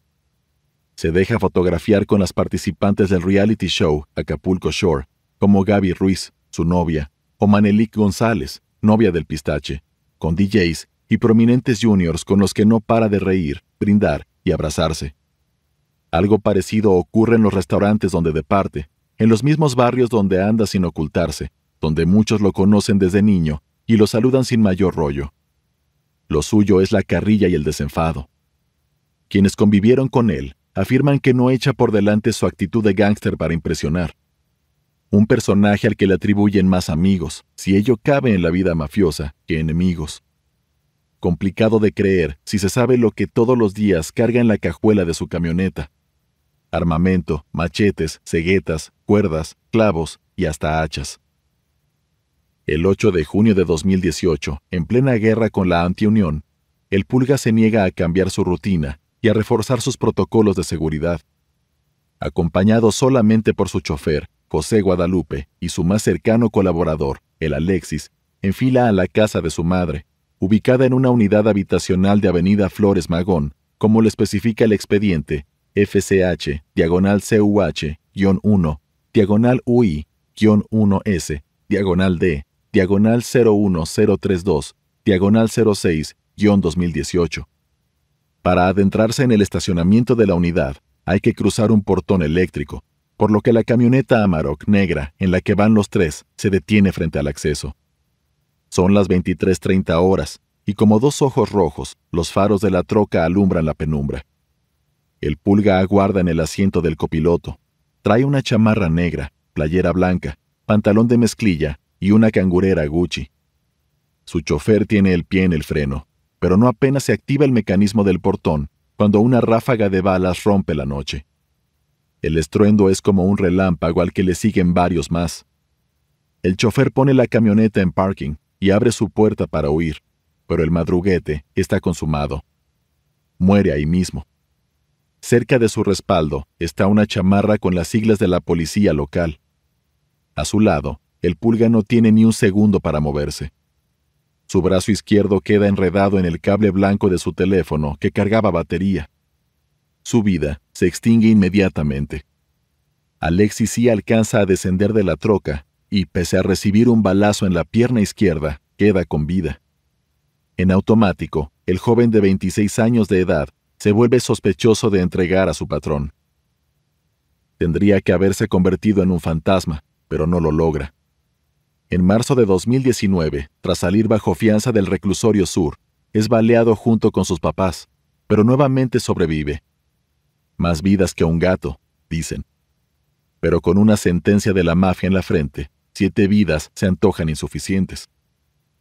El asesinato del Pulga enfureció a Betito, pues era uno de sus hombres de más confianza. Su niño, según el léxico mafioso. Hay una hipótesis de por qué el Alexis lo traicionó. Miembros del cártel han contado a los policías que los esposaron que el muchacho Alexis tenía una novia llamada Karina Itzel Morales Baltasar, de 27 años de edad. Como en la mayoría de las relaciones con mafiosos, Karina se volvió víctima de ellos. Aunque no estuviera de humor o tuviera mejores planes, era forzada a salir con ellos, consumir estupefacientes y prácticamente estar bajo sus designios. Alexis no siempre había sido miembro de la Unión. Él trabajaba para un traficante apodado El Güero Versace, socio del Betito, por lo que paulatinamente comenzó a convivir con él y su grupo. El Güero Versace era un hombre mayor que no frecuentaba las discotecas y por tanto fue ausentándose cada vez más. En su lugar iba Alexis, quien se pegó al pulga. Como Alexis presuntamente conseguía tarjetas clonadas, solía invitar a su nuevo amigo a Ibiza, España o a Venecia, además de regalarle ropa y pagar sus cuentas. Fue así como se ganó la confianza del pulga y por ende ganó cierta simpatía ante los demás. No le des mucho vuelo a ese güey, no es de la banda. Solía aconsejarle Betito, pero el carácter sociable y confiado de su jefe de sicarios no sirvió ante el lisonjeo de Alexis. Parecían inseparables hasta que Pulga, supuestamente, cortejó a Karina. Se ignora si para esos momentos todavía mantenía una relación sentimental con Alexis, pero algunos aseguran que no. La cosa era legal, incluso para los estándares mafiosos. Algo había en Karina, una joven carismática y solidaria con sus amigas, que sembró un fuerte sentimiento en el Alexis, quien en algún momento decidió alejarse de la unión para regresar a sus propias andadas, no sin antes vengarse del que lo había acogido, de su aparente amigo. Los propios policías que llegaron a la escena del crimen decían, extrañados, que Alexis no podía haber sobrevivido a esa descarga de balazos. Un arma de repetición tan poderosa, ese número de detonaciones. Alexis estuvo convaleciente en un hospital, de donde terminaría escapando, según publicó Milenio. A fin de cuentas, era el único sobreviviente y testigo de los hechos. Como detallamos anteriormente, Alexis sobrevivió a un atentado posterior al homicidio de su ex amigo. Quien no aparece hasta ahora es Karina. El 19 de diciembre de 2018 fue secuestrada en Tlalnepantla, Estado de México, y nada se sabe desde entonces, solo esta historia revelada aquí, que para algunos integrantes del cártel luce como una venganza obvia, resultado de puras sospechas, pero que para su familia no es sino un acto de cobardía y misoginia que las autoridades no han ayudado a esclarecer. El asesinato del Pulga enardeció a la cúpula de la Unión y la vendetta se preparaba tras bambalinas. Aparte de ser su brazo ejecutor, Pulga había seguido a Betito desde la adolescencia.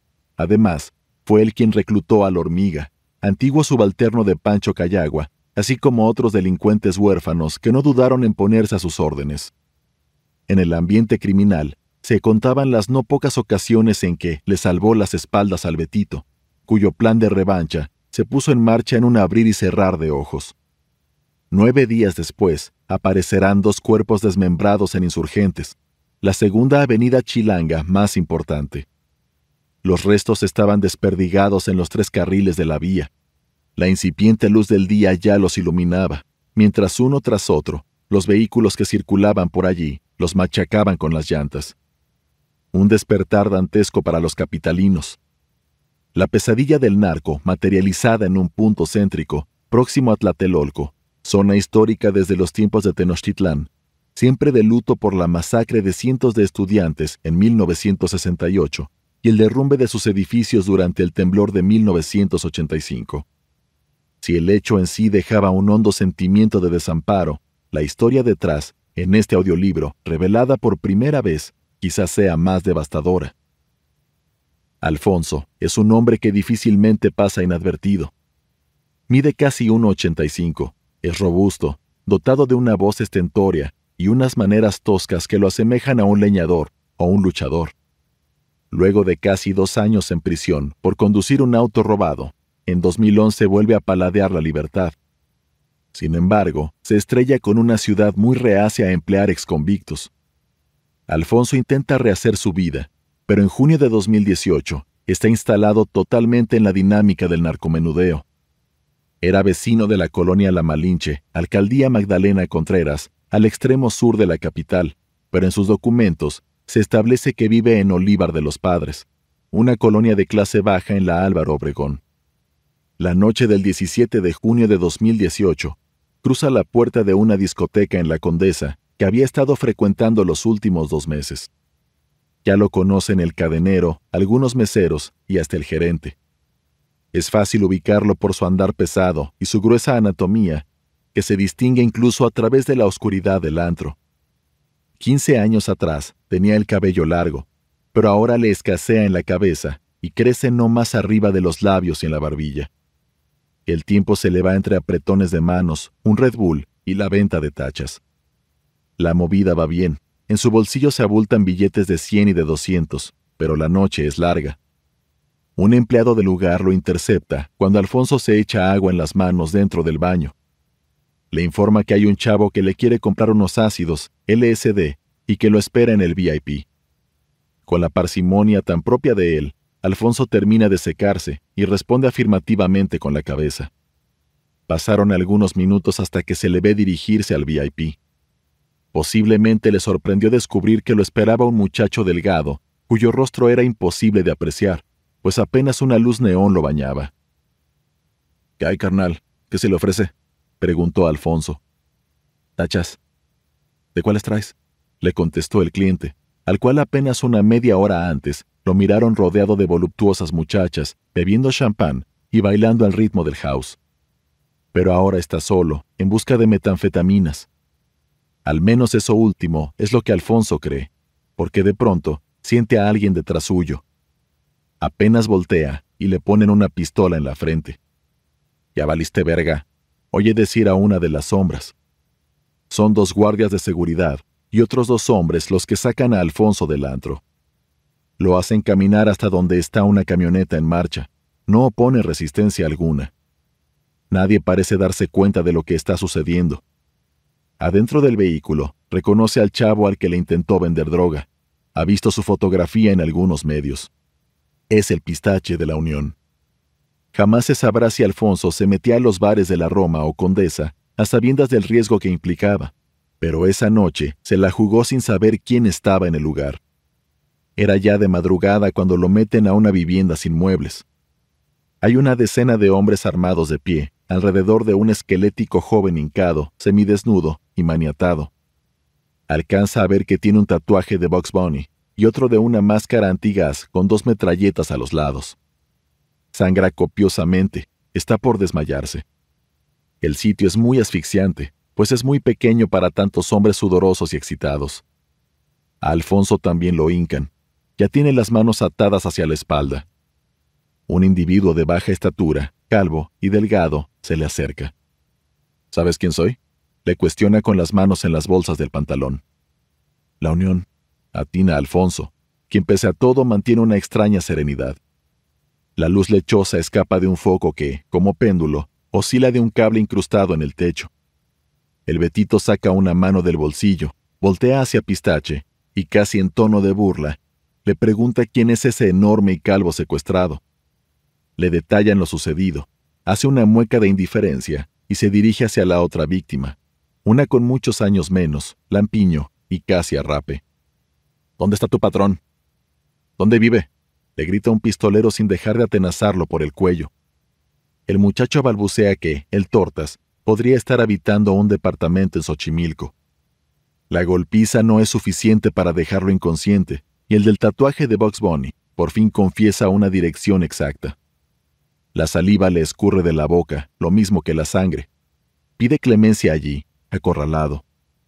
El puño del destino se va cerrando sobre él, mientras Betito ordena que un equipo de matones vaya inmediatamente al domicilio de El Tortas, quien mandó matar al pulga días atrás.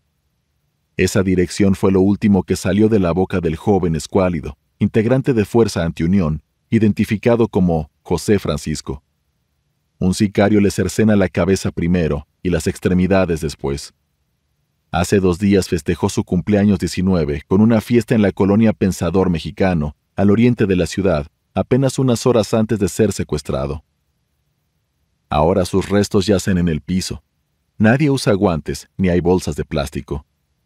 Todo está manchado de rojo, salpicado, embarrado. Con la sangre del de los tatuajes esparciéndose hasta alcanzar sus rodillas, Alfonso vuelve a escena. Intuye su destino porque empieza a orar en un idioma que nadie comprende. Lo interrumpe el Betito para anunciarle que lo va a matar con sus propias manos. Si lo va a hacer, hágalo ya, contesta Alfonso, y vuelve a sus rezos al tiempo que dirige sus ojos hacia el techo. Entre varios lo inmovilizan. Sus oraciones se cortan justo cuando el cuchillo ataca su garganta. Inmediatamente se le extravían los ojos y la fuerza del cuerpo lo abandona corte tras corte. Minutos después, los homicidas lo desmiembran. El Betito toma la cabeza del otro cuerpo, se sienta en una silla y la pone sobre su regazo. Alguien le alcanza un bisturí y con eso le va quitando la piel al rostro. Algunos observan, otros hacen como que miran, pues la imagen rebasa lo grotesco. El líder de la Unión hace comentarios cargados de burla. Algunos ríen tímidamente, otros apenas dibujan una sonrisa a la mitad. Así se extingue media hora entre cuatro paredes calientes y el olor a sangre fresca.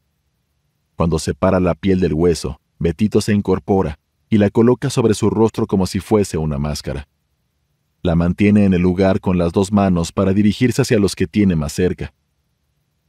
Mírenme, soy este güey, exclama mientras hace un breve bailecito. Brotan breves carcajadas, seguidas de gruñidos e insultos al tortas. El rostro desollado de José Francisco lo agarran otros, lo pasan, lo palpan. Todo es una secuencia infernal en la que participan todos como en una aquelarre. Uno toma un brazo, otro una pierna. Se contagia el desquicio y alguien pone música en su teléfono celular. Unos fuman tabaco, otros marihuana. Se fuman al muerto como dicen los sicarios. De esta manera, los de la Unión rinden culto a la muerte. Sin embargo, Alfonso no era dealer de la antiunión. Eso lo han corroborado los detectives que todavía indagan el caso. Lo saben ellos al igual que sus verdugos. Más tarde, a punto de despuntar el alba, se da la orden de arrojar los cuerpos en pleno insurgentes. El lugar debía ser muy cerca de donde el pulga fue acribillado, para así enviar un mensaje. Se manda a colgar también una manta desde un puente vehicular. ¿Qué cártel de Jalisco Nueva Generación, ni qué la verga? Ya vamos por ti, y por todos los mugrosos que reclutaste para tu antiunión. Que empiece el desmadre, perra tortas. Esto último se lee en letras rojas.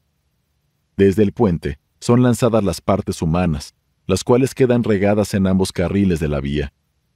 Son las 5.22 horas y cámaras del gobierno captan a un par de individuos protegidos aún por la penumbra trepar a un Mercedes-Benz que se aleja a todo motor hacia los laberintos de concreto.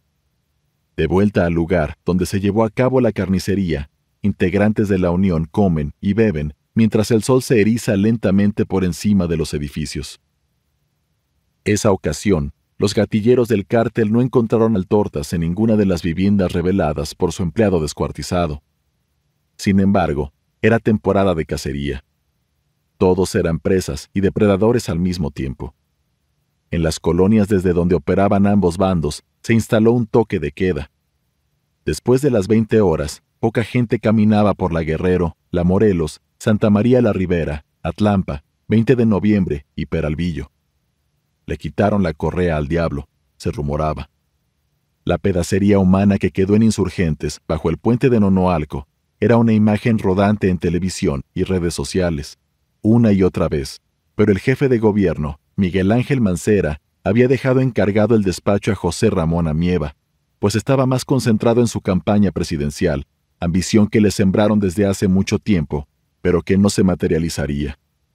En una entrevista con el financiero Bloomberg, que aún se puede ver en YouTube, José Ramón Amieva presumía, esto es una especie de respuesta por el asesinato de una persona importante dentro del esquema de narcomenudeo de la ciudad.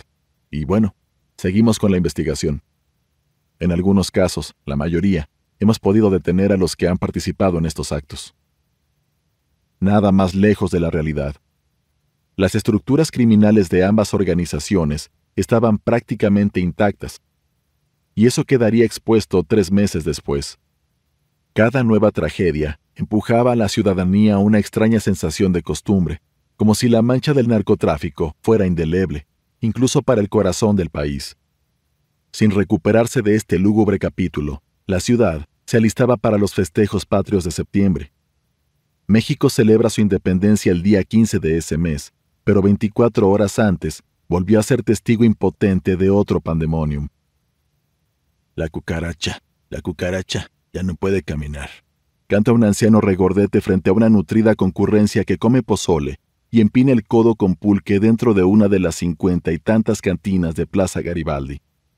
Todo está engalanado con motivos patrios. Banderas mexicanas ondean levemente desde el puestecito, donde se ofrecen por 20 o hasta 100 pesos. Es la noche del 14 de septiembre de 2018, bajo el cielo plomizo de la capital. Por la plaza, la más tradicional del país para oír mariachis, se ven todavía niños que truenan cohetes o echan carreritas.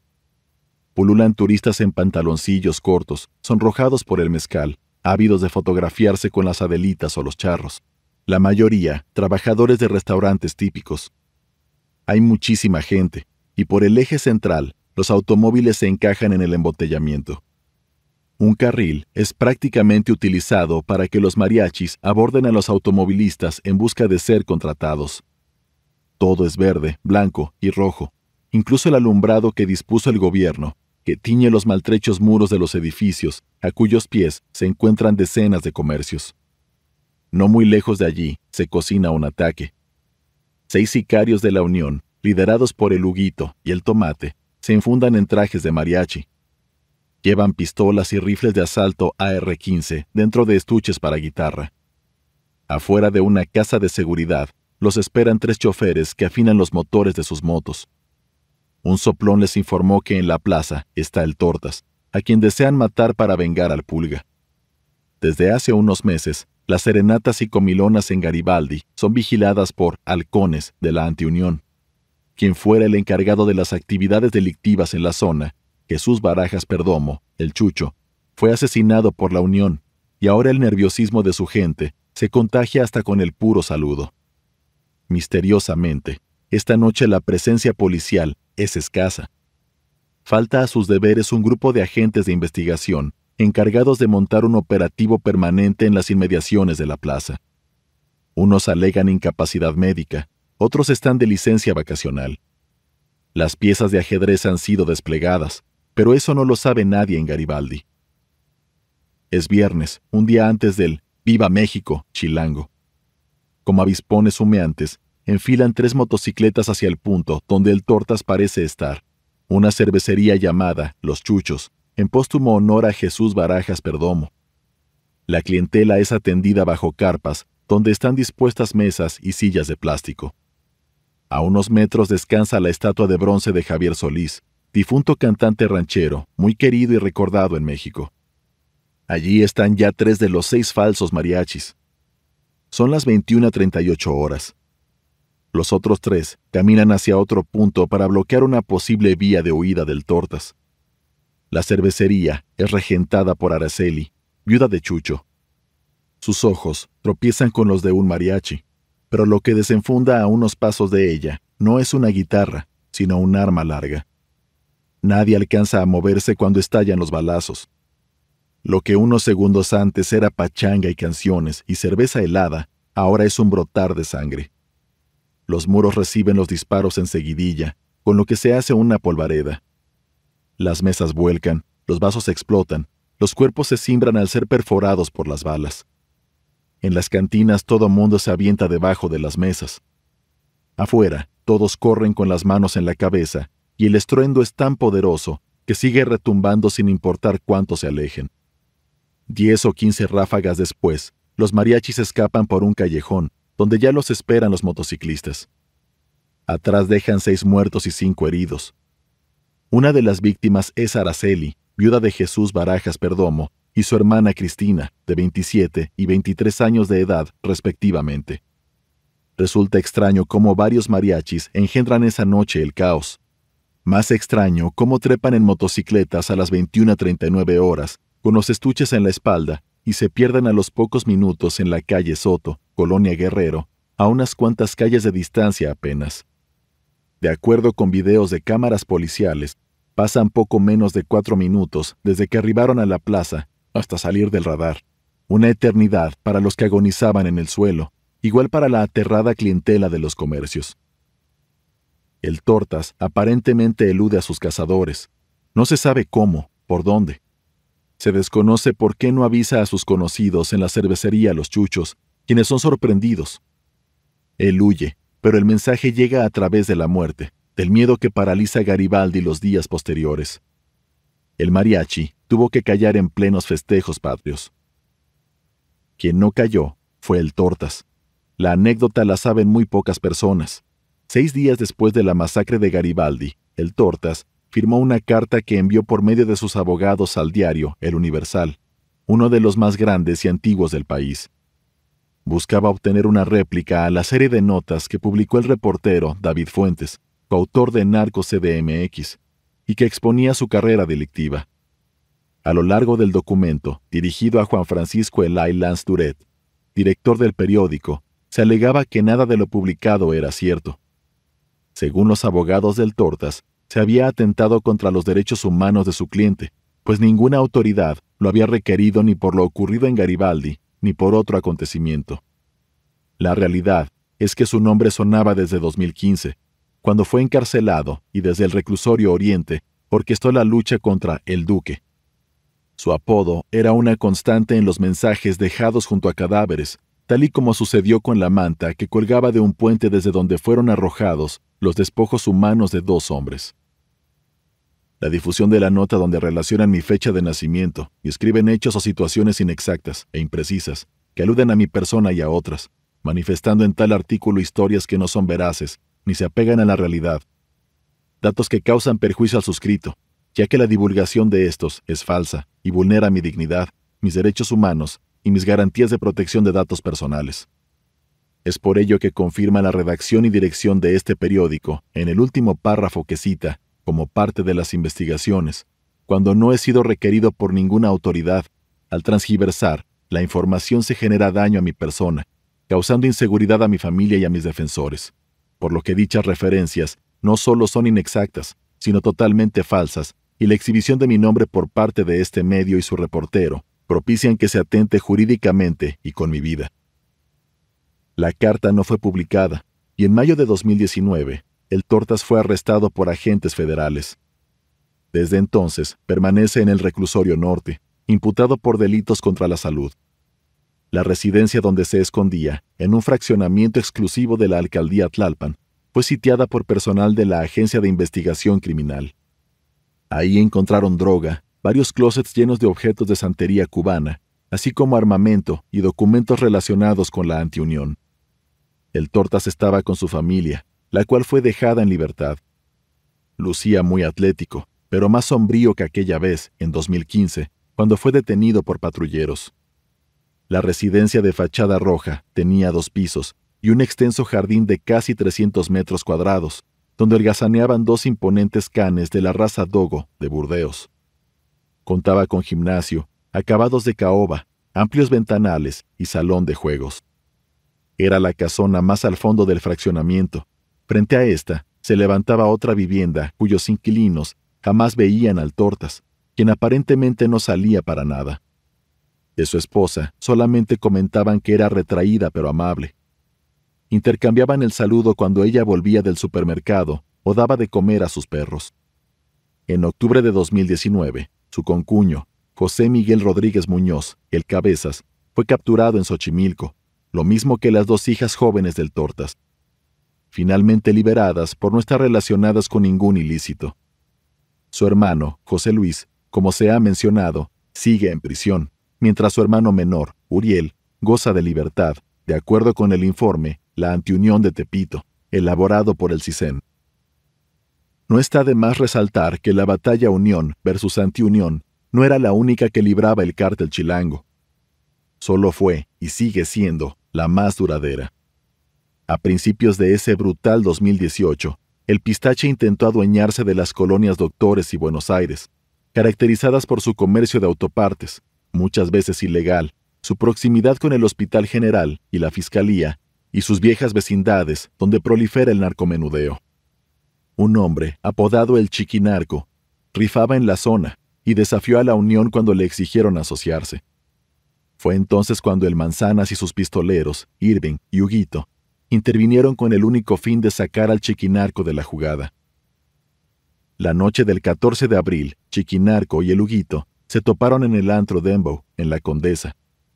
Allí departía con Huguito y otros más un adolescente de 16 años de edad, Martín Montalvo Suástegui, el Moguita, hábil conductor de las motos en las que escapaban los sicarios del cártel, pero probablemente confió en que la situación no escalaría, porque decidió salir a responder una llamada telefónica. Por cierto, el Dembow fue abierto en el mismo inmueble que en 2013 era el Bar Black, de donde sacaron el Oaxaco para dispararle en una jardinera. Abordó un Audi A1 para contestarle a su novia, molesta porque salió de rumba sin avisarle, pero la conversación se cortó de tajo. Secuaces del chiquinarco lo mataron a balazos. Se asienta en la carpeta FCH, diagonal CUH-2, diagonal UI-2C, diagonal D, diagonal 2539, diagonal 04-2018. Su velorio estuvo lleno de coronas de flores en forma de motos y cascos, con la presencia del mismísimo Betito. Los días siguientes pusieron de cabeza a las colonias Doctores y Buenos Aires, pues rondaba la muerte encarnada en la figura del pulga y sus cuadrillas de pistoleros, que patrullaban sin ser molestados por la policía. Así pasaron diez días en los que la zozobra se desayunaba, se compartía en voz baja o se trataba de disfrazar tras la imagen de barrios duros. No obstante, el 28 de abril fue secuestrado Hubert Isaac Muñoz Juárez, de 39 años de edad, padre de un niño pequeño. Este caso fue el colofón de las pugnas por el territorio, con las que Isaac no tenía nada que ver. De acuerdo con el expediente, FCH, diagonal CUH-8, diagonal UI-2D, diagonal D, diagonal 001513, diagonal 05-2018, esa noche había salido de la casa de su padre, en la cual estaba haciendo talacha desde semanas atrás, pero en el camino a su coche se encontró con unos supuestos amigos, con los cuales se quedó a platicar. A las 22.30 horas se despidió y abordó su Chevy, de donde lo sacaron a punta de pistola. Se trataba de presuntos miembros de la Unión, disfrazados de policías federales. Estos lo subieron a un Jetta que salió del lugar a toda marcha. Isaac tenía carrera trunca en administración de empresas y se dedicaba a la compra-venta de automóviles.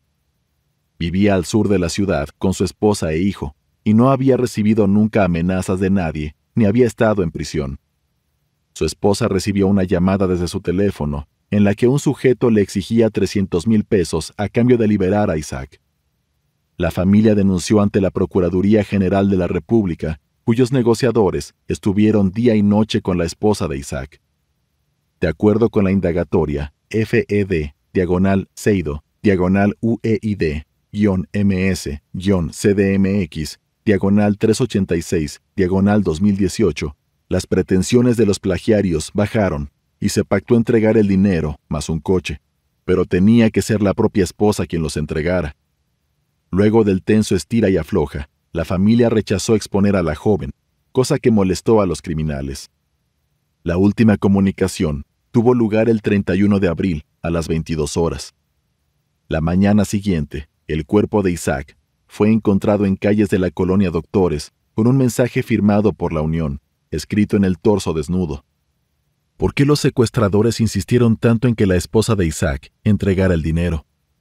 Es más, ¿Por qué privar de la libertad a un hombre que no tiene los recursos para pagar una liberación? El trabajo que realizó la Procuraduría, basado en intervenciones telefónicas, concluyó que el Pulga estuvo detrás de todo, pero apenas un mes después fue acribillado por la antiunión. El negociador fue arrestado el 29 de diciembre de 2019, vinculado a proceso por este secuestro y otros más. Empero, nada de eso reconforta a los seres queridos de Isaac, quien de niño superó un defecto en el intestino y de adulto superó un fuerte alcoholismo. Para cuando fue secuestrado, llevaba seis meses sobrio, volcado al ejercicio inculcado por su esposa, instructora en un gimnasio. A dos años del crimen, sus familiares siguen preguntándose por qué. Capítulo 7. De narcofresas a feminicidas. Un curioso fenómeno se ha instalado en el imaginario del narco en México, el de los narcofresas. El estereotipo de un traficante solía ser, hasta cierto punto, difícil de ocultar. Sombrero de ala ancha, cinturón piteado, botas, el cuello, muñecas y dedos enjollados, y hasta el tupido bigote completaba el cliché. Así los pintaban las películas, los corridos y hasta caricaturistas de los diarios. Solo hace falta escuchar Mi último contrabando, del fallecido intérprete norteño, Beto Quintanilla, para darse una idea mi buena tejana, botas de avestruz y mi cinturón piteado, un buen alipuz y chaleco de venado, para que San Pedro le diga a San Juan, ahí viene un toro pesado. En la última década, sin embargo, las nuevas generaciones del narco se fueron desenredando de esa representación acartonada. Uno de los primeros en proyectar una imagen distinta fue Edgar Valdés Villarreal, la Barbie, nacido en Texas, alto, rubio, exjugador de fútbol americano en la United High School de Laredo y apariencia gallarda, cambió las camisas bordadas y las botas por playeras tipo polo Ralph Lauren y tenis Louis Vuitton. Inclusive, cuando fue presentado ante los medios de comunicación en el hangar de la Policía Federal en 2010, lucía un polo verde, que se puso muy de moda. Su amigo y colaborador, José Jorge Valderas Garza, el JJ, acusado de balear al exdelantero paraguayo del América, Salvador Cabañas, llevaba una de la misma marca, pero azul, cuando fue arrestado. Como sus andanzas fueron altamente mediáticas, su forma de vestir los hizo figuras, por decirlo así, de la nueva narcomoda. Posteriormente supimos de los hijos de Ismael, el Mayo Zambada, y los de Joaquín, el Chapo Guzmán, igualmente ajenos a la imagen de sus antecesores. Solía decirse que Ciudad de México era para los narcos un vasto camuflaje, donde pasarían inadvertidos si vestían más como la Barbie y menos como José Eduardo Costilla Sánchez, el COS, patrón del cártel del Golfo, de bigote y sombrero. Muchos capos fueron capturados en la capital mexicana bajo estas nuevas condiciones, las cuales pudieran parecer superfluas, pero en el fondo no eran sino herramientas, a veces útiles, para mantener el anonimato. Esto permeó hacia las mafias locales, y por supuesto a una facción del único cártel chilango, la Unión. Aquí no había sombrerudos bajándose de trocas polvorientas con un palillo entre los labios, pero sí había el propio cliché del delincuente capitalino.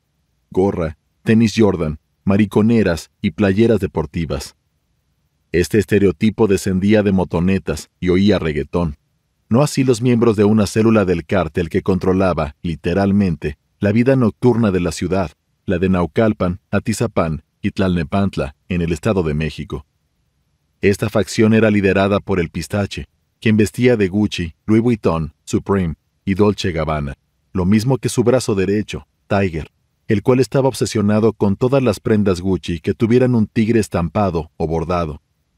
Otros cabecillas de la célula, como Víctor Vázquez Alor, Eduardo Clemente Saleta, el bandido, Jorge Noriega, el Mitsuru, Axel Espinosa García, el Axel, o Mauricio Peralta Aguazzi, el Pata Negra, quizá no vestían tan ostentosamente, pero sí con marcas propias de la clase media, coronadas con un look que los diferenciaba por mucho del cliché tepiteño, lo cual los acercó a una clientela de consumidores de drogas más amplia y los camufló con vecinos de territorios capitalinos nunca antes relacionados con la problemática del narco, como la Narvarte, Coapa y San Ángel.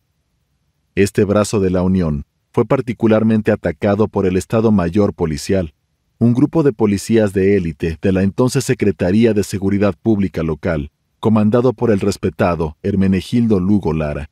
El 5 de agosto de 2018, cuando montado en una moto jugaba carreritas contra sus subalternos a bordo de un Infinity del año, el Alor fue detenido por policías de esta área, hecho que marcaría la decadencia del liderazgo original de esta facción pues él estaba solo por debajo de Pistache y Tiger. Meses más tarde, el Alor fue liberado, pero la investigación que derivó su arresto fue más importante de lo que se creía. Hasta este audiolibro, la indagatoria había permanecido en sigilo, pero ahora revela lo fundamental que fue para detener al Pistache y Tiger dos meses más tarde en un complejo de apartamentos de lujo en Santa Fe. Con base en el expediente TPID 2018-132 de la Policía Capitalina, culminado el 9 de agosto de ese año, el ALOR era un mando oculto cuyo rango resultó ser muy superior al que se sospechaba. Algo que resultaba interesante para los investigadores era su perfil, harto diferente al de Betito, Pulga o incluso el mismo Pistache, quien impulsó el cambio de imagen en su célula porque se desenvolvía en centros nocturnos clase medieros. Pero no solamente era la forma de vestir, también ordenó montar casas de seguridad en plena Narvarte y Coapa, mezclarse con vecinos, con youtubers, participantes de reality shows, actores de cine y deportistas. Para eso, el ALOR le fue de mucha utilidad al cártel. Según el expediente de inteligencia antes citado, el joven de 26 años de edad parecía más un habitante común de la Narvarte que un dealer. Las fotografías de su teléfono celular, sus contactos, redes sociales y forma de vida así lo proyectaban. Se le ve a los 18 o 19 años, delgado, peinado de mango chupado, inocuo, sonriente.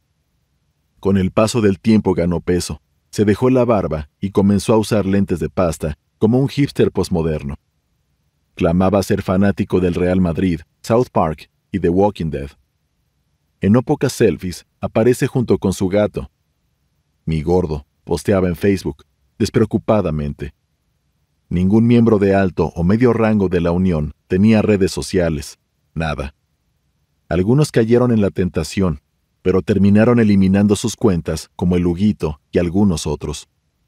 Esto era un tesoro para los analistas policíacos, ávidos de hacer conexiones a través de sus redes sociales y entender cómo pensaba un líder criminal que cada fin de semana entregaba a Pistache cuentas de casi un millón de pesos, producto de la venta ilegal en antros. En sus contactos, su jefe aparecía como abuelito Pistache, mientras el resto de la estructura estaba guardada con sus apodos reales. En su galería de imágenes abundaban selfies frente al espejo o junto a alguna de sus novias, Estefanía y Natalia, donde se le observa un tatuaje en el pecho. Una U enmarcada en laureles con una B al final.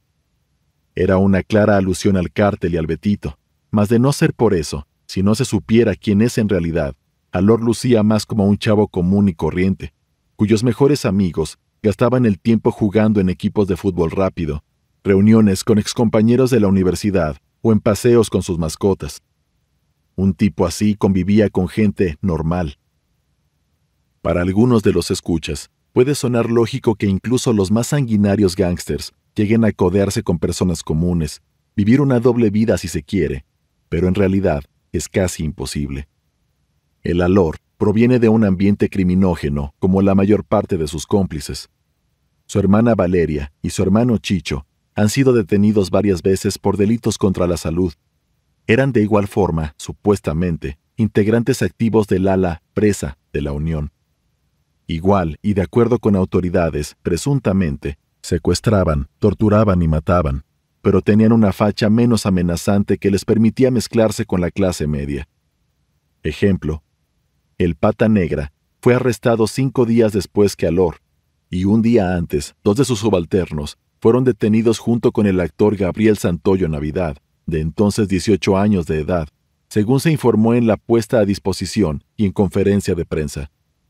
Santoyo ya era conocido por su participación en la cinta Cuatro Lunas, y pese a que no fue procesado junto con el Pata Negra, ni por delitos contra la salud o delincuencia organizada, sí debió alejarse de los reflectores un tiempo para superar esta amarga experiencia. Es el 20 de octubre de 2018. Un joven delgado, cabello corto a la moda, lentes de pasta tipo hipster, chamarra Louis Vuitton, pantalón de mezclilla entubado y tenis, camina junto a una despampanante mujer de vestido negro y tacones. Van de la mano, pícaros, ajenos a cualquier problema. Con ellos va otra pareja, un muchacho de camisa Gucci, cinturón y tenis blancos, cabello corto peinado con cera, también con la mano derecha entrelazada a la de una sonriente chica, quien va cubierta por una chamarra de cuero, falda y botas altas. Andan con desenfado por paseo Arcos Bosques, una lujosa plaza en Bosques de las Lomas, que es una de las zonas más exclusivas de Ciudad de México. Son las 14 horas y deciden comer en el restaurante japonés Nobu, propiedad del actor de Hollywood Robert De Niro. Allí degustan varios platillos que se comparten, beben sake y ríen durante casi 40 minutos, momento en que pagan 6.793 pesos de cuenta. Después recorren las boutiques, paran, hablan por pequeños teléfonos celulares, especiales para no ser intervenidos, y prosiguen. Juguetean, besan a sus parejas y se toman selfies hasta que enfilan hacia el estacionamiento, donde los cuatro abordan una camioneta Mercedes-Benz blanca, placas PVT-515-A.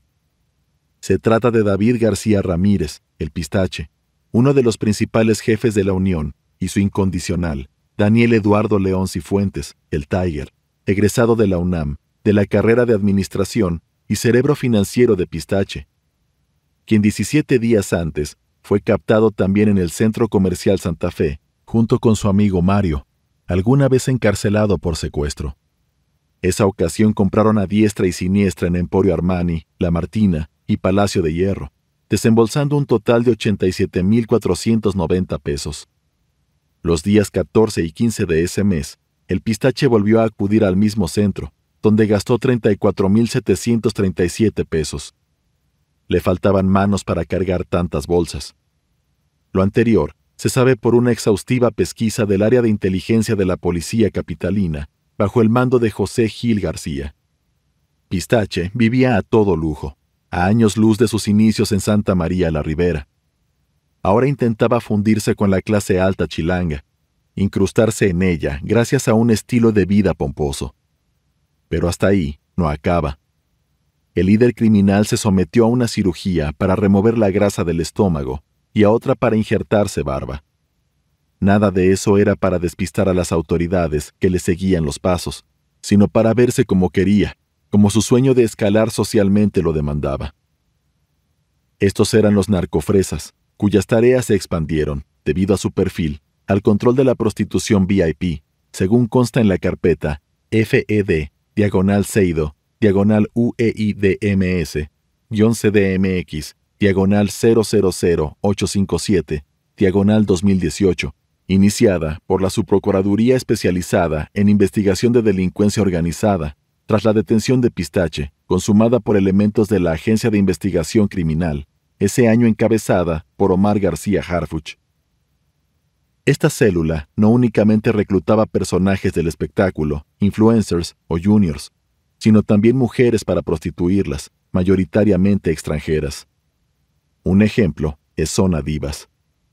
Era un portal de Internet donde se anunciaba un sinnúmero de mujeres explotadas sexualmente. Funcionaba desde hacía una década, bajo el amparo de la mafia argentina, y las autoridades federales concluyeron que lucró con miles de mujeres traídas de Venezuela, Colombia, Argentina, Uruguay, Ecuador y Brasil, algunas con engaños o a la fuerza, y otras por voluntad propia, sin saber el riesgo que representaba ligarse con delincuentes ahora opera con el nombre La Boutique. Consta en las pesquisas federales que la Unión tendió lazos en Argentina a través de Antonio Ignacio Santoyo Cervantes, el Sony, un mexicano investigado por ligas contratantes argentinos y fundador, junto con su hermano Guillermo, de Zona Divas. El Sony está todavía bajo proceso en el reclusorio Oriente. Por el testimonio de varios testigos y mujeres sobrevivientes, se supo que el Betito exigió al Sony servir al cártel con una cuota mensual, aparte de proveer escorts para sus parrandas.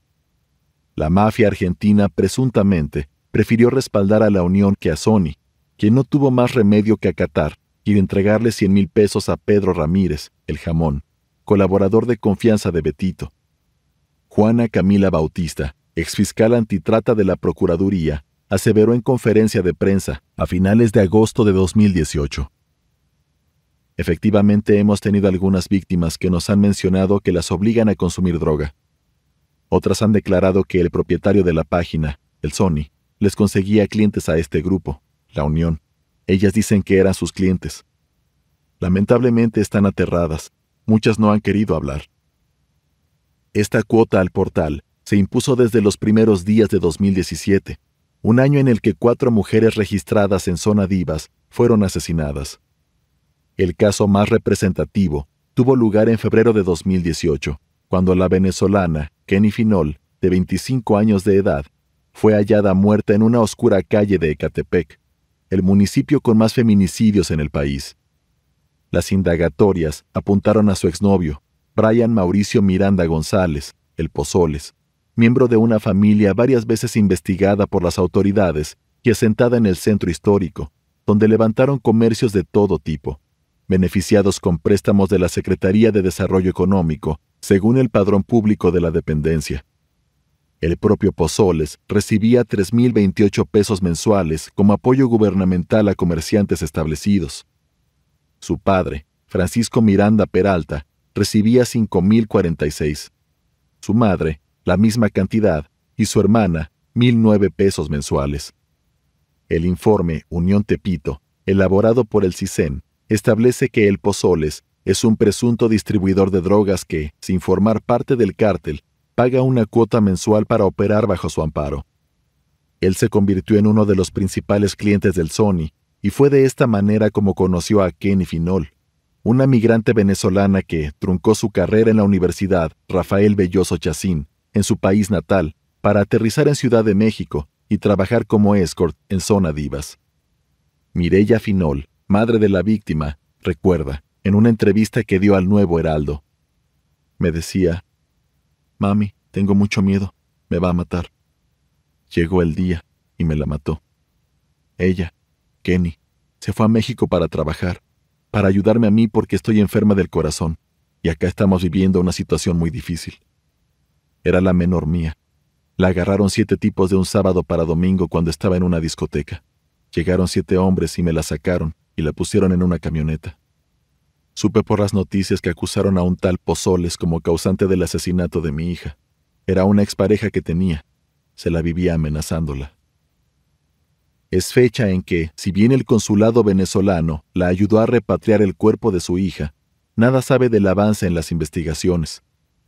El Pozoles fue detenido en febrero de 2019, pero por delitos contra la salud, no por el feminicidio de Kenny, pese a que ella misma grabó varios videos donde muestra las cicatrices que le dejaban las golpizas del Pozoles. En las grabaciones, le rogaba permitirle juntar sus cosas y un poco de dinero para regresarse a Venezuela cosa que no sucedió nunca. En efecto, la joven fue sacada de un antro en el Estado de México, golpeada y finalmente asfixiada. No era la primera vez que al Pozoles se le involucraba en agresiones a mujeres o a las nuevas parejas de sus exnovias. Consta en la averiguación CUH-4, diagonal T2, diagonal 02363, diagonal 13-12, que en diciembre de 2013 golpeó a quien en ese entonces era novio de la madre de su hija. Otra situación similar ocurrió en julio de 2015, cuando disparó cinco veces contra un muchacho, de acuerdo con la denuncia CUH-4, diagonal T2, diagonal 00491, diagonal 15-07. Refiere el denunciante que al dirigirse a dejar a su hermana a bordo de una camioneta conducida por su hermano, y al llegar a la calle de República de Honduras, en el centro, se dirigieron a saludar a unos amigos, por lo cual bajan de la camioneta el denunciante y su hermano, encontrándose de frente a un ex amigo de nombre Brian, apodado El Pozoles, con quien había tenido problemas en 2014 por habérsele insinuado a su esposa. En ese momento, Brian le dice, ¿Qué haces aquí, Hugo? respondiéndole el denunciante, ¿Es tu calle o qué? A lo que Brian responde, Vete de aquí, porque si no te voy hasta robar momento en que el denunciante le propina un cabezazo a Brian, quien saca una pistola que portaba en la cintura y dispara. El denunciante se echa a correr, escuchando cuatro detonaciones más que le impactan en la espalda. Al llegar a la calle Perú, da vuelta en Brasil, donde llega su hermano y lo traslada al Hospital Gregorio Salas. De apenas unos 50 de estatura, complexión robusta, cabello a rape y un grupo de unos 20 cómplices a su mando, el Pozoles alardeaba sobre las hermosas chicas sudamericanas con las que andaba. A Kenny la llamaba la muñequita más bella del aparador cuando comenzaron a salir. Se dejaban ver juntos e incluso publicaban fotos para sus redes sociales.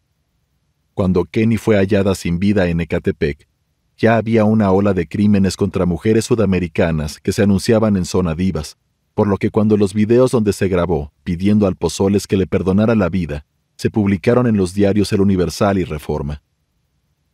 El feminicidio cobró interés público, tanto así que el Betito supuestamente enfureció con el Pozoles. Envió a sus sicarios a encararlo y exigirle una compensación por la cagada que había hecho. No tardaron demasiado en localizarlo.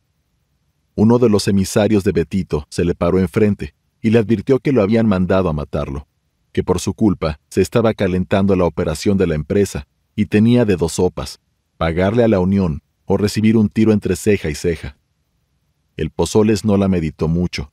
Entregó una camioneta y 150 mil pesos en efectivo para seguir con vida. Días más tarde, huyó a Nezahualcóyotl, Estado de México, al oriente de la zona metropolitana, donde sus padres tienen una casa. Desde allí siguió delinquiendo, según la investigación que se le siguió, y frecuentando centros nocturnos acompañado de una chica venezolana, con quien fue arrestado un año después del feminicidio de Kenny. Apenas el 27 de diciembre de 2017 había sido asesinada de un balazo la argentina de 23 años de edad, Karen Ailén Grodzinski, dentro de la habitación que rentaba en el Hotel Pasadena, al sur de la capital, donde solían reunirse y trabajar las escorts de zona divas. El caso también acaparó espacio y reflectores en los medios, porque la Procuraduría acusó del crimen al actor Axel Arenas Reyes, pero todo fue una pifia. Resulta que él había adquirido una motocicleta sin saber que fue utilizada para que el verdadero responsable huyera del Hotel Pasadena. Con base en eso, y su ligero parecido con el sospechoso videograbado por cámaras del hotel, fue arrestado. Algunos detectives incluso creían que era el pulga, pues apellidaba Arenas, tenía barba, era moreno, de estatura similar y complexión delgada. Un ridículo que cayó como una mole de concreto sobre la dependencia y su entonces titular, Edmundo Garrido Osorio, hombre de probada experiencia, pero que carecía de un plan integral para sacar a flote al viejo monstruo judicial que intentaba domar. Hasta ahora, el asesinato de Karen Ailén sigue impune. Su pesadilla había comenzado unas semanas atrás. A mediados de noviembre de 2017, la víctima escribió a su madre. Y si pones en Google, sale la muerte de una amiga que no veía desde febrero. Génesis se llamaba, es venezolana. Desapareció una semana y apareció torturada hace un mes. La acuchillaron y le hicieron de todo. La dejaron asfixiada con un moño en el cuello. Ella era novia de un político, y ni eso la salvó. Eso pasa siempre con los extranjeros. Vos quedate tranquila con tu marido le contestó su madre. Génesis era una amiga de Karen, también escort de Zona Divas, secuestrada en Puebla y asesinada en el Hotel Platino de la alcaldía Venustiano Carranza. Todo se sabía en el pequeño mundo de las extranjeras que se prostituían. A Karen la carcomía el miedo como a las demás. Había aterrizado en Cancún el 14 de agosto de 2015, a las 12.36 horas, según un reporte migratorio pero se mudó a la capital apenas unos meses más tarde. Aquí se enroló en Zona Divas bajo el seudónimo de Dana Broke, cuya cuenta de Twitter tiene aún casi 80.000 seguidores y un teléfono de contacto. Esa noche del 27 de diciembre subió una foto desde la misma habitación donde fue ultimada. Ella buscaba ser independiente y no pagar por anunciarse en Zona Divas, lo cual molestó al Sony. Apenas el 6 de julio de ese 2017, ella y un comerciante de zapatos, bolsas y suplementos alimenticios de Tepito, Carlos Nolasco Cruz, contrajeron nupcias por el civil y se fueron a vivir a un apartamento en la colonia Nápoles, al sur de la ciudad. Karen platicaba a su mamá que se sentía protegida, pero aún solía estar en el Hotel Pasadena como el resto de las chicas explotadas. Tal vez sintiera que el lugar era seguro para laborar. A las 20-30 horas de ese miércoles, llegó un último mensaje de voz enviado por su esposo, conforme a lo establecido en la carpeta FBJ-1, diagonal UI-1S, diagonal D, diagonal 07547, diagonal 12-2017. Pero alrededor de esa hora, fue asesinada por un espigado individuo que se presentó al lobby del hotel a las 18.50 horas y se retiró justo a las 20.30. Fue él quien, se presume, realmente tomó el celular de Karen, escuchó el mensaje de Carlos e inmediatamente escapó en la motocicleta que días más tarde compraría el actor Axel Arenas Reyes. En su declaración, Carlos señala que fue una amiga de Karen, Paula N., quien le marcó a las dos de la madrugada para informarle que algo malo le había pasado a la originaria del Chaco, Argentina. Además se lee, refiere haber conocido a la Oxisa hace año y medio a través de un amigo, en un bar de la colonia del Valle, que su esposa llegó a México a trabajar como edecán y modelo, pero que desde que se comprometieron, abandonó el uso de redes sociales, principalmente Facebook. Dijo no socializar con mucha gente ni asistir a fiestas, que no tenía deudas o enemigos conocidos como un exnovio o pretendiente. ¿Por qué mataron a Karen? Se especuló sobre un feminicida solitario o un cliente. Se habló también de un probable asesino de escorts, pero el tiempo fue aclarando todo, y tras esta investigación sabemos lo siguiente. Sony pagaba a sicarios de la Unión para intimidar y matar a las modelos que se negaran a seguir en su sitio web, donde pagan por anuncio. Ni Karen ni Génesis ni otra venezolana con el mismo destino, Wendy Vanesca de Lima Cortés, tenían deudas por droga ni pleitos con los hombres del cártel que las cortejaban, solamente con Sony y las administradoras de Zona Divas. Ellas buscaban anunciarse por redes sociales y de esta forma ahorrarse las cuotas del sitio de Internet, cosa que molestó al Sony, comprometido ya con la unión. Todos clavaban un diente al pastel de la explotación sexual, y nadie estaba dispuesto a perder un solo centavo con la emancipación de las chicas, a las que veían como mercancía. Esa es la razón principal de las múltiples agresiones de las que fueron blanco, ninguneadas por las autoridades, salvo una que otra servidora pública, como la entonces fiscal, Juana Camila Bautista. Desafortunadamente, solo hay una persona sentenciada, a 80 años de prisión, por matar a dos de las ocho escorts que han sido asesinadas desde 2017 es Daniel Uribe Reyes, un supuesto pistolero de la Unión, al cual nadie conoce, carente de apodo y nunca mencionado en ninguna red de vínculos del cártel desde que fue fundado en 2009. Su filiación sigue siendo una sospecha. Ahora, no todas las mujeres asesinadas o desaparecidas por la Unión eran escorts. Atsin Molina es una bailarina que tiene más de un año que se evaporó una víctima del cártel de la que pocas autoridades han querido hablar. Ya me tengo que ir, mamá, escribe Atsin a su madre. La muchacha de 19 años de edad tiene esa noche un compromiso, bailar como parte del show de Hampshire, un músico puertorriqueño que se presentaría ese 8 de febrero de 2019 en un foro de Ecatepec. La madre de Atsin iba rumbo a casa y tenía en mente ver a su hija antes de que fuera a trabajar pero el tráfico de la ciudad no le da ese gusto. El concierto se lleva a cabo con normalidad. Atsin envía una fotografía a su madre a las 011 horas y le escribe que todavía falta tiempo para terminar. La verdad es que apenas unos minutos después del mensaje, los asistentes abandonan el foro y las luces se apagan.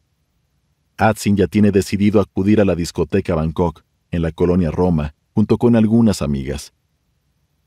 Son los primeros minutos del sábado 9 de enero, y a la joven se le ve en el VIP del lugar, propiedad del novio de su amiga, Daphne. Las luces púrpuras, rosadas y oro salpican todo a su alrededor, mientras la música electrónica envuelve a sus merodeadores, endulzados con el vodka o whisky, acodados sobre sus amplios sillones. La excentricidad del lugar es inobjetable, Cuelgan grandes candelabros, cortinas de terciopelo y cuadros psicodélicos con referencias tailandesas, como es de esperarse. Atsin había bailado aquí también hacía algunos años, cuando era menor de edad, hecho que enfrentó a su madre con el gerente y empleados, los cuales nomás se encogían de hombros ante los reclamos. Empero, era el antro favorito de Atsin, quien había estudiado teatro en el Instituto Nacional de Bellas Artes y para esas fechas tomaba clases de hip hop bailable. Obsesionada con su figura, la muchacha no se descuidaba ni un pelo. Presumía un cuerpo envidiable y trabajado en el gimnasio, y una sonrisa magnética que terminó por atraer a las personas equivocadas. Su madre, María de Jesús, admite que Atsin se involucró sentimentalmente con Eduardo Ramírez Tiburcio, el Chori, cabecilla del cártel de la Unión. Cómo, cuándo y dónde no se sabe con precisión probablemente en el Bangkok, usado no pocas veces por los miembros del grupo delictivo para echar fiesta. No solo esa disco es controlada por el pistache, sino casi todas las demás en la Roma, céntrica colonia que desde hace muchísimas décadas es laboratorio cultural y social. En los años 50 se alojaron aquí varios representantes del movimiento contracultural beat, como Jack Kerouac, célebre escritor de En el Camino. Aquí, William Burroughs, autor del lúgubre experimento literario El almuerzo desnudo, mató por error a su esposa, Joan Bolmer, en 1951. Hoy esta colonia padece la delincuencia organizada, pero resiste y mantiene su ambiente relajado y bohemio. Consta en el expediente AYO, diagonal 533, diagonal 2019, que a las 3 horas con 2 minutos, Atsin avisa a sus amigos que regresará a casa. Tras despedirse, vuela hacia la entrada del Bangkok para tomar un taxi, pero es alcanzada por su amiga Daphne, quien le ofrece prestarle a su chofer para que la lleve de forma segura. Instantes después, se presenta a Joaquín, quien abre la puerta del automóvil para que Atsin aborde. Algo pasa en el trayecto a casa, el conductor modifica su ruta y deja a la joven en otra discoteca, el Cíngaro, asentada en la zona rosa. Este sitio fue cerrado en 2013 durante las pesquisas del caso Heaven, pero reabrió sus puertas en mayo de 2017. Allí es dejada Atsin, quien al parecer es recibida por un muchacho con el que se funde en un amistoso abrazo. Esa es la última vez que alguien ve a Atsin. Ha sido un tormento. Ya se cumplió un año y mi hija sigue desaparecida. Por supuesto que tengo miedo, pero estoy preparada para lo que sea. Lo que ya no quiero es esta incertidumbre, expresa su madre, la abogada María de Jesús, quien ha indagado por cuenta propia con buenos resultados. Sin dejar de observar las fotos que conserva de su única hija en su teléfono, narra. Mi hija me platicó que una vez que se fue a Acapulco con el Chori, tuvieron una pelea porque le cachó a él unos mensajes con su expareja. ¿No que ya no se hablaban? le recriminó mi hija. Pero la cosa terminó allí. Tiempo después me contó que la novia colombiana de otro de la Unión, apodado el Peras, le empezó a decir al Chori que Adsin era de cuidado, que si se peleaban, ella lo podría poner con los policías por despecho, que era mejor que no se confiara. Digamos, le metió mierda en la cabeza a este sujeto tan peligroso. Mi hija me enseñó un video de cuando va y le reclama a la colombiana, Jocelyn, se llama. Inclusive la golpeó, y ella nomás le decía que no, que ella no había dicho nada. Luego de eso parece que mi hija se alejó del tal Chori, pero seguía viendo a algunos del grupo obviamente en los antros. Se sabe que el teléfono de Atsin fue usado varias semanas después de su desaparición. Algunas de las señales que emitía fueron ubicadas en la alcaldía Gustavo Amadero, otras en el estado de Morelos. La última vez que tuvo actividad fue en abril de 2019, en la Ciudadela, cerca del centro histórico. No obstante, la muchacha no ha vuelto a casa, y aunque las autoridades tienen algunas pistas, ninguna ha sido lo suficientemente contundente para dar con su paradero. ¿Qué le sucedió? ¿Por qué alguien querría hacerle daño? Es seguro que su ausencia no es voluntaria, máxime el contexto de haber tenido una relación con un mafioso y el destino que muchas otras mujeres han sufrido a manos de la Unión. Se cree que el tipo con el que se encontró afuera del cíngaro, cuyos videos no fueron proporcionados a la fiscalía, alegando que fueron borrados, es otro presunto integrante del cártel, identificado como Santiago, el tío Byron, quien alguna vez le confesó a la madre de Atsin que estaba perdidamente enamorado de ella. Ser acusados de feminicidio causa temor entre los pistoleros del cártel. Las leyes se han endurecido tras establecerse el tipo penal, por lo que incluso se hizo una junta donde supuestamente el Betito ordenó a todos sus capitanes tener mayor control sobre sus muchachos, los que salían con escorts o participantes de reality shows o concursos televisivos como Enamorándonos de TV Azteca. En las pachangas y las discotecas, al calor de las copas, acelerados por las anfetaminas, no pocos miembros de la Unión se encararon unos con otros por celos. Las rencillas quedaban ahí, pero se guardaban en el estómago y crispaban los puños, amenazando con que una noche hubiera fuego, amigo. El Betito advirtió a los suyos. El que me entere que esté provocando mamadas por las viejas, lo voy a matar. Por supuesto, todos asintieron, y uno de los más cercanos al jefe criminal, el misterioso, mi jefe, remató. Las viejas son puros pedos. Ya déjense de chingaderas. Quizá los conflictos que brotaron por estos motivos amainaron, no así las agresiones a mujeres. Una luz empalagosa baña a los presentes. Pasa del rosa mexicano a púrpura y carmín. Música de boleros ameniza el brindis y el cotorreo, pero de golpe desaparece para dar paso a la narración de una pelea de box. Es el 26 de agosto de 2017 en la cantina número 20 de Plaza Antara, en Polanco.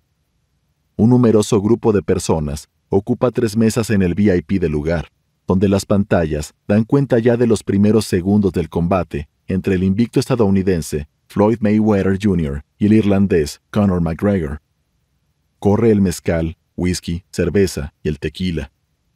En una silla se deja caer el Betito, quien esa noche lleva un Rolex en la mano izquierda. Está rodeado de sus principales operadores, mujeres del barril, como llaman a Tepito, voluptuosas sudamericanas y un par de concursantes de Acapulco Shore. Las mesas están atiborradas de botanas gourmet, una mariscada servida al centro y hasta raspados de hielo. Betito luce delgado, un poco más de como lo vieron en la junta en el Rosario, pero aún no se ha injertado cabello. Los meseros se deshacen en atenciones, a sabiendas o no de quién es el patrón, al que pocos se atreven a perturbar, mientras posa sus ojos en los púgiles. La pelea se va diluyendo en las bebidas del público conforme la superioridad del Mayweather aniquila, round tras round, cualquier posibilidad de espectáculo. Nadie sospecha que en el lugar también hay agentes federales que vigilan la verbena. Son los mismos que casi un año más tarde consumarían la captura del Betito, el criminal más buscado de los últimos años en la capital. Los informes de inteligencia no escatiman en detalles e inclusive añaden algunas fotografías del jefe narco y su equipo. En esas fechas, ya se sabe que el Betito, aún identificado erróneamente como Roberto Mollado Esparza, no es más un hombre robusto. Está 25 kilos abajo desde la última imagen que se tenía de él, y en esa cantina luce más como un cliente consentido que como un ampón. La familiaridad con la que el gerente de la cantina se dirige a él no hace sino asombrar a los policías. Ninguno de sus hombres parece estar armado, ni en las inmediaciones de la plaza se detectaron halcones. Nada. Por eso la Procuraduría General de la República supone que la Unión contaba con protección institucional a todos niveles, y para esos momentos todavía no reventaba la guerra contra el Tortas, cuya vehemencia lo cambió todo. Finaliza la cátedra boxística de Mayweather, pero la comilona sigue hasta que Betito se levanta y ordena a uno de los suyos pedir la cuenta. Presuroso y sin mirar a nadie a los ojos, uno de los meseros lleva el papel solicitado, casi 60 mil pesos que uno de los cabecillas del cártel paga en efectivo. Los federales, que fingieron ser empresarios protegidos por guaruras encorbatados, dan un trago a sus bebidas y permanecen inmóviles en sus asientos, justo cuando una canción ranchera sirve de colofón para la noche en que la planilla mayor del cártel chilango departió a sus anchas en Polanco. Desde principios de 2018, las autoridades federales sabían ya perfectamente dónde se escondían el Betito y Pistache. Gracias a la vigilancia realizada meses atrás en la cantina de Polanco, conocían la nueva imagen del jefe de la Unión, más de 20 kilos abajo y ropa elegante. Empero, Betito logró desaparecer del radar. El pistache no, y lo siguieron vigilando desde entonces. Un informe titulado Información de Policía Federal cuenta con fotografías de Pistache llegando a uno de sus apartamentos. Este se hallaba en la exclusiva zona del Pedregal, al sur de Ciudad de México, donde se le veía arribar en una camioneta negra. De pronto se le observa con una joven y luego hablando por un diminuto teléfono celular, de esos cuyas llamadas aparentemente no pueden ser interceptadas. A Pistache, uno de los más cercanos a Betito por su efectividad en el control de los antros, y la liga que surgió al sostener una relación sentimental con dos muchachas que son hermanas, se le observaba sin guardaespaldas, ni lentes oscuros o gorras. A veces, incluso afuera de su departamento o manejando cualquiera de sus vehículos hacia el estacionamiento del conjunto.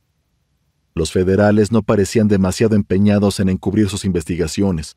pues se menciona en sus reportes que fueron a entrevistarse con la madre de Pistache, quien los atendió y admitió que era su hijo. Vive aquí, pero ya no. No sé dónde esté.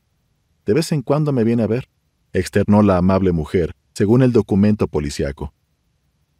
La lupa de los agentes seguía al pistache donde sea que fuera. Plaza Escenaria, el restaurante Rivoli, el Cambalache, la churrasquería, el Cuevón y el Stage One Karaoke. Estaban enterados de los vehículos que lo transportaban. Una camioneta Buick, Anchor, negra, un Jetta blanco, una Volkswagen Tiguan blanca, una Mercedes del mismo color cuyas placas correspondían a un Audi A4 y un BMW 320i, todos a nombres de diferentes personas. No faltaban los distintos domicilios donde se ocultaba, usualmente apartamentos en la colonia Primavera, Tlalpan, en Héroes de Padierna, misma alcaldía, en Los Alpes, Álvaro Obregón, en City Towers, Coyoacán, a unas calles de la Cineteca Nacional, en el Pedregal y finalmente en el conjunto High Park de Santa Fe, donde fue puesto bajo arresto el 30 de octubre de 2018. Poco más de dos meses antes, el miércoles 8 de agosto, había caído su jefe, el Betito, junto con su hermano José, afuera de una residencia que rentaban en el Pedregal. A ambos los atraparon sin balazos ni nada. De Pistache podría haberse esperado, pues no era un ampón entrenado para usar armas contra policías, pero en el caso del Betito, definitivamente algo olía raro. Un hombre tan familiarizado con la violencia adiestrado en el uso de toda clase de armamento y ¿no opuso resistencia alguna? Algunas autoridades consultadas presumieron un operativo quirúrgico que evitó poner en riesgo a la sociedad chilanga. Aún así, resulta bastante extraña la forma en que, al fin, fue detenido el malandro más buscado del Valle de México. El parte oficial refiere que a las 17.28 horas fue interceptado junto con su hermano, apenas descendieron de su modesto Suzuki Swift blanco. Buenas tardes, caballeros. ¿Me muestran su credencial de lector? pidió uno de los agentes federales. Se asentó en el reporte que José dio un paso al frente para obstaculizar a los policías y gritó: ¡Corre, carnal! Supuestamente, el Betito efectivamente corrió, aunque unos metros adelante, un pelotón de federales bajaron de una minivan y le apuntaron con sus armas. Deténgase, Ponga las manos sobre la cabeza y tírese al piso, le ordenaron. Cuando estuvo boca abajo, tendido y con los dedos de las manos entrelazados sobre la nuca, el líder del cártel chilango fue esposado.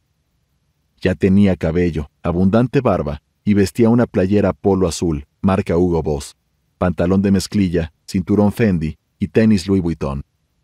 Con celeridad, fue llevado al Ministerio Público Federal en la calle López, en el centro, cuyos agentes fueron acusados durante años de dar protección a la Unión. Allí se le fichó e informó de las imputaciones en su contra. Una fotografía publicada al día siguiente por el portal La Silla Rota dio cuenta de que estaba sentado en un escritorio, sin esposas en las manos, rindiendo declaración ante personal de la Procuraduría General de la República. El operativo tenía una versión color rosa que, sin embargo, es la oficial. Off the record, hay otra que dista mucho, y la cual en su momento se guardó celosamente, pero que a más de un año comentan unos pocos funcionarios de alto nivel. El Betito se entregó. Al parecer, solo cuatro personas sabían de su último escondite. Su novia, su hermano José, que jamás se le separaba, Pistache, y su abogado, hasta la fecha, Sergio Arturo Ramírez Muñoz. En el círculo íntimo de Betito se sospechaba de este último, pero conforme pasaron los días, se descartó que hubiera colaborado con alguna autoridad o hubiera sido captado cerca o dentro de la residencia que servía como refugio al líder criminal. Ramírez Muñoz es un experimentado abogado que ha defendido a cientos de clientes de alto perfil, pero cuyo equipo también ha estado detrás de víctimas, como el padre de Norberto Ronquillo, un joven secuestrado y asesinado en junio de 2019.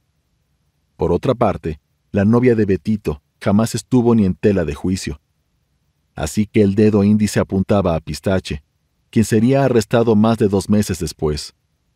La noche de ese miércoles 8 de agosto de 2018 se llevó a cabo una junta de emergencia, donde Pistache fue señalado como traidor.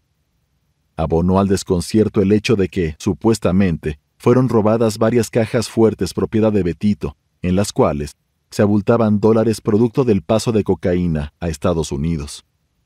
Por esta razón, fue acusado otro miembro del cártel, amigo de Betito y encargado de hacerle llegar dinero de las movidas, Gabriel Sandoval Pastrana, el perro, lugarteniente en el centro histórico y amigo desde la infancia. Nadie sabía con exactitud cuánto dinero se supone le fue hurtado a Betito tras su captura, y como no podían comunicarse con él, se decidió no matar a nadie, según supieron posteriormente las autoridades federales. Si nadie había traicionado al patrón, si tampoco se trató de un descuido de alguno de sus más cercanos compinches, ¿qué demonios había sucedido? A una sola voz se nombró a Pedro Ramírez, el jamón, como mandón provisional. Debajo de él quedó el Elvis, seguido de mi jefe y finalmente el propio Pistache, pero este no tardó en caer.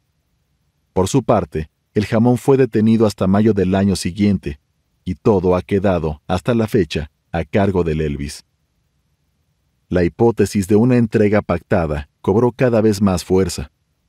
Algunos pocos mandos del cártel habían oído que Betito se comunicaba con alguien a través de un teléfono especial, alguien al que se dirigía con respeto y extrema secrecía, pero no ha trascendido ninguna pesquisa al respecto.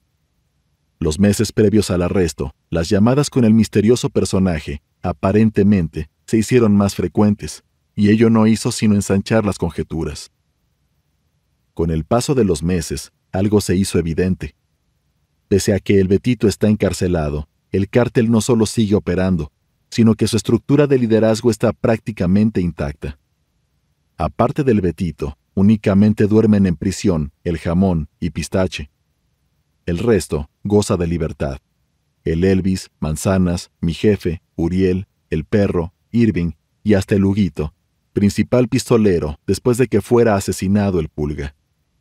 Justamente porque el cártel sigue operando como antes, los investigadores sospechan que las órdenes pueden seguir saliendo de Betito, al tiempo que la maquinaria de la Unión no hace sino mover los hilos de Lampa cada vez más lejos de la capital. En la cortina que cubre la captura de Betito apareció otro nombre, María Guerra Udec, una supuesta testaferra, igual de misteriosa como la propia red de lavado del cártel la cual incluye a un exgobernador de Veracruz, el familiar de un ministro retirado, cirujanos cuestionados y hasta empresas de publicidad. Capítulo 8. La red de lavado. Es una casa de cuatro niveles, fachada color mostaza, portón gris. En su techo se alza una enorme antena parabólica. Se supone que ahí se encuentran las oficinas de la empresa Publicidad Trento, pero más bien parece una residencia deshabitada, porque nadie entra ni sale de allí durante varios días. El informe, Estructura Financiera Unión Tepito, elaborado en 2018 por la Subsecretaría de Información e Inteligencia Policial de la entonces Secretaría de Seguridad Pública, indica que esta compañía ayudó a lavar millones de pesos al cártel de la Unión. Donde deberían estar las instalaciones comerciales, no hay sino esta casona, en ex Hacienda del Rosario, Azcapotzalco, al norte de la Ciudad de México. Cuando por fin una mujer responde el llamado, a través de un interfón, se limita a decir que ahí no hay ninguna empresa, ni tampoco conocen al supuesto representante legal, Alejandro Vega Esquivel, cuyo domicilio, ante el Instituto Nacional Electoral, supuestamente está en la colonia Jardines de Báez, en Ecatepec. Nadie lo conoce ahí. Un comprobante de pago por servicios telefónicos indica que vive en San Mateo, Naucalpan, pero no. Hay otros en la colonia Cristóbal Herrera, Atizapán, y hasta en Avenida Molière, Polanco, con el mismo resultado. Nada. En esta última dirección, fueron obtenidos documentos a nombre de Juventina M., supuesta integrante del Sindicato Independiente de Mujeres Transportistas de Veracruz, de acuerdo con un acta de asamblea del 6 de octubre de 2015. Los movimientos financieros detectados por la policía, en coordinación con la entonces Procuraduría General de la República, consisten en pagos y facturas que no bajan nunca de los 300 mil pesos. Registros públicos señalan que Publicidad Trento se estableció el 2 de mayo de 2017, pero actualmente está dada de baja de cualquier plataforma de investigación gubernamental. A Vega Esquivel lo conectan los organigramas que aparecen en el informe mencionado directamente con José Alberto Maldonado López, el Betito, jefe absoluto del cártel. Lo mismo que con María Guerra Udec, quien, según la base de datos de Bancomext, dependiente del gobierno federal, fue empleada de esa institución bancaria del 3 de diciembre de 2007 hasta, por lo menos, diciembre de 2010, con un puesto de asistente administrativo. Este banco se dedica a dar créditos a pequeñas y medianas empresas mexicanas. En el documento de inteligencia se lee que a UDEC presuntamente se le depositan hasta 855 mil pesos mensuales. Ella estaba, hasta junio de 2019, en la mira de la Unidad de Inteligencia Financiera de la Secretaría de Hacienda, por lo cual recurrió al recurso de amparo, según el expediente 291, diagonal 2019. Durante la primera audiencia del Betito, el nombre de esta mujer salió a relucir. En los informes de la Policía Federal, admitidos por la jueza Beatriz Moguel, se estableció que fue seguida por policías federales el 5 de julio de 2018, un mes antes de la captura del líder de la Unión, pues las autoridades presumían que era cercana a él y posible testaferro.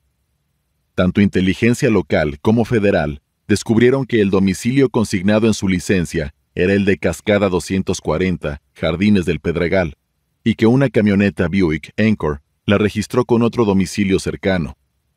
Cañada 155, misma colonia.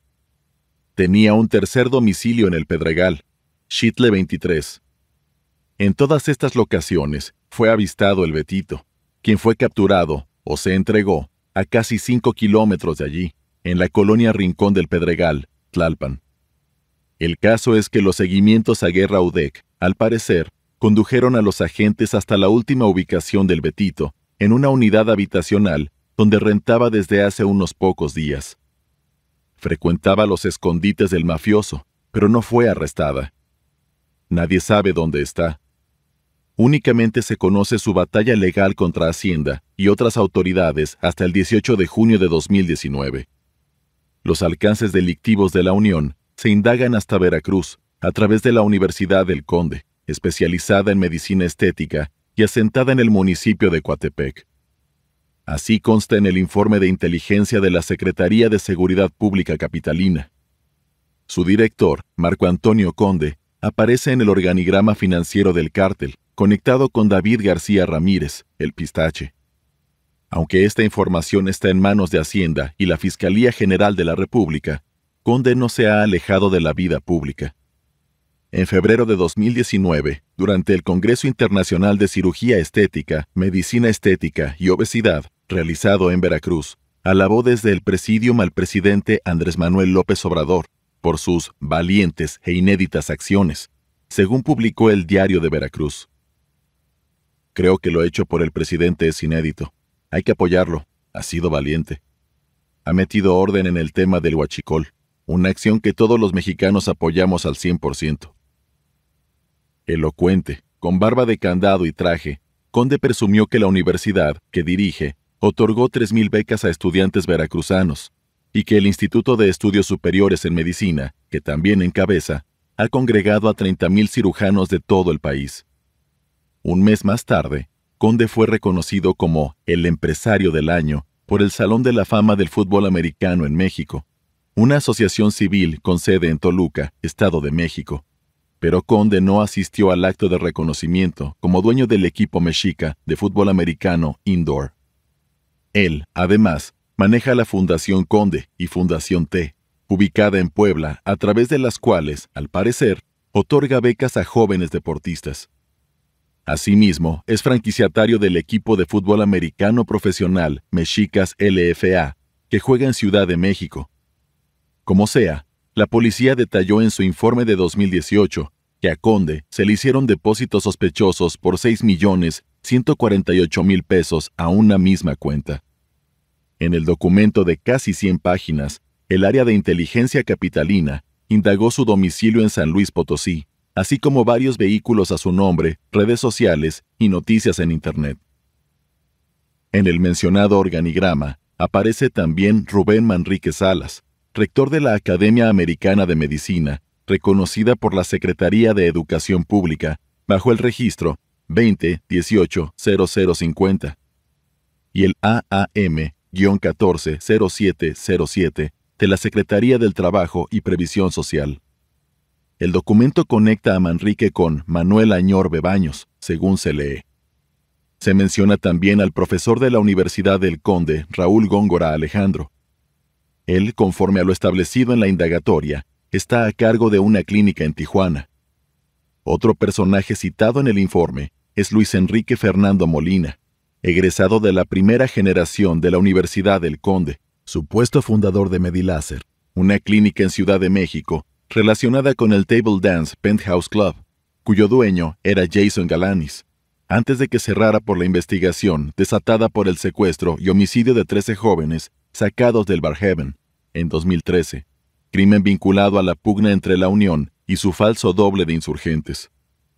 Empresas tras empresas, clínicas, productoras de polímeros y asociaciones civiles forman parte de lo que la Secretaría de Seguridad Pública y la Procuraduría General de la República denominaron la red de cirujanos, enchufada con el andar criminal de la Unión. Incluso se incluye al doctor Jeremías Flores Felipe, encarcelado en 2009, aunque después liberado, por presuntamente participar en un esquema de producción y distribución de productos médicos adulterados, aplicados en cirugías plásticas. Saltó a la mala fama por la denuncia que la cantante Alejandra Guzmán presentó en su contra, luego de inyectarle sustancias dañinas en los glúteos. Hay más. Fue acusado de abuso sexual por una paciente quien, durante el proceso judicial, le otorgó el perdón y se conformó con continuar una demanda civil por los daños que aparentemente le ocasionó el doctor tras una cirugía estética. Prácticamente toda la investigación del área de inteligencia de la Policía y la Procuraduría General de la República empezó cuando extrajeron información del teléfono celular de Víctor Vázquez Alor, mando de una facción del cártel y cercano al pistache.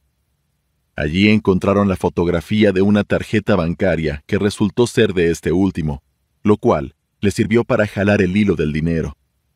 Los investigadores descubrieron que tanto Betito como Pistache recibían depósitos en cuentas abiertas con sus nombres reales al tiempo que la conexión de llamadas telefónicas y triangulaciones bancarias con Alejandro Vega Esquivel, identificado como representante legal de muchas de las compañías fantasmas relacionadas con el cártel, perfilaron las pesquisas que, hasta hoy, continúa perfeccionando la Fiscalía General de la República.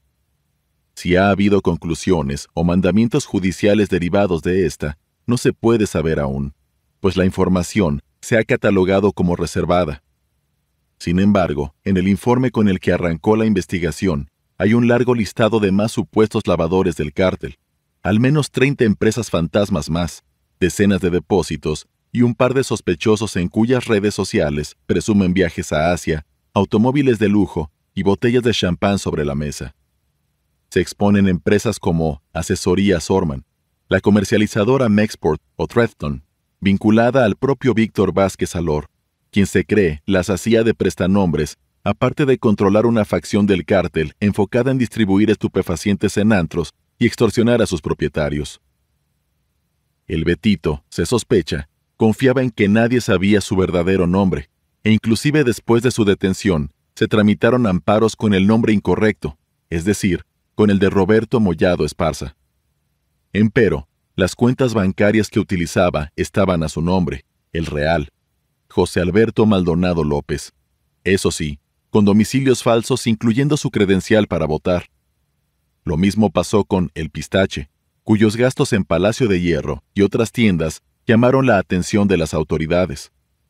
Al revisar los cientos de depósitos achacados a la red de lavado de la Unión, nada más en unos cuantos meses, cuando estaban supeditados al ojo del gobierno y plasmados en los informes mencionados, brota la obviedad. Millones y millones de pesos fueron limpiados desde Jalisco, Tlaxcala, Puebla, Durango, Veracruz, Morelos y Estado de México hasta la capital. Una cuenta de Imbursa alimentaba a otras con cantidades exorbitantes, pero cuando los investigadores solicitaron información a este banco, recibieron muchas trabas, y tiempo después, la cuenta desapareció. Acerca de los dólares que recibía el fundador del cártel, el abuelo, extraditado a Estados Unidos, y los que podrían caer a la organización actual a través de lunares, todavía no se sabe prácticamente nada. Capítulo 9. En las entrañas de la Unión. Imagen 1. Un hombre se cubre el rostro con una siniestra máscara de payaso. Mira hacia su pie, el cual presiona contra el cuello de un joven tirado boca abajo. Una cinta adhesiva lo amordaza. Las manos y los pies descalzos, atados hacia la espalda. Hay un segundo hombre, también enmascarado, inclinado hacia la víctima. Hace el signo de amor y paz con los dedos mientras posa para la cámara. Es una habitación sin muebles, pintada de blanco, lo mismo que las baldosas sobre las que está el pecho desnudo del secuestrado. Imagen 2. Es el mismo muchacho. Sigue boca abajo, pero solo una mejilla está contra el suelo. Puede verse su perfil y una expresión de angustia. A unos centímetros de él están tres pares de tenis, probablemente de otros como él que, ayer o antier, quién sabe, terminaron en ese mismo sitio, a merced de unos asesinos enmascarados. Imagen 3. Ahora está completamente boca abajo. Su cabeza está envuelta en un trozo de polietileno. Debajo hay un charco de sangre que, debido a la escasa luz del lugar, parece un hoyo negro que crece, y es cuestión de tiempo para que se trague el cuerpo. Son fotografías sacadas del teléfono celular de Víctor Vázquez Alor, detenido a las 17.45 horas del 5 de agosto de 2018 en la clase mediera Colonia Narvarte. Todo el contenido del celular está integrado en una indagatoria que la SSP entregó a la Autoridad Investigadora Federal. En esa época, poco o nada se conocía de este miembro de la Unión, pero los hallazgos en su teléfono sentaron las bases para conocer, desde adentro, a la facción del cártel que domina la distribución de drogas y la extorsión en antros, desde la zona rosa hasta Cuapa, en la capital, y desde satélite a Atizapán, en el Estado de México. Lo contenido allí también sirvió para ubicar a su jefe directo, el pistache. Tener tanta información sensible en su celular era definitivamente algo inusual, y como era de esperarse, la cúpula del cártel nunca se lo perdonó. Imagina echar un vistazo a todas las fotografías, videos, contactos y mensajes de un cabecilla criminal que lo conserva todo. Fue un tesoro siniestro tanto para los agentes de inteligencia de la policía que lo arrestaron como para el personal de la Subprocuraduría especializada en investigación de delincuencia organizada, donde recayó el análisis. Bajo el folio TPID 2018-132 se procesó la evidencia. Incluso después de que un juez otorgara la libertad a la y éste continuara delinquiendo. El aparato era un Samsung S9 Plus, registrado con su nombre real. Exactamente 46 minutos antes de ser detenido, Alor habló con su contacto, abuelito Pistache, con quien a lo largo de ese día había tenido comunicación otras dos veces. Apenas fueron unos segundos e inmediatamente marcó a su contacto, Flowers, identificado luego como Alan Flores. Las autoridades extrajeron todo un historial de llamadas y cada uno de los números fue asociado con cuentas de WhatsApp y Facebook. De esta forma se fueron conociendo más rostros de los implicados en la célula. Había hombres y mujeres por igual, la mayoría jóvenes, con jerarquías, tareas y zonas de operación específicas. Alor administraba cuatro grupos de WhatsApp, Cabezas Condesa, Dormidos, Perdidos y Zonas, y Sur.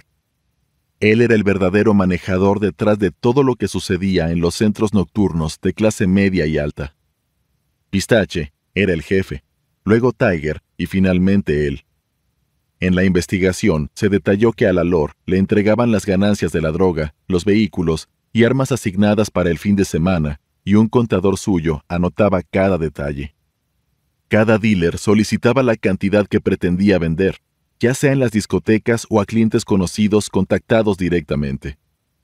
A los investigadores les sorprendió que fueran aproximadamente 100 los narcomenudistas al servicio de la LOR, sin contar a los taxistas, ballet parking, guardias de seguridad y hasta vendedores ambulantes que servían a la facción como halcones o vigilantes. Alor, al parecer, nadaba como pez en el agua en el reventón de los antros, porque lo había hecho de DJ, un pasatiempo muy próximo a ser sueño frustrado. Todos los que ahora en 2020 claman ser cabecillas de esta misma célula estaban bajo sus órdenes. Mitsuru, Osmar, Alexis, Bandido, Andrés Felipe, alias El Colocho, y Mark Varela.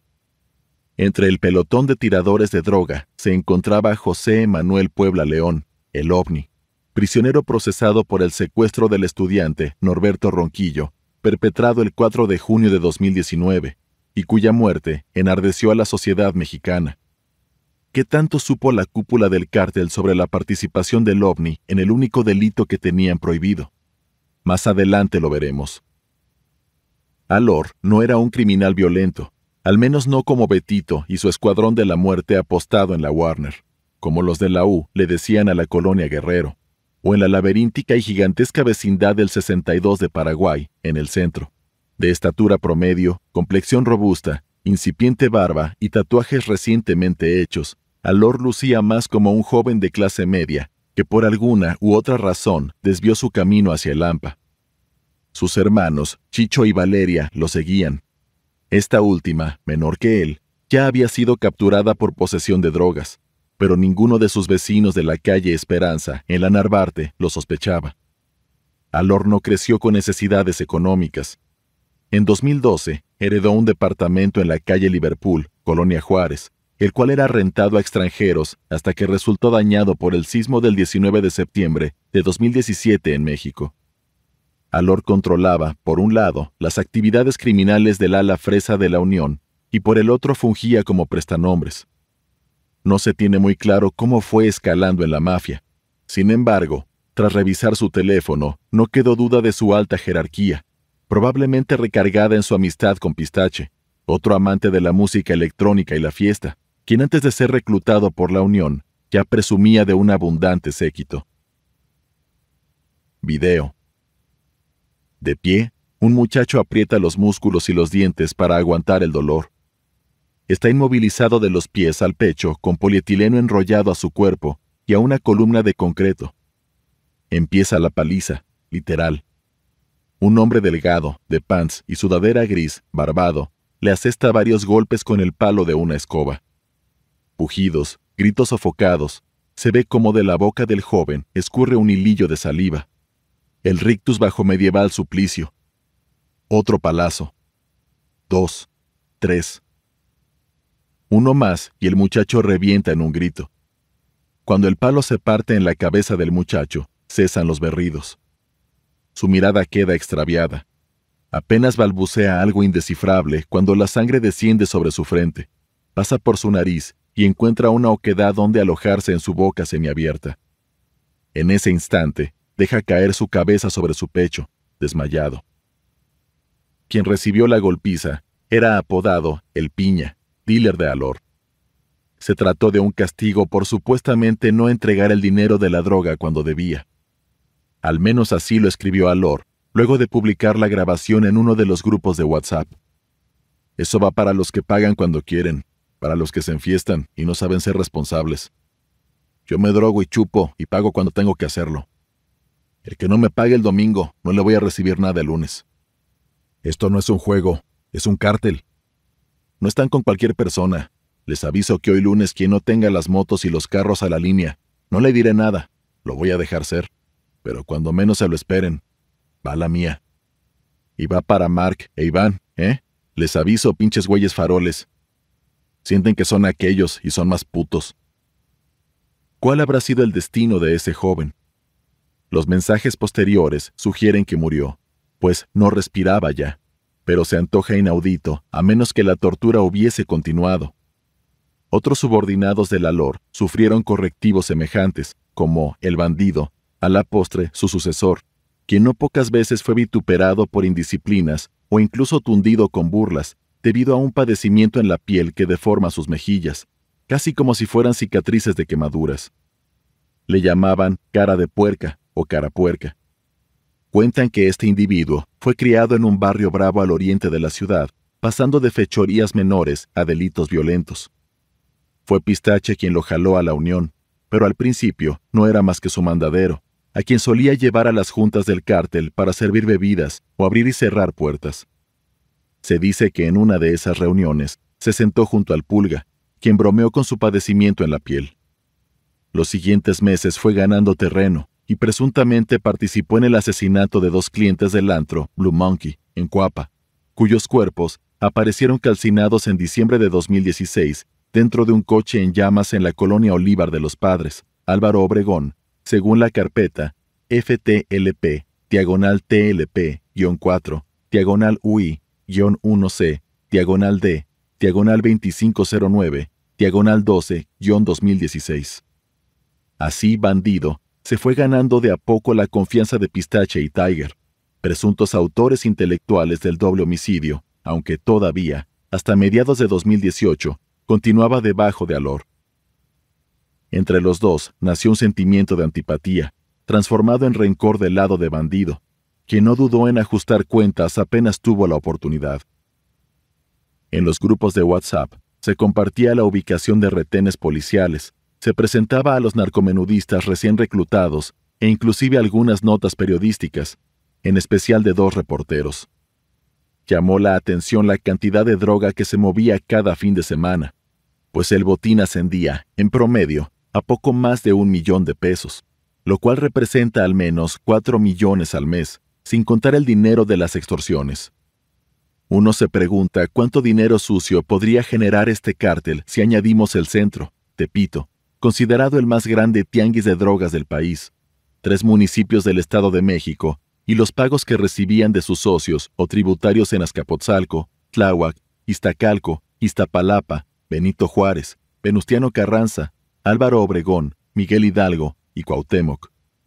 Ciertas autoridades podrían estimar esa cantidad, pero es más difícil estimar el flujo de dólares proveniente de Estados Unidos que llegó a las manos del abuelo. Con la información extraída del teléfono de Alor, al menos había ya elementos para hacer cálculos. Una ventana, aunque pequeña, se abrió para indagar sus cuentas bancarias, y a partir de eso escarbar en su red de lavado, cosa que todavía hoy es un rompecabezas. Y es que desde que el Betito jala las riendas del cártel, ninguna corporación policíaca había tenido en sus manos material tan revelador. Por supuesto, en muchos aspectos era similar a la manera de actuar de otros cárteles. No es que hubiera una novedad allí, pero hasta ese momento, el día a día del grupo delictivo no era sino una conjetura.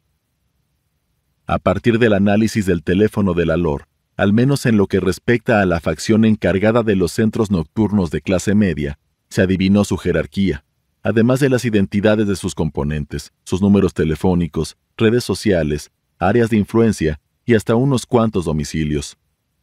Lo más desconcertante es que en el aparato había numerosas fotografías que revelan crímenes no resueltos, víctimas desconocidas, cuerpos no recuperados.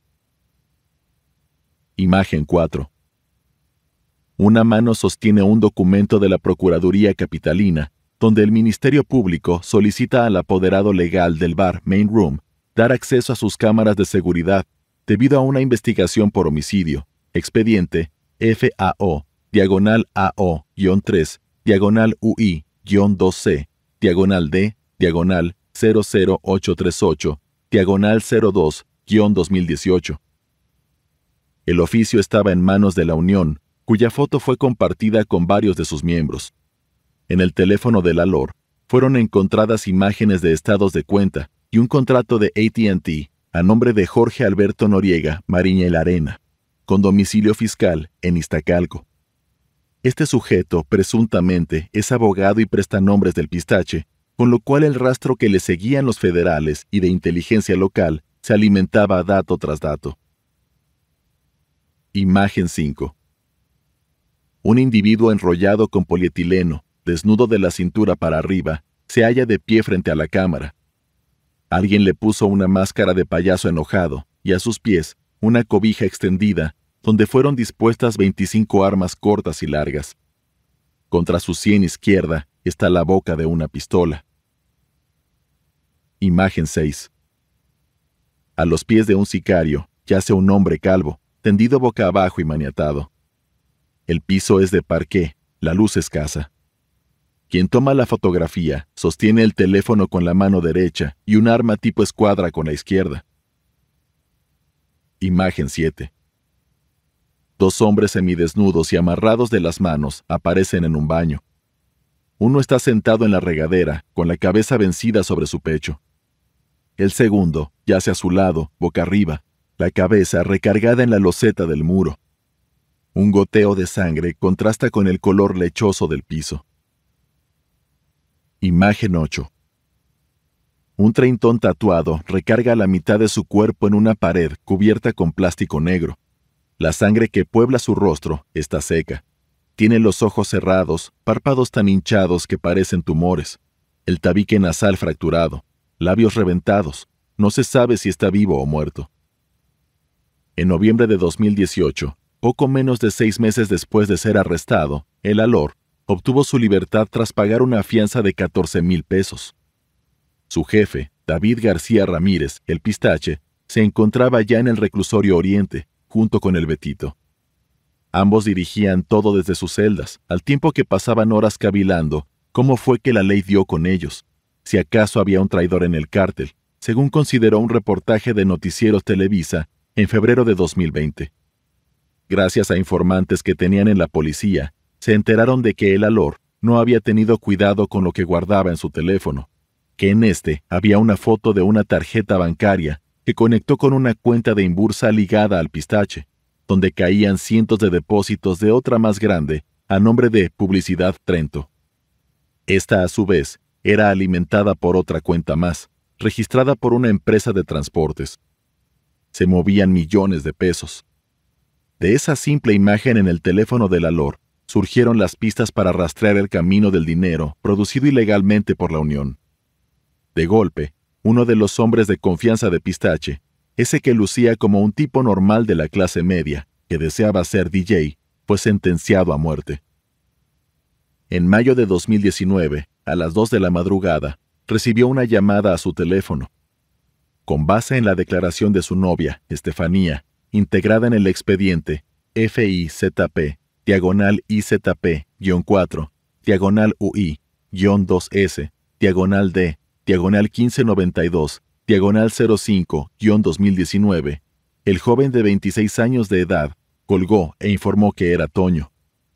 La pareja se alistaba para ir a un bar con unos amigos, y mientras Estefanía se cambiaba de ropa, Alor salió del apartamento que rentaban en la colonia Jardines de Churubusco, en Iztapalapa. Videos de cámaras particulares lo captaron caminando despreocupadamente, hablando por su celular, hasta el punto donde se quedó de ver con Toño. Llevaba bermudas, playera y gorra oscura. El reloj marcó las 2.16 horas cuando se encontró con su asesino. Apenas cruzaron unas palabras cuando un resplandor rompió en la oscuridad. El alor se desplomó inmediatamente, pero los balazos no cesaron. Su verdugo le pegó uno a quemarropa justo antes de inclinarse para recoger el teléfono de su víctima. Estaba muy claro, esta vez no caería en manos de la policía. Sin embargo, el alor aún vivía. Tendido boca arriba luchaba por su vida. Se retorcía, estiraba y flexionaba las piernas en un reflejo de dolor, e inclusive alzó la mano para pedir ayuda a un coche que se siguió de largo. En un momento intentó ponerse de pie, pero no lo consiguió. Segundos después, una motocicleta con dos individuos se paró a su lado y el conductor, sin bajar del vehículo, le disparó nuevamente. Con la última detonación se acabó la agonía. La cámara siguió grabando el flotar de la noche, calurosa y fantasmal, hasta que unos diez minutos más tarde arribó la primera patrulla. De acuerdo con las indagatorias, el homicidio fue presuntamente ordenado por el propio Pistache a través de un muchacho apodado El Pibe, detenido en julio de ese 2019 y quien le servía como mensajero. Cuando la facción del pistache se enteró del mandato, un hombre se propuso para cumplirlo, el bandido. Como habíamos establecido anteriormente, este hombre guardaba un puñado de rencores contra Alor, porque aparentemente le había aplicado correctivos en más de una ocasión. Quizá el bandido, que escapó del operativo en la colonia Narvarte la misma noche que cayó Pistache en Santa Fe, consideraba que los correctivos habían sido excesivos, aparte de las burlas que constantemente recibía de Alor, por su enfermedad en la piel. Aparentemente fue él quien ajustó cuentas, junto con el Colocho, otro que huyó del operativo de la Marina porque lo mandaron por tacos y lo estaban despachando mientras todo sucedió. Naturalmente, asesinar a su ex jefe los hizo ascender en el escalafón del cártel. El propio bandido relató esto tras ser capturado por agentes de la Secretaría de Seguridad Ciudadana en noviembre de 2019. Como era de esperarse, su nuevo puesto molestó a varios, pero más a un joven colombiano apodado El Guerrero, quien desertó del grupo y con la gente que tenía le declaró la guerra al bandido, y por ende, a la Unión.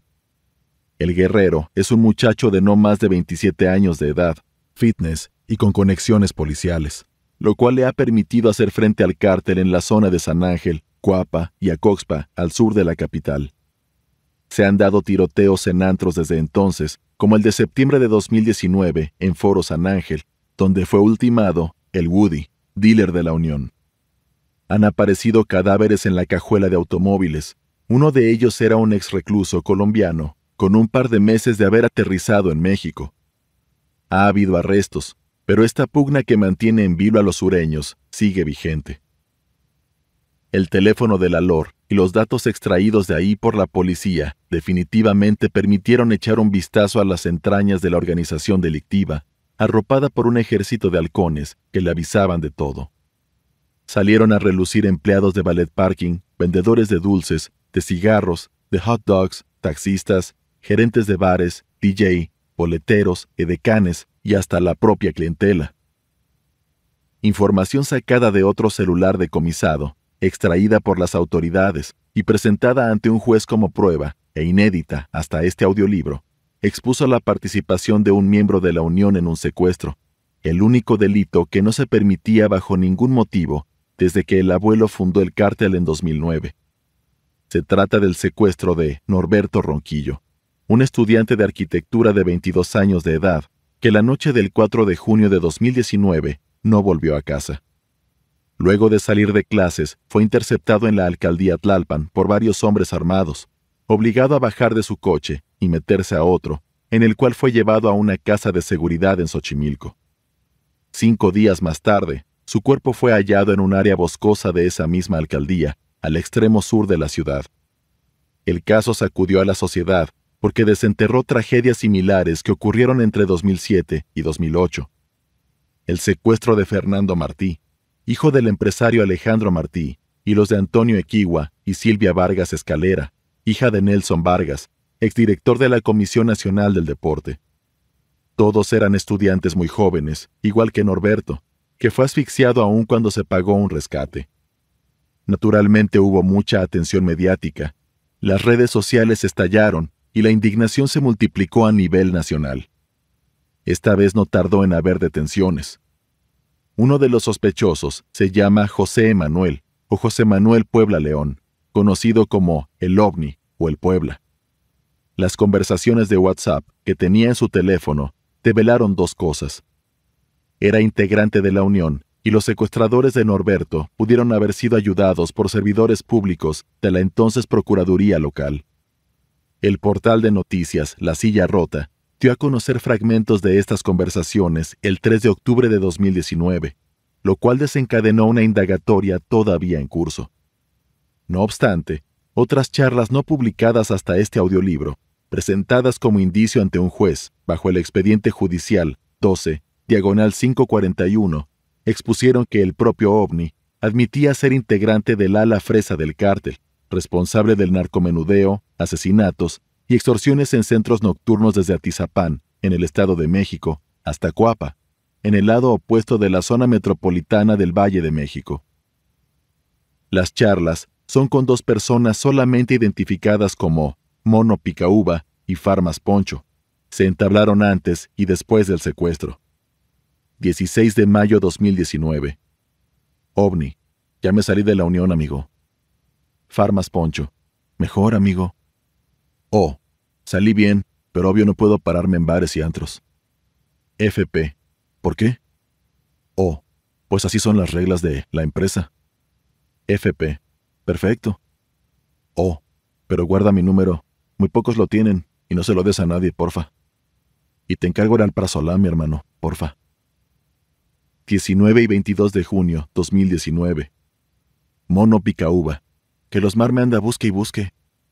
Que anda pregunte y pregunte por mí. A Selene. OVNI. Sí, pobre morro, la neta. ¿Ya salió? No, ni salgas, y menos si ya te habló Osmar. MP.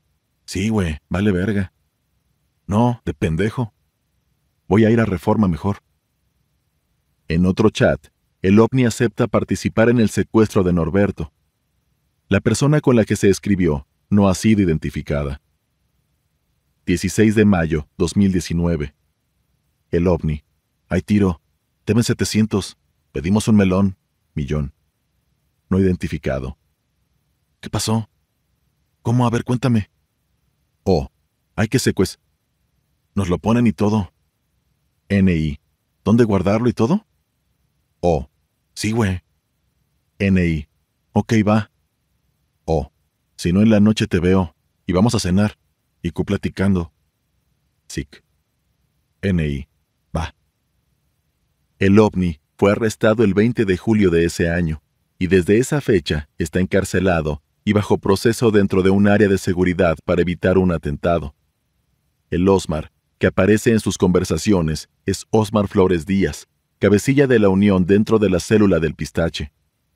Fue detenido en mayo de 2019 en Polanco y no salió libre sino hasta agosto de ese año, por lo cual no fue vinculado al secuestro de Norberto, pero sí Mono Picaúba y el OVNI, los cuales eran dealers bajo su cargo.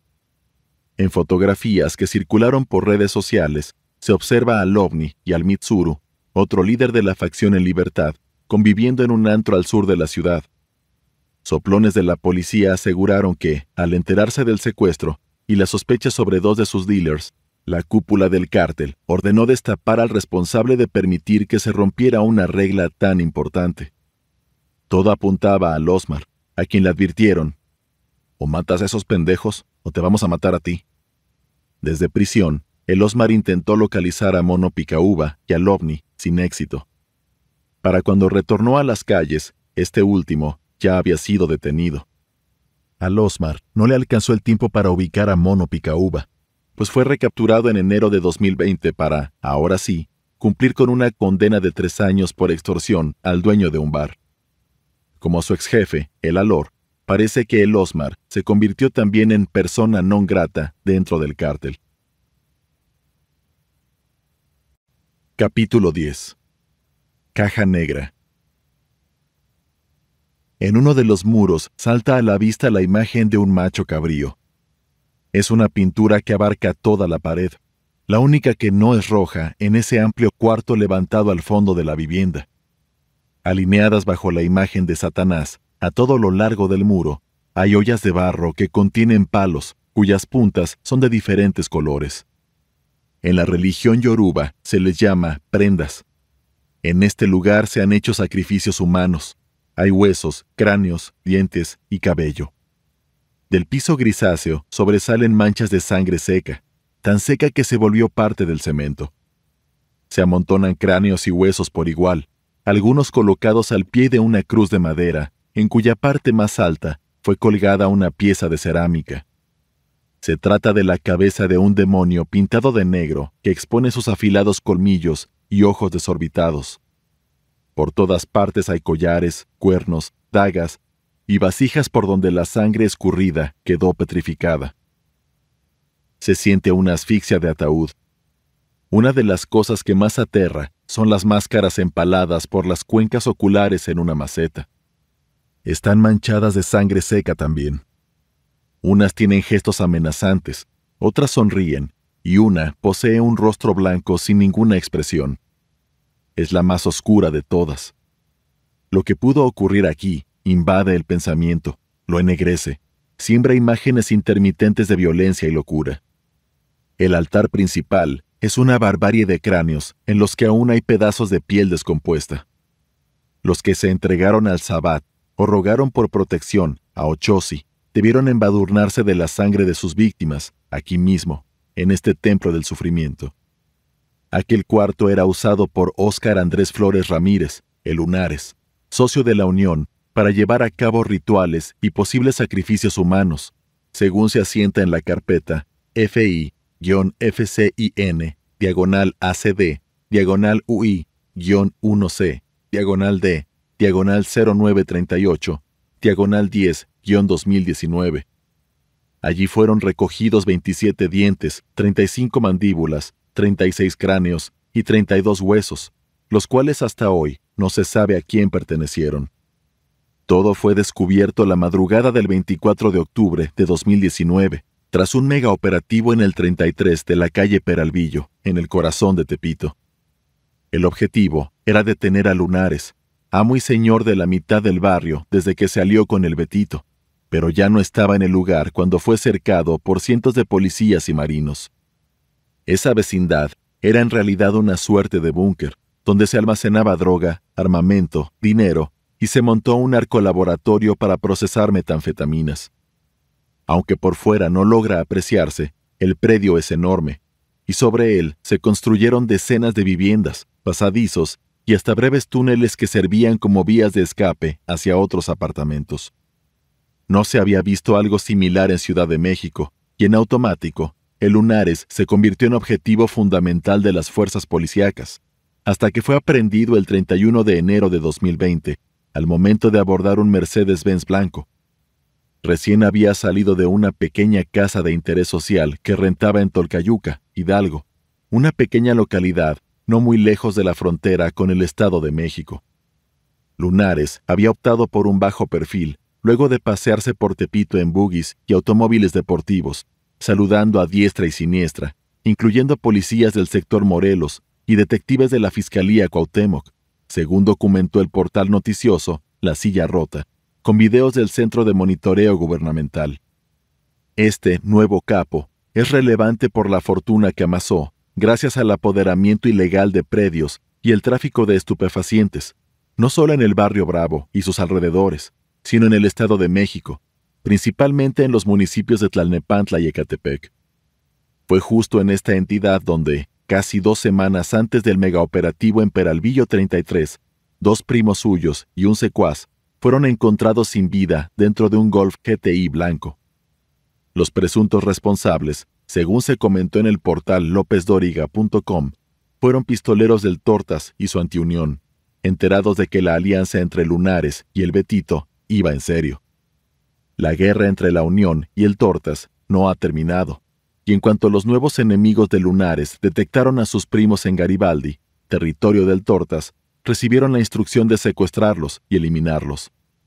Si hay guerra entre dos grupos violentos, ningún miembro puede pisar los terrenos del otro, así de fácil. Los primos de Lunares no estaban en Garibaldi por casualidad. Ahora bien, su lugar de operación era Ecatepec y Tlalnepantla, donde Lunares y la Unión se mueven a sus anchas desde 2018. Hubo un puñado de hallazgos de cadáveres con mensajes firmados por Fuerza Antiunión en Ecatepec, el municipio con mayor densidad poblacional del país. Autoridades mexiquenses alegaron que solamente abandonaban los cadáveres en la entidad para complicar las pesquisas, pues los secuestros se daban en la capital, cosa que en ciertos casos es verdad, pero no en este. La unión se extendió a Ecatepec, Tlalnepantla, Atizapán y Naucalpan, donde ya controlaban la venta de droga en la zona de antros y satélite, hecho que hacia afuera se minimizaba, pero hacia adentro preocupaba. No es que el Estado de México no haya tenido cárteles antes. En su territorio reposaban como sultanes, o peleaban los Beltrán Leiva, los Zetas, la familia michoacana, caballeros templarios y recientemente el cártel Jalisco Nueva Generación. El problema es que la Unión es un cártel chilango, y eso incomoda, pues no hay manera de pretextar que son invasores, fuereños o que andan de paso. Son criminales curtidos en la capital, esa que los gobernantes presumían como la única ciudad blindada ante el narco. Son traficantes que vieron crecer su poder ante el amparo, indiferencia o incompetencia de autoridades de todos los niveles. Un nuevo jugador surgido en casa provoca escosor, y es lo que sucede en terruños mexiquenses.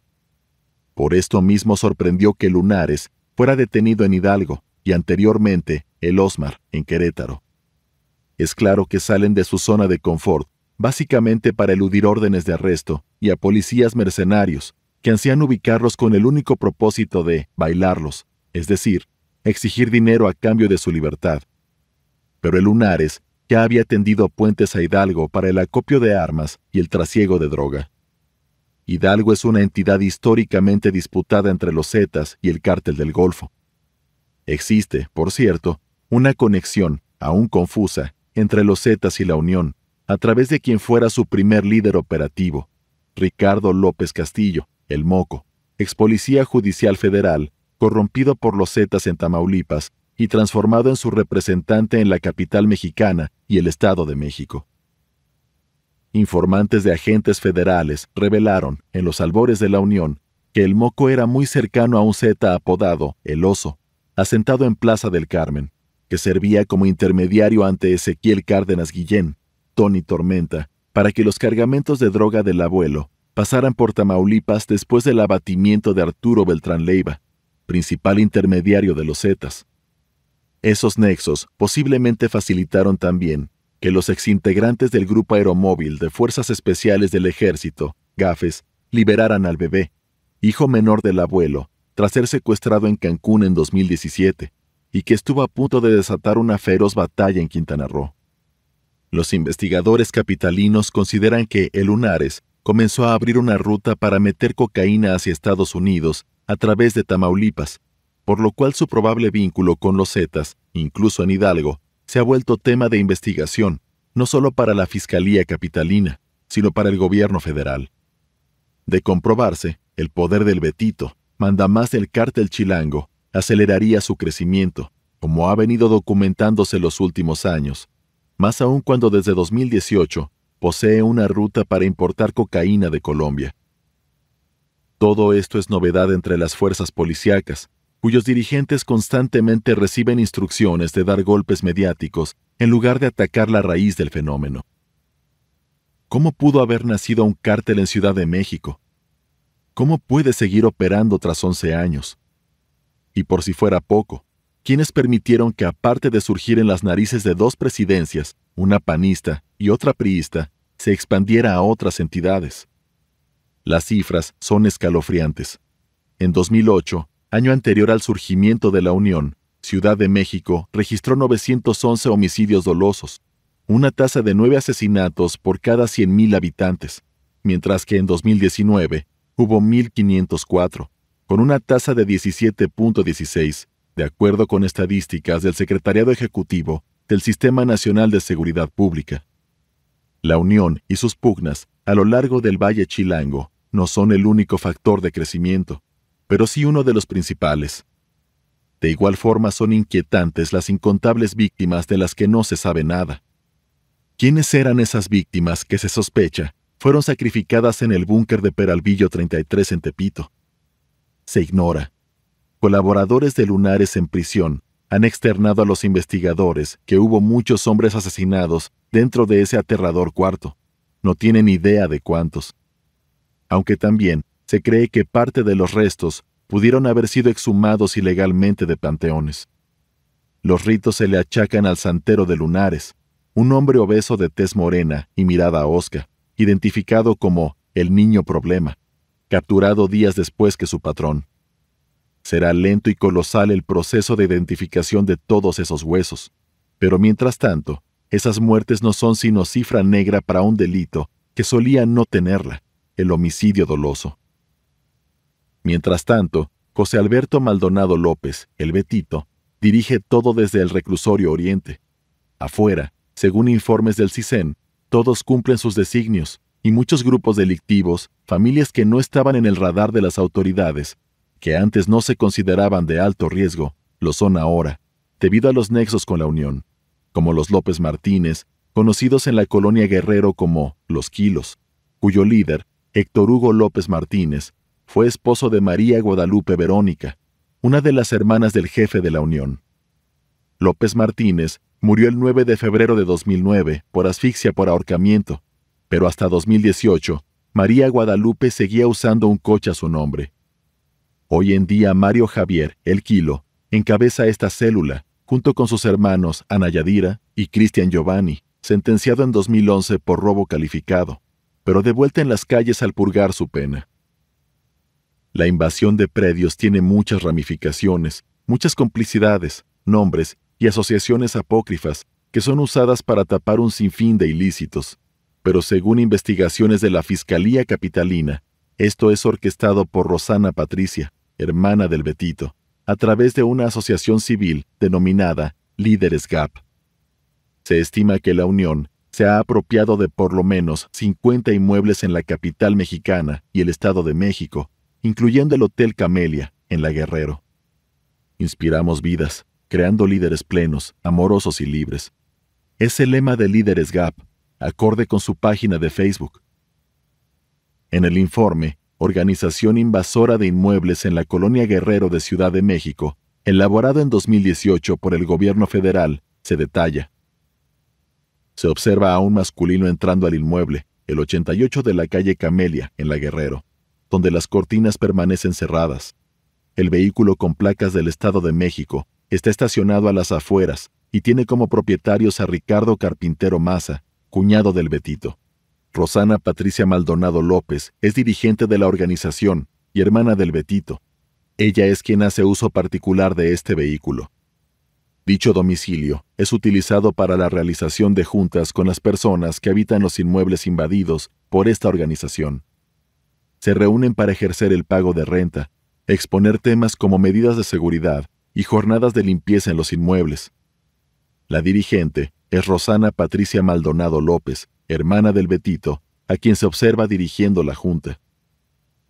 A pesar de estas informaciones, la instancia responsable de recuperar inmuebles tomados ilegalmente es la Fiscalía local que, si bien ha devuelto a sus dueños cientos de predios, no ha podido hacerlo con los que la Unión, o el Tortas, ha tomado.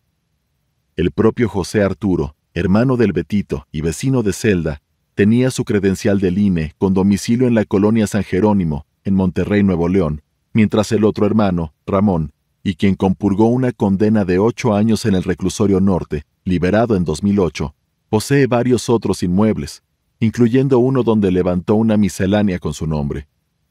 La antiunión sigue por la misma tónica, pero sin el poder de expansión de sus enemigos, pese a las especulaciones sobre una posible alianza con el cártel Jalisco Nueva Generación.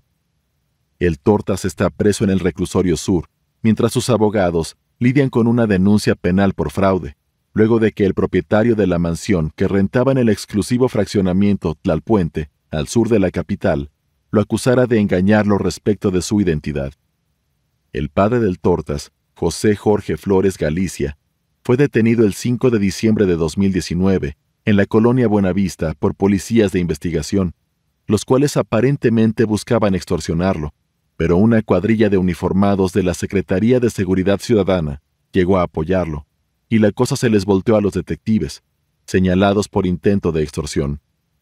Los días siguientes, la pareja de agentes estuvo bajo arresto. Afortunadamente para ellos, solamente se les fincaron responsabilidades por cohecho, pues el papá del jefe de la antiunión no quiso seguir con el proceso penal. Estas situaciones transcurrían en medio de una creciente tensión en las cárceles chilangas debido al buen número de integrantes de la Unión y sus némesis que fueron puestos tras los barrotes. Empezaron agresiones entre ellos, atentados y amenazas contra custodios del reclusorio Oriente, principalmente, por lo cual se determinó sacar a 140 mafiosos de ambas organizaciones y trasladarlos a diferentes prisiones del país. Previsiblemente, esta acción no alcanzó al Betito, Pistache ni Lunares, tampoco al Tortas o el Cabezas, ni algún otro alfil de calado. En libertad, el principal objetivo de las autoridades es Uriel Flores Conchas, hermano del Tortas, de 25 años de edad y con solo una averiguación a sus espaldas. La FAM, diagonal 57, diagonal T1, diagonal 183.1, diagonal 12-11, iniciada en noviembre de 2012 y desechada el 22 de febrero de 2013. No hay precisiones sobre qué papel está jugando en la antiunión, pero es un hecho que se aferra a un bajo perfil y hasta ahora no hay ningún mandamiento judicial en su contra. Otras piezas de este grupo delictivo son Jesús Jorge, el Chucho, avecindado en Chalco, Estado de México, Ramón Ornelas, quien hasta 2018 estaba en el reclusorio norte, y Daniel Salgado, supuesto representante del Tortas en dicha prisión.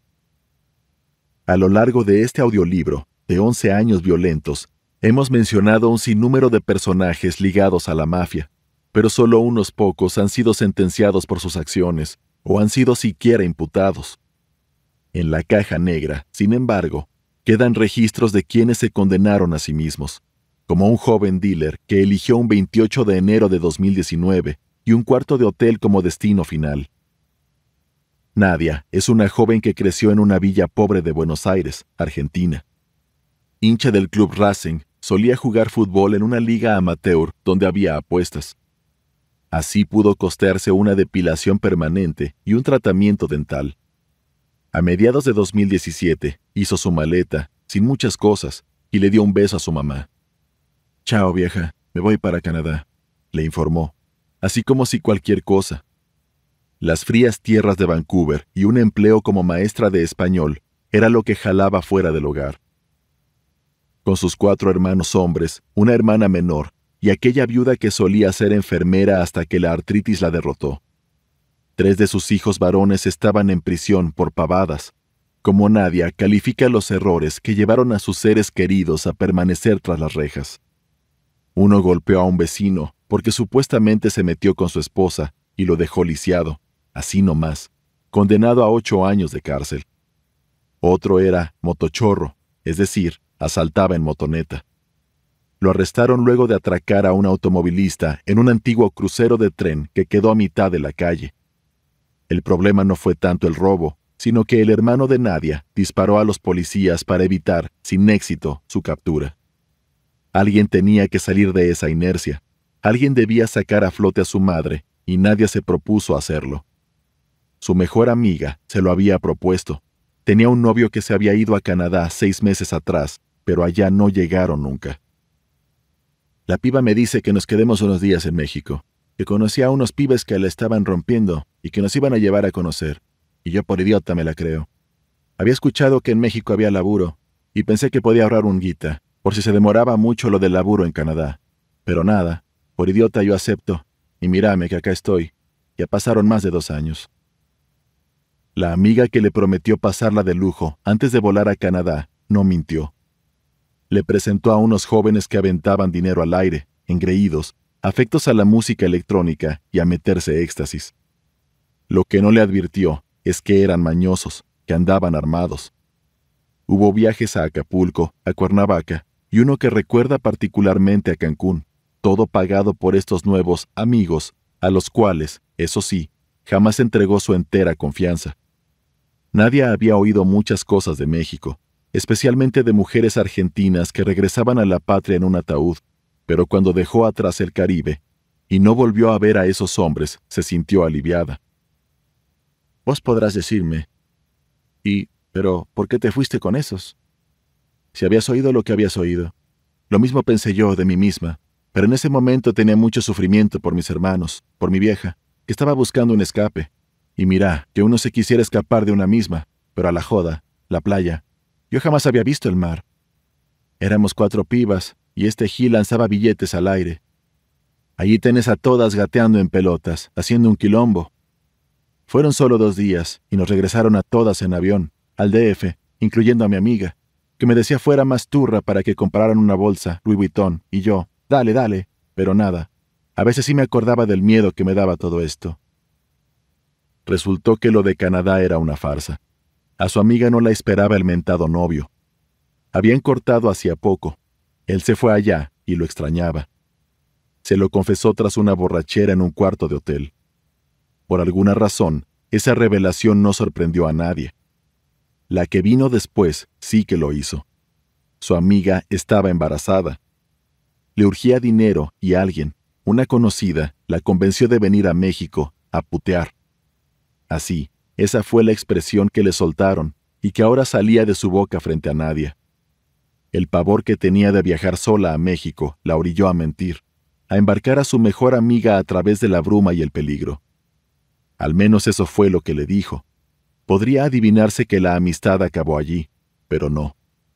Las dos juraron cuidarse mutuamente, y ver la manera de hacer dinero y regresar a Argentina lo antes posible.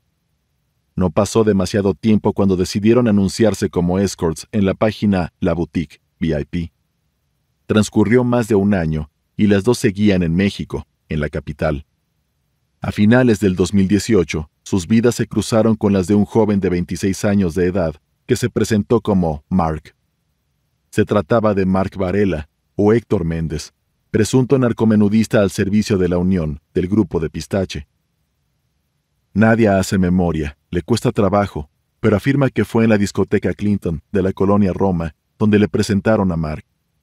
Su amiga lo anunció como un pibe que tenía tatuajes y se juntaba con malandros, pero que en el fondo era bueno, casi como un niño que no está plenamente consciente de su vida, una que se le estaba yendo por el caño. La mayoría de los que rodeaban a Mark eran meseros, cadeneros, barristas del Club de Fútbol América o dealers de la Unión que lo reclutaron a través de Víctor Vázquez Alor, quien cada que podía le recordaba lo farol que era por presumir sus tatuajes y estilo de vida de rockstar en Facebook. De sobra sabía que Alor, pese a haber sido el que le presentó al pistache y lo metió a la clica, no le perdonaría ni un error. Una vez le escribió en un grupo de WhatsApp. Y va para Marca y Ivane, les aviso pinches güeyes faroles. Sienten que son aquellos, son más putos. Sick. No era sino una primera advertencia de que, si Mark seguía enfiestando hasta quedar inconsciente, ajeno de sus obligaciones con el cártel, lo iban a demandar, que en el calor de la unión significa matar. Quizá fuese la presión, las cosas que vivió, lidiar con el sufrimiento ajeno y con sus propios monstruos, pero Mark se hundía cada día que pasaba. Era adicto a toda clase de drogas, pero sobre todo al alcohol. El ambiente en el que flotaba lo iba consumiendo como un cigarrillo postrado sobre las cenizas de otros iguales. Esa noche en el Clinton, Mark y Nadia bailaron, bebieron y se drogaron hasta el punto de que su amiga tuvo que sacarla a rastras de un apartamento donde la luz les quemó los párpados a las 13 horas del día siguiente. Como pudieron, montaron un taxi y enfilaron al hotel, pidieron unas hamburguesas y volvieron a dormir. Días después, su amiga recibió un mensaje de Mark, quien invitaba a ambas a salir por la noche. A cada una les iba a dar nueve mil pesos por la noche, además de que por su cuenta corría el perico y el alcohol. Era casi la mañana del domingo 27 de enero cuando Mark y un individuo que lo escoltaba decidieron salir del after donde estaban los cuatro para lanzarse al Hotel Senador, ubicado en la céntrica colonia Doctores. A Nadia y a su amiga les pareció que había algo raro. Mark lucía nervioso, fastidiado o algo que no externaba. En el trayecto en taxi estuvo clavado en su celular, sin entretenerse con algo en específico. Solo lo desbloqueaba y bloqueaba, como si esperara una llamada o un mensaje. Pese a todo, los cuatro compraron cerveza, arribaron al hotel y ocuparon una habitación mientras afuera el sol ya había despuntado. El pibe le dice a mi amiga que quién era la mujer que había traído, o sea yo, y se ríe porque piensa que me está cargando, pero lo decía en serio. El Gil estaba muy mal. No reconocía. Decía que me iba a sacar de ahí. Yo pensé, ya está, dejemos la joda para otro día. Pero de debajo de una almohada sacó una pistola y me apuntó. No se le entendía nada. El pibe se veía mal, muy mal. Yo estaba segura de que se le iba a ir un tiro. El teléfono de Mark no paraba de timbrar una y otra vez hasta que resolvió por apagarlo. Echó un largo trago a su cerveza y propuso jugar a la ruleta rusa. Todos en la habitación se congelaron. No era el típico Mark alivianado que iba y venía en la discoteca, con su rostro agradable, cabello corto, complexión atlética y tatuajes. Tenía una cara de niño que no le encaja a un malandro. Esa mañana les advirtió a todos que quería jugar porque se quería morir. Su escolta le repetía, Ya, carnal, aliviánate. Pero de pronto se sacó su playera y miró fijamente su pistola, una escuadra con cachas doradas. Segundos después, escupió. Órale, culeros. ¿O les da culo? Nadie atinó en otra cosa más que evadir su mirada. El silencio se apoderó del lugar, incluso cuando Mark alzó su brazo derecho con el arma empuñada y puso el cañón sobre su cabeza. Sudaba y se le veía perdido, de sí, de todo. Yo empiezo, dijo. Entonces, jaló del gatillo. Su cuerpo quedó ahí recostado sobre una mancha de sangre que crecía sobre lo blanquísimo de la almohada. En unos cuantos instantes, la habitación se vació. Nadia y su amiga abandonaron el hotel y lo último que observaron fue al acompañante de Mark quedarse afuera del senador, de pie, hablando por teléfono. En la prensa se publicó que Mark Varela, un dealer y extorsionador de la Unión, había sido hallado muerto en esa habitación, mientras entre los investigadores de la policía se afirmaba que se había disparado accidentalmente, aunque para Nadia está muy claro que ese juego nada más fue el pretexto para acabar, de una vez por todas, con los demonios que lo comían desde adentro. La historia de la Unión y sus contrincantes se sigue escribiendo. Apenas el Instituto Federal de Acceso a la Información aceptó un recurso de revisión para que las dependencias de seguridad informen sobre el número de asesinatos ligados al narcotráfico que se han perpetrado desde 2006, con lo cual podría estimarse cuántas víctimas, al menos las que cuentan las autoridades, ha habido en el Valle de México desde que surgió la Unión, el cártel chilango. Sin embargo, más que números, cada una de ellas es una historia, una vida que en algún momento tuvo luz propia y que por alguna u otra razón se apagó en el infierno del narco. También hay víctimas que escapan a ese registro, que no son visibles, que están en el limbo. Para las autoridades esas víctimas están desaparecidas, no son sino un caso más, un expediente en el archivo, pero para quienes la siguen buscando son todo el amor que tuvieron y que algún día anhelan recuperar. De niña, Atsin quería ser bailarina de ballet. Conforme creció, le dejó de gustar el ballet, pero no el baile. Se crió sola con su madre. Eran ellas dos y hasta le sobraba. Con el tiempo a se le fue pegando el carácter recio de su mamá, María de Jesús Molina Salinas, cuyos apellidos lleva la muchacha para reafirmar que son ellas dos en el mundo o contra él, depende el caso. María de Jesús la hizo de madre, padre y amiga, hasta donde su absorbente trabajo como abogada penalista lo permitió, mientras Atsin se graduaba en 2018 del Centro de Educación Artística Frida Kahlo. Después vinieron las clases de inglés, la obsesión por el gimnasio y el sueño de ir a estudiar actuación a Los Ángeles. A la hora de la cena era cuando ambas desmenuzaban su día y platicaban del futuro. Atsin es alta, casi 1,70, de tez morena clara, cejas pobladas bien delineadas, cabello un poco por debajo del hombro y lacio. Pero quienes la conocen saben que su sonrisa es su mejor carta de presentación. No pocas veces sirvió como artilugio para suavizar un regaño o eludir un sermón. Basta observar las fotografías del soleado día en que se graduó para imaginar que Atsin suele sonreír a la menor provocación. Luce despampanante, con esa blusa gris con cuello y mangas hasta los codos, una ajustada falda del mismo color y tacones blancos, aunque sin ese aire arrogante que usualmente acompaña a una figura de gimnasio. Aún así, su sonrisa la delata, es la niña de mamá y lo será siempre. El día que Atsin desapareció, ella esperaba a María de Jesús para cenar juntas, pero el tráfico retrasó a su mamá y la muchacha de 19 años de edad tuvo que adelantarse. Salió de su casa y se dirigió a Ecatepec a alistarse para el concierto de ese 8 de febrero de 2018, donde trabajó como bailarina.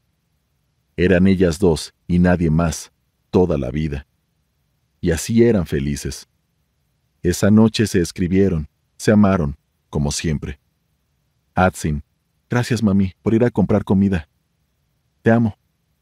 María de Jesús, bailas bonito. Cuídate mucho. A.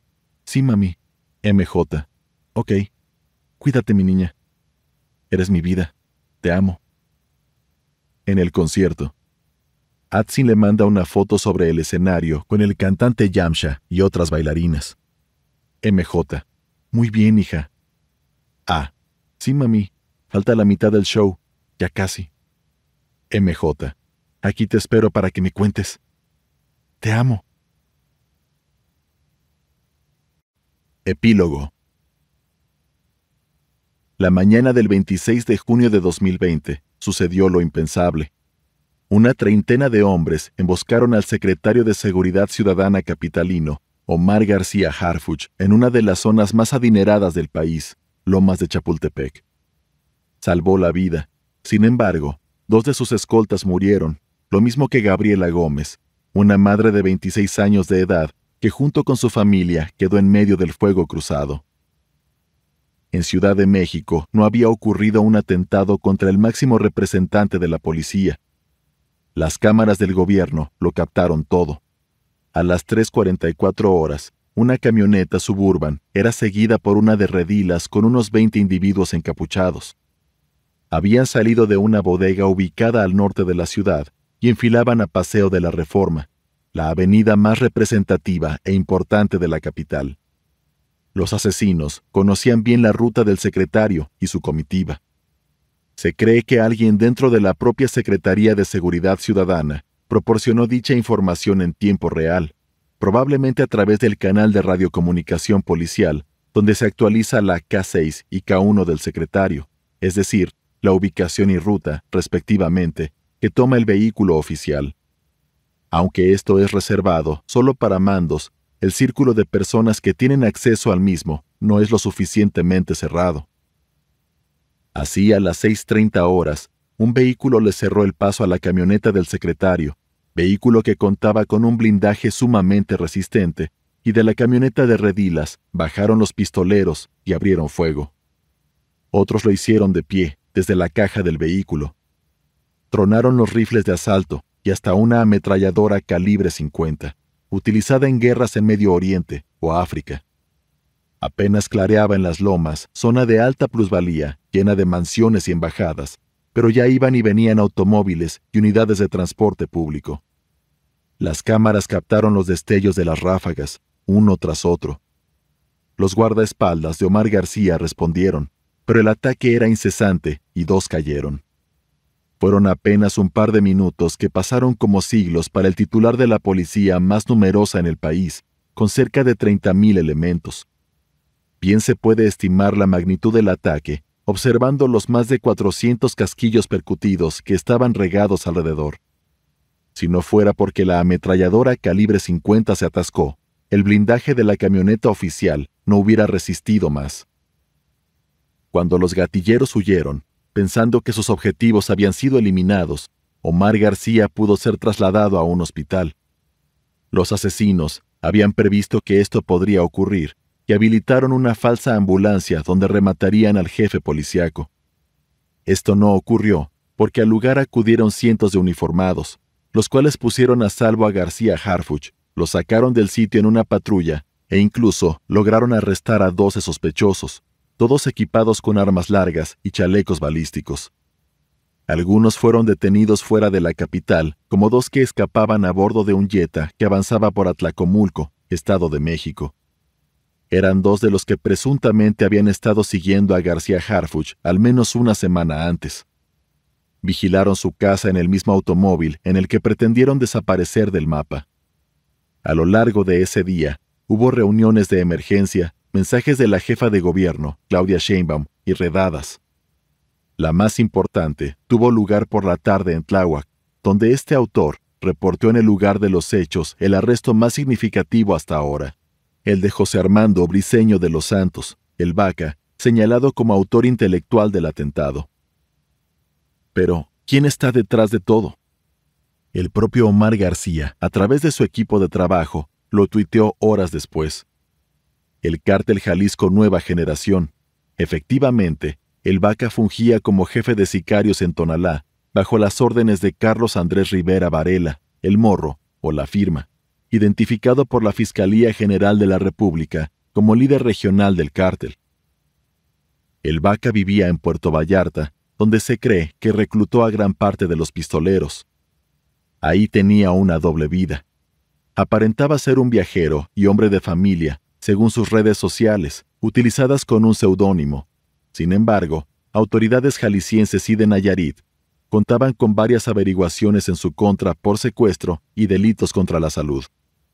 Este autor cuenta con fotografías obtenidas de videos del momento exacto en que el Vaca y varios cómplices armados secuestran a un grupo de hombres cuyo paradero, hasta ahora, es desconocido. Ahora bien, ¿por qué el cártel Jalisco Nueva Generación querría matar al titular de la policía chilanga? Es una interrogante que ha engendrado toda clase de especulaciones e inclusive videos de encapuchados culpándolo de homicidios y corrupción, material cuya autenticidad está en duda. El Vaca dijo a las autoridades una serie de incongruencias y contradicciones. Incluso intentó culpar de la agresión a los Viagras grupo delictivo contrario al CJNG en Michoacán. Rodaron otros nombres, como el de Jonathan Lenin Canchola, socio de la Unión y amo y señor de Coajimalpa, pero sin ofrecer ninguna prueba y por lo tanto no ha pasado de rumor. Como sea, nadie sabe con certeza la razón del atentado, pero diversos acontecimientos que sucedieron inmediatamente después parece que juegan un papel importante en la historia. La madrugada del 8 de julio, contra todo pronóstico, José Alberto Maldonado López, el Betito, líder de la Unión, fue sacado del reclusorio Oriente y trasladado al Centro Federal de Readaptación Social 15, en Chiapas. Cuando fue detenido en 2018, fue llevado a una cárcel en Veracruz con el objetivo de dificultar su operación, pero no tardó mucho en ser regresado a Ciudad de México gracias a un amparo que obtuvo su poderoso bufete de abogados. Así se mantuvo casi dos años, pese al esfuerzo de las autoridades por internarlo en una prisión donde no pudiera corromper a celadores y así tener todas las facilidades para seguir al frente de su organización criminal. Pues bien, la madrugada del 8 de julio, él, su mano derecha, David García Ramírez, el pistache, y su socio, Óscar Andrés Flores Ramírez, el Lunares, fueron sacados de sus celdas y metidos a una camioneta de la Subsecretaría del Sistema Penitenciario, en la que fueron trasladados. Pero el traslado se hizo de manera extraña. El conductor fingió que sacaba cosas del penal en vez de personas, y el amparo que mantenía al Betito en el presidio capitalino seguía vigente.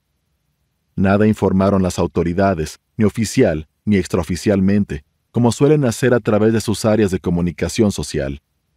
Este autor, obtuvo una fotografía que tomaron los agentes encargados del traslado.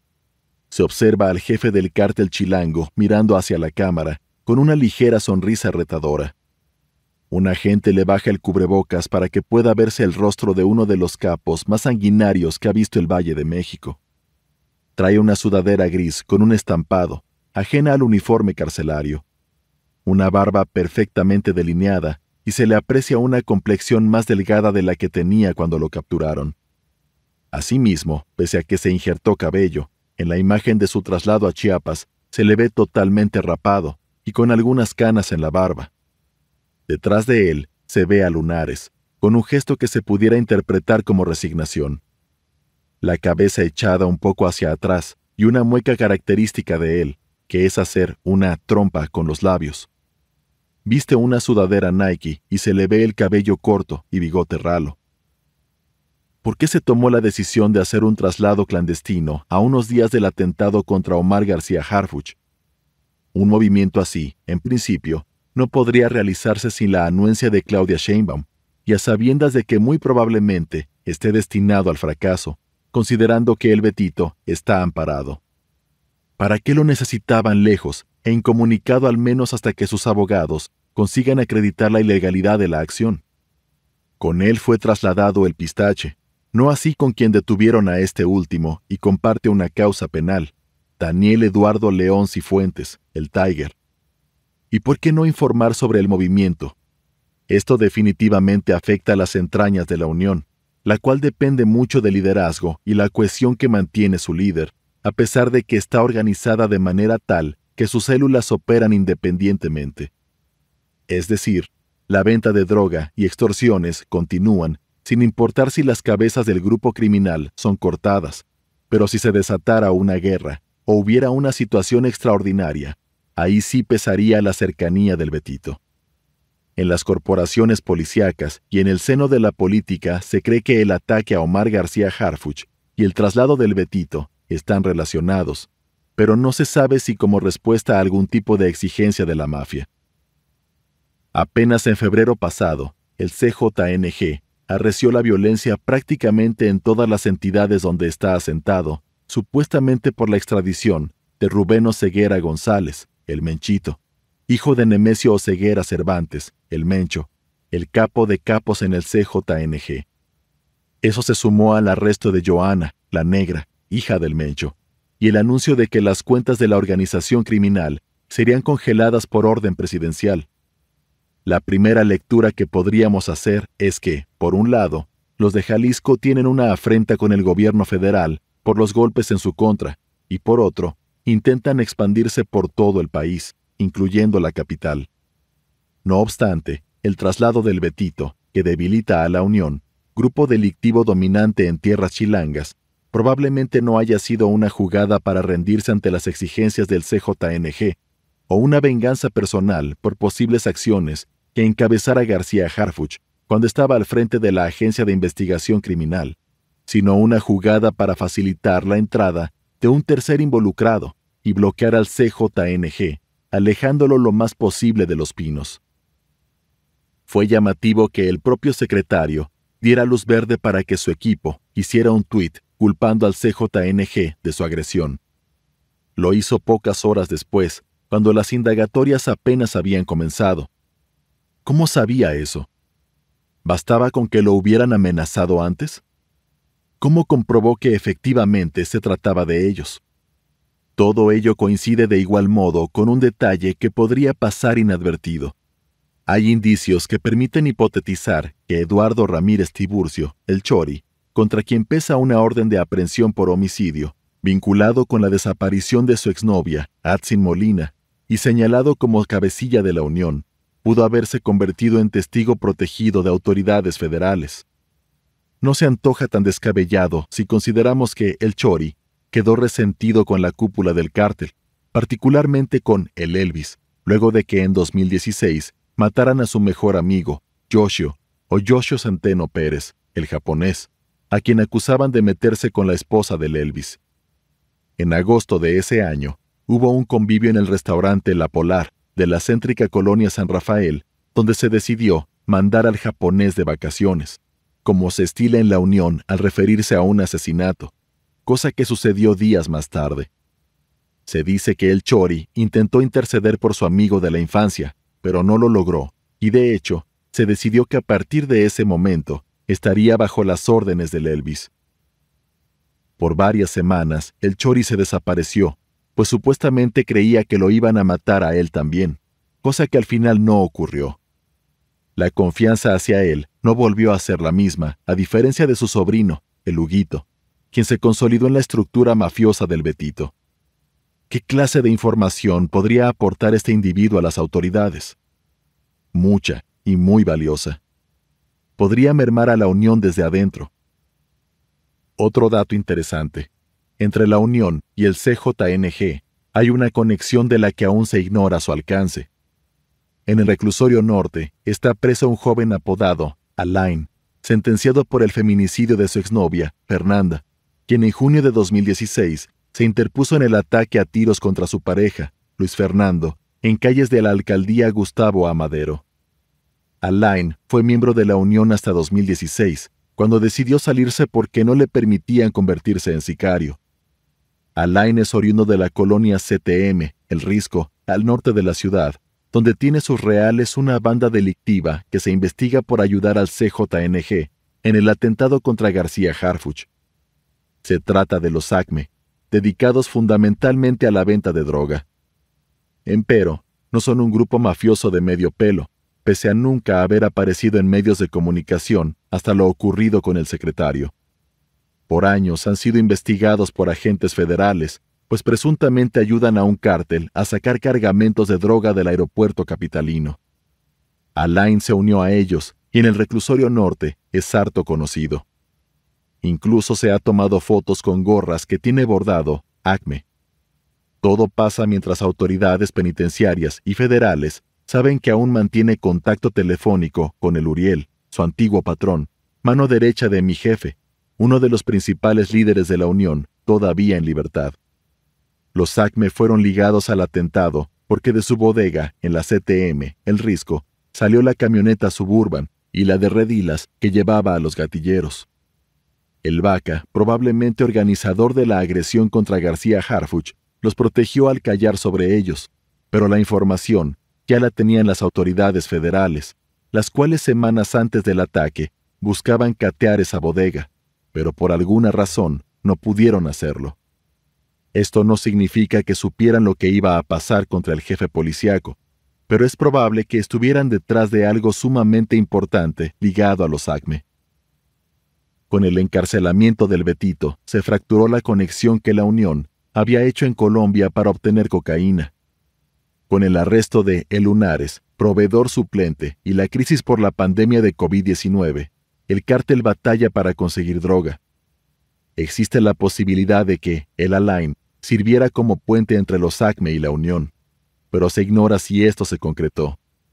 Lo cierto es que el Uriel con quien se presume que el Alain ha mantenido comunicación para operar asuntos mafiosos en el reclusorio norte, hizo un viaje a Ámsterdam, donde vive su hermana, casada con un ciudadano holandés, con el fin de abrir horizontes para el cártel, proyecto que se congeló por la detención del Betito. De acuerdo con información de la Fiscalía General de la República, la Unión tiene un par de aeronaves para traer cocaína de Colombia, ambas adquiridas por el Betito, que no volvieron a usarse tras enrarecerse su relación con su abastecedora colombiana. La Unión todavía domina el Valle de México y opera en Puebla, Veracruz y Quintana Roo. Pero con el Betito en un penal federal, y mientras el gobierno de Andrés Manuel López Obrador busca cerrarle el paso a Ciudad de México al cártel del Mencho, parece la oportunidad que necesitaba un tercer protagonista. ¿Quién sería ese tercer implicado? ¿Qué cártel querría controlar el mercado más importante del país? Después de tantas décadas, ¿ha llegado el tiempo de Ismael, el Mayo Zambada?